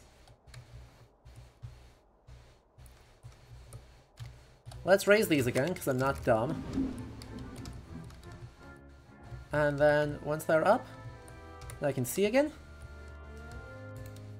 And I can see again. There we go. What have we got? We've got uh, heavy artillery that can drop oomph anywhere in here. We'll do that. But another heavy artillery that's able to drop stuff here, so we'll do that.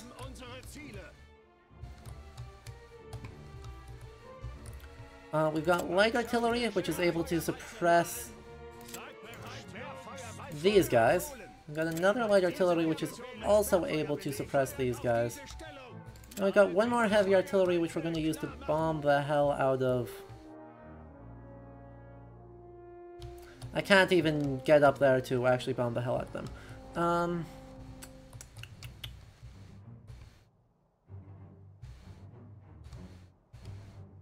What can I bomb the hell out of over here? This position seems good. That seems relatively good. Alright, well, so we'll let them do one round of bombardments, and then, uh, then we'll have everyone in place to go do the next set of things.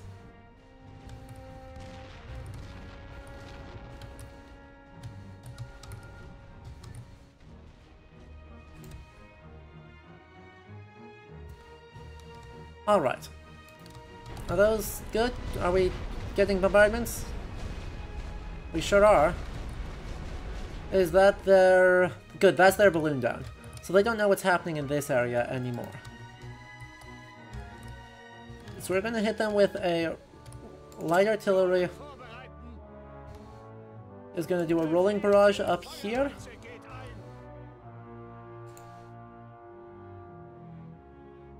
That's gonna cover our entry. Let's yeah, let's just drop a smoke. We're gonna drop a smoke here that's gonna cover them. Well, I have three companies. I'll just dive the trench. So we can have one more company do that.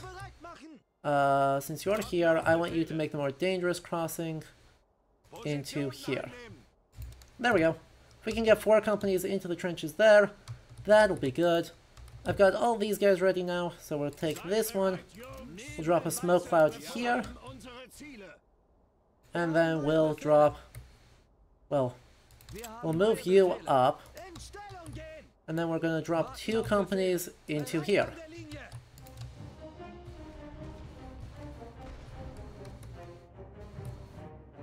Perfect.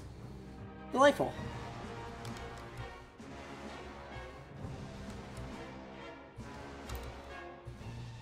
They are all under fire, but that is predictable. Now they are now under smoke protection, so that should be fine.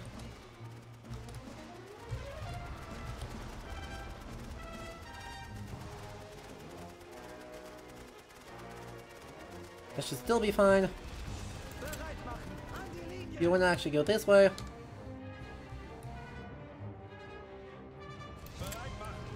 Ah, there's a lot of people there. How's this one doing? Okay, not great, but okay.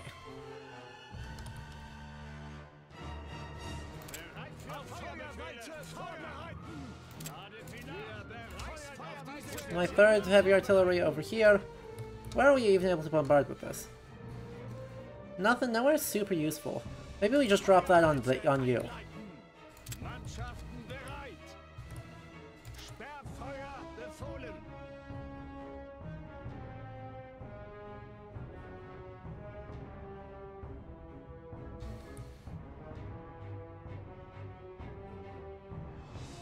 Hmm. Hmm. Right, because this is just too dangerous of a push. Not unless I'm able to get a different light artillery that drops a significant amount of smoke this direction.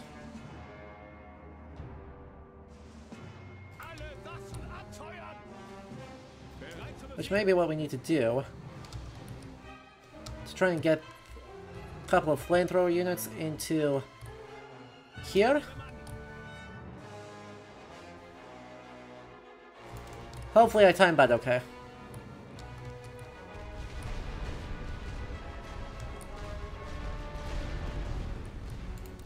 Um, if do I have enough range to suppress these guys? I do have enough range to suppress these guys. There we go.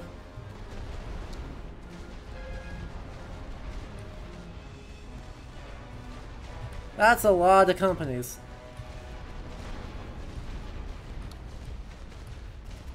I moved too soon. God damn it, I need to...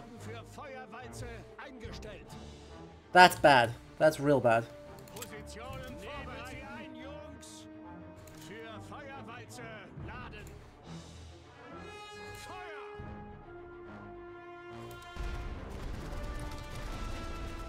Come on, hit, hit, hit. There we go. Oh. Nice. That worked better than I could have hoped.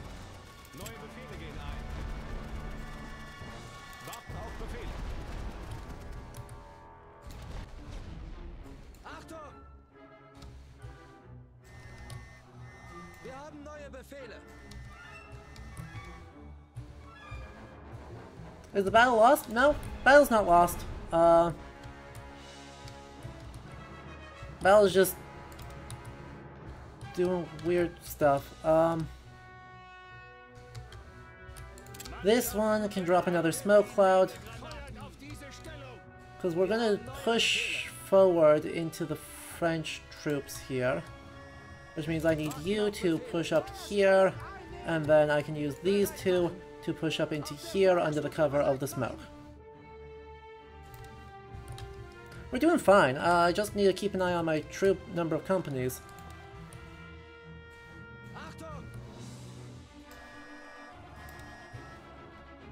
Right, I am deliberately sacrificing a couple of companies here in the hopes of getting a good position for the continued assault. This is going to be the spooky one, because this is a big counteroffensive. So, and right now I have a lot of forces committed elsewhere. Matter of fact, do I have any?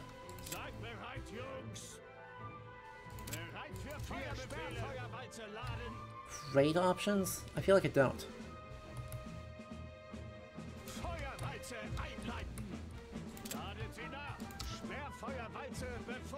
But I can't force them to slow down. You got the smoke up. Yeah, you've already done you you just.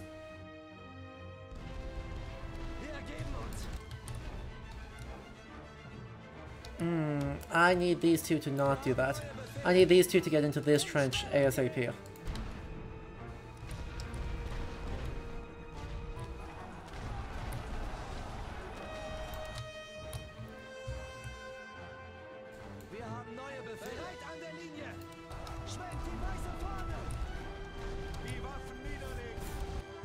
Alright, now we've got a bunch of troop deployments to do, which are going to be spooky. No, troop deployment. Wir sind eingetroffen und warten auf Befehle. Gefechtsbereit. Um, we want to do 3, Bereit für 4, Befehle.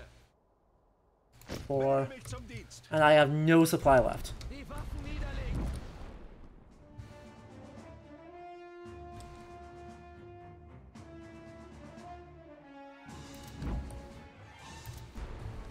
I'm gonna have to just continue and pray. I don't think I win this, but I'll just...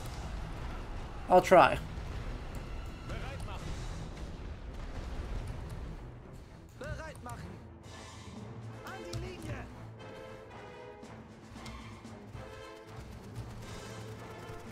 Yep, there's the problem. I'm just really hoping that we get a little bit more supply dropped in here soon. Just, I'm really hoping.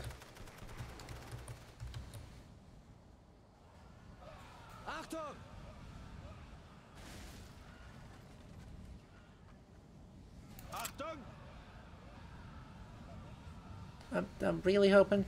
Wow. That is brutal. Look at them go. I don't have... Uh, I have enough for one more big heavy bombardment, and that's it. So we're just gonna let them be. We're gonna let those two switch. We lost the machine gun nest. We have no supply left. So these guys are gonna do what they can. Everyone else is just gonna head this way. Like, they shouldn't be able to attack this.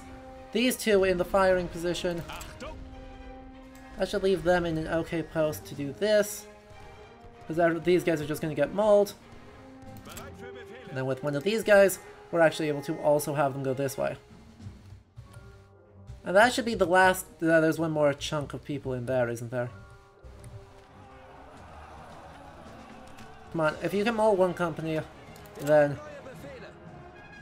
My Grenadiers should be able to maul the other company. Reasonably. Come on, I believe.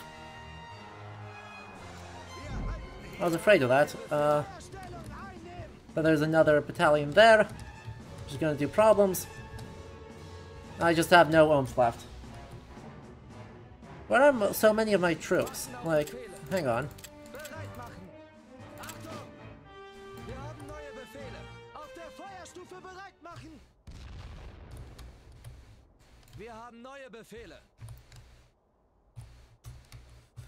Uh, I resupplied like five companies into here.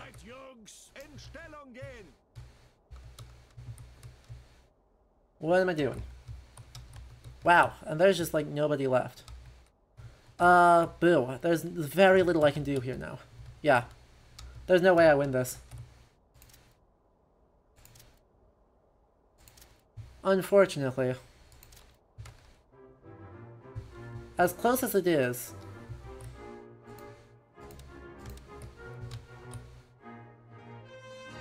Right, as close as it is, there's just nothing I can actually do here um, to push into, or more accurately, push out of the range of influence of this guy.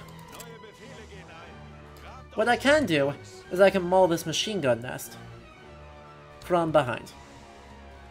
Because, you know, why wouldn't I want to do that? No, why would you do... Don't do that. Don't fucking...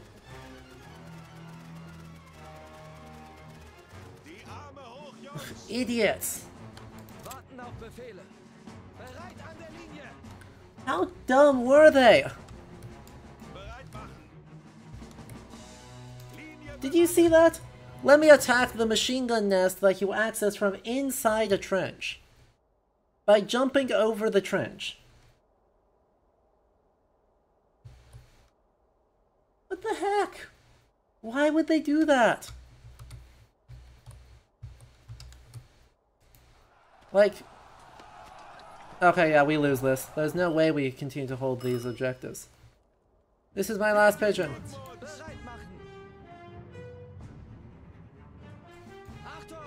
Oh good, that, that turret's been destroyed now, I guess. Alright. Are we able to just attack it without walking into dumbass artillery? Come on. What's interesting, okay, that's good to know. I can kind of slip around this side and do some useful things. Yep, but sadly I'm going to lose this. There's no... I have no relevant French units left. So I do lose this fight. Um... That's okay, we put in a good showing.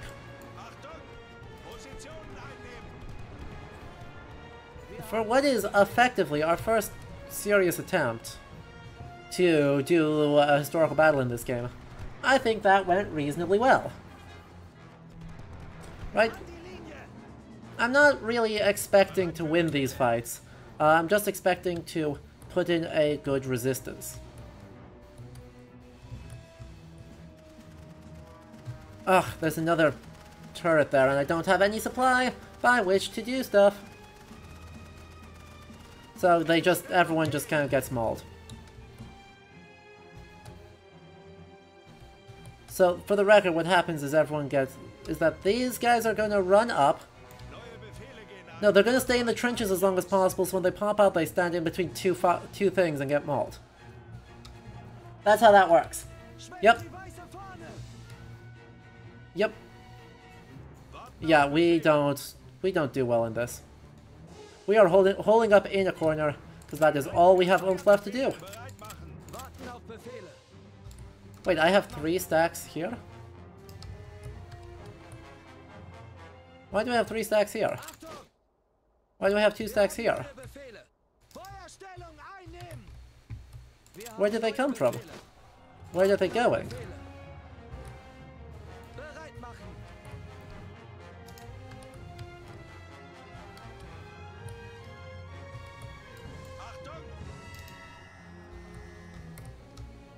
Should be able to maul these guys pretty fast. Um,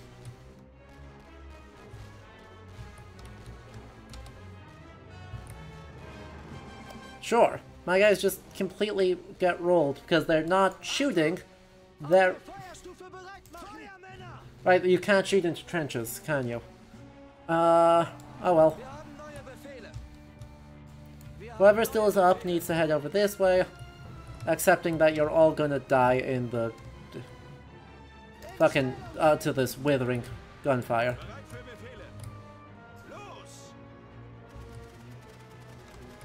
Right, these guys are just all gonna get mauled because they don't navigate inside the trenches when I want them to. Like, what is the point of navigating inside trenches if you only do it half of the time?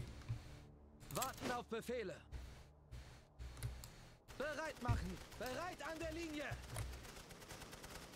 Literally, why bother? Die Waffen niederlegen! Schwenkt die Das weiße ist zu Fahne! why bother?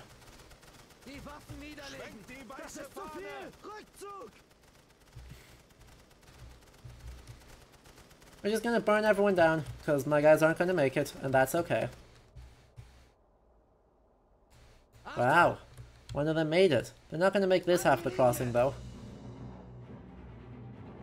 Look at that, there's five more French companies coming this way.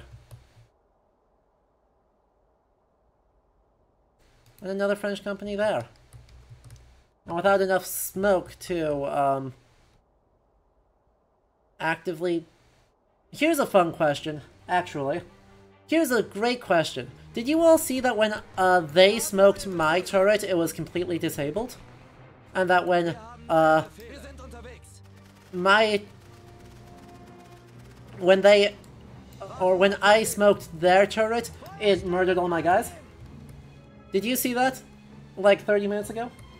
Just got here, you have no idea what's going on. Well, that's fair.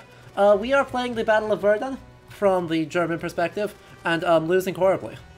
I think that's all we need. I think that's all we need to know, uh, is that from a, uh, a fight that should have gone okay, uh, did not, partly due to my tactical misplays, and partly due to things not working the way I thought they would work. Sadly, we have no one left, so literally we just have to let this burn, the clock burn down on this, because I have no way to win and I have no one left. I have no supplies left, I have no nothing else left, and they weren't, they were giving me more supplies regularly for a while, and then they just stopped doing that. Which is always exciting. So, uh, good, good try, good try, gang. Obviously, we'll get better at this over the next couple of streams. I'm curious to see what the defeat option does, whether there's interesting historical tidbits or anything else. 3, 2, 1, 0. Historic defeat. The assault has failed. We cannot push forward and secure for foe. Must fall back and try again another day. Artillery smoke can be used to better overwhelm an enemy's trench line. Yes, thank you. I tried. I did try to do that, thank you. And it just kicks us the menu. Alright, so. That wraps up our stream for today, I think. Uh, to anyone who just tuned in, AE poor, apologies, but uh, so it goes. Interestingly, people don't seem to be tuning into this, sticking around for this. Uh, I'd be very curious to hear why. Um, whether it's just a bad day or something else. Uh, but for those of you who did stick around, thank you very much. If you're just tuning in and have not yet, do consider hitting the follow button to see more World War I content in the coming weeks uh, as we continue to explore it. Right now, the game seems to be pretty much what we expect, but we are going to try a full campaign next time as the Entente, the Ally, the Allies, and we're going to go from there to see how, you know, it uh, lets us uh, examine on a larger operational level what's going on. It means we're also going to be talking a little bit more about operations um, and the fact that, you know, World War One was not lions led by donkeys, unlike what uh, post-war media would have us believe. So, we will uh, go from there. Sound good? The, all the streams are now for this World War One deep dive are up on uh, the schedule tab of this page. So if you're watching here, uh, or if you're a check out there, you'll see what's coming up, including some fabulous guests. Uh, and yeah, I hope I will see you all for some of those. But until next time I see you, regardless of when that is, I hope you do all have a very good night. This has been uh, Ludohistory. I'm Adam. Uh, we've been playing the Great War Western Front, so now signing off. Okay? Ciao.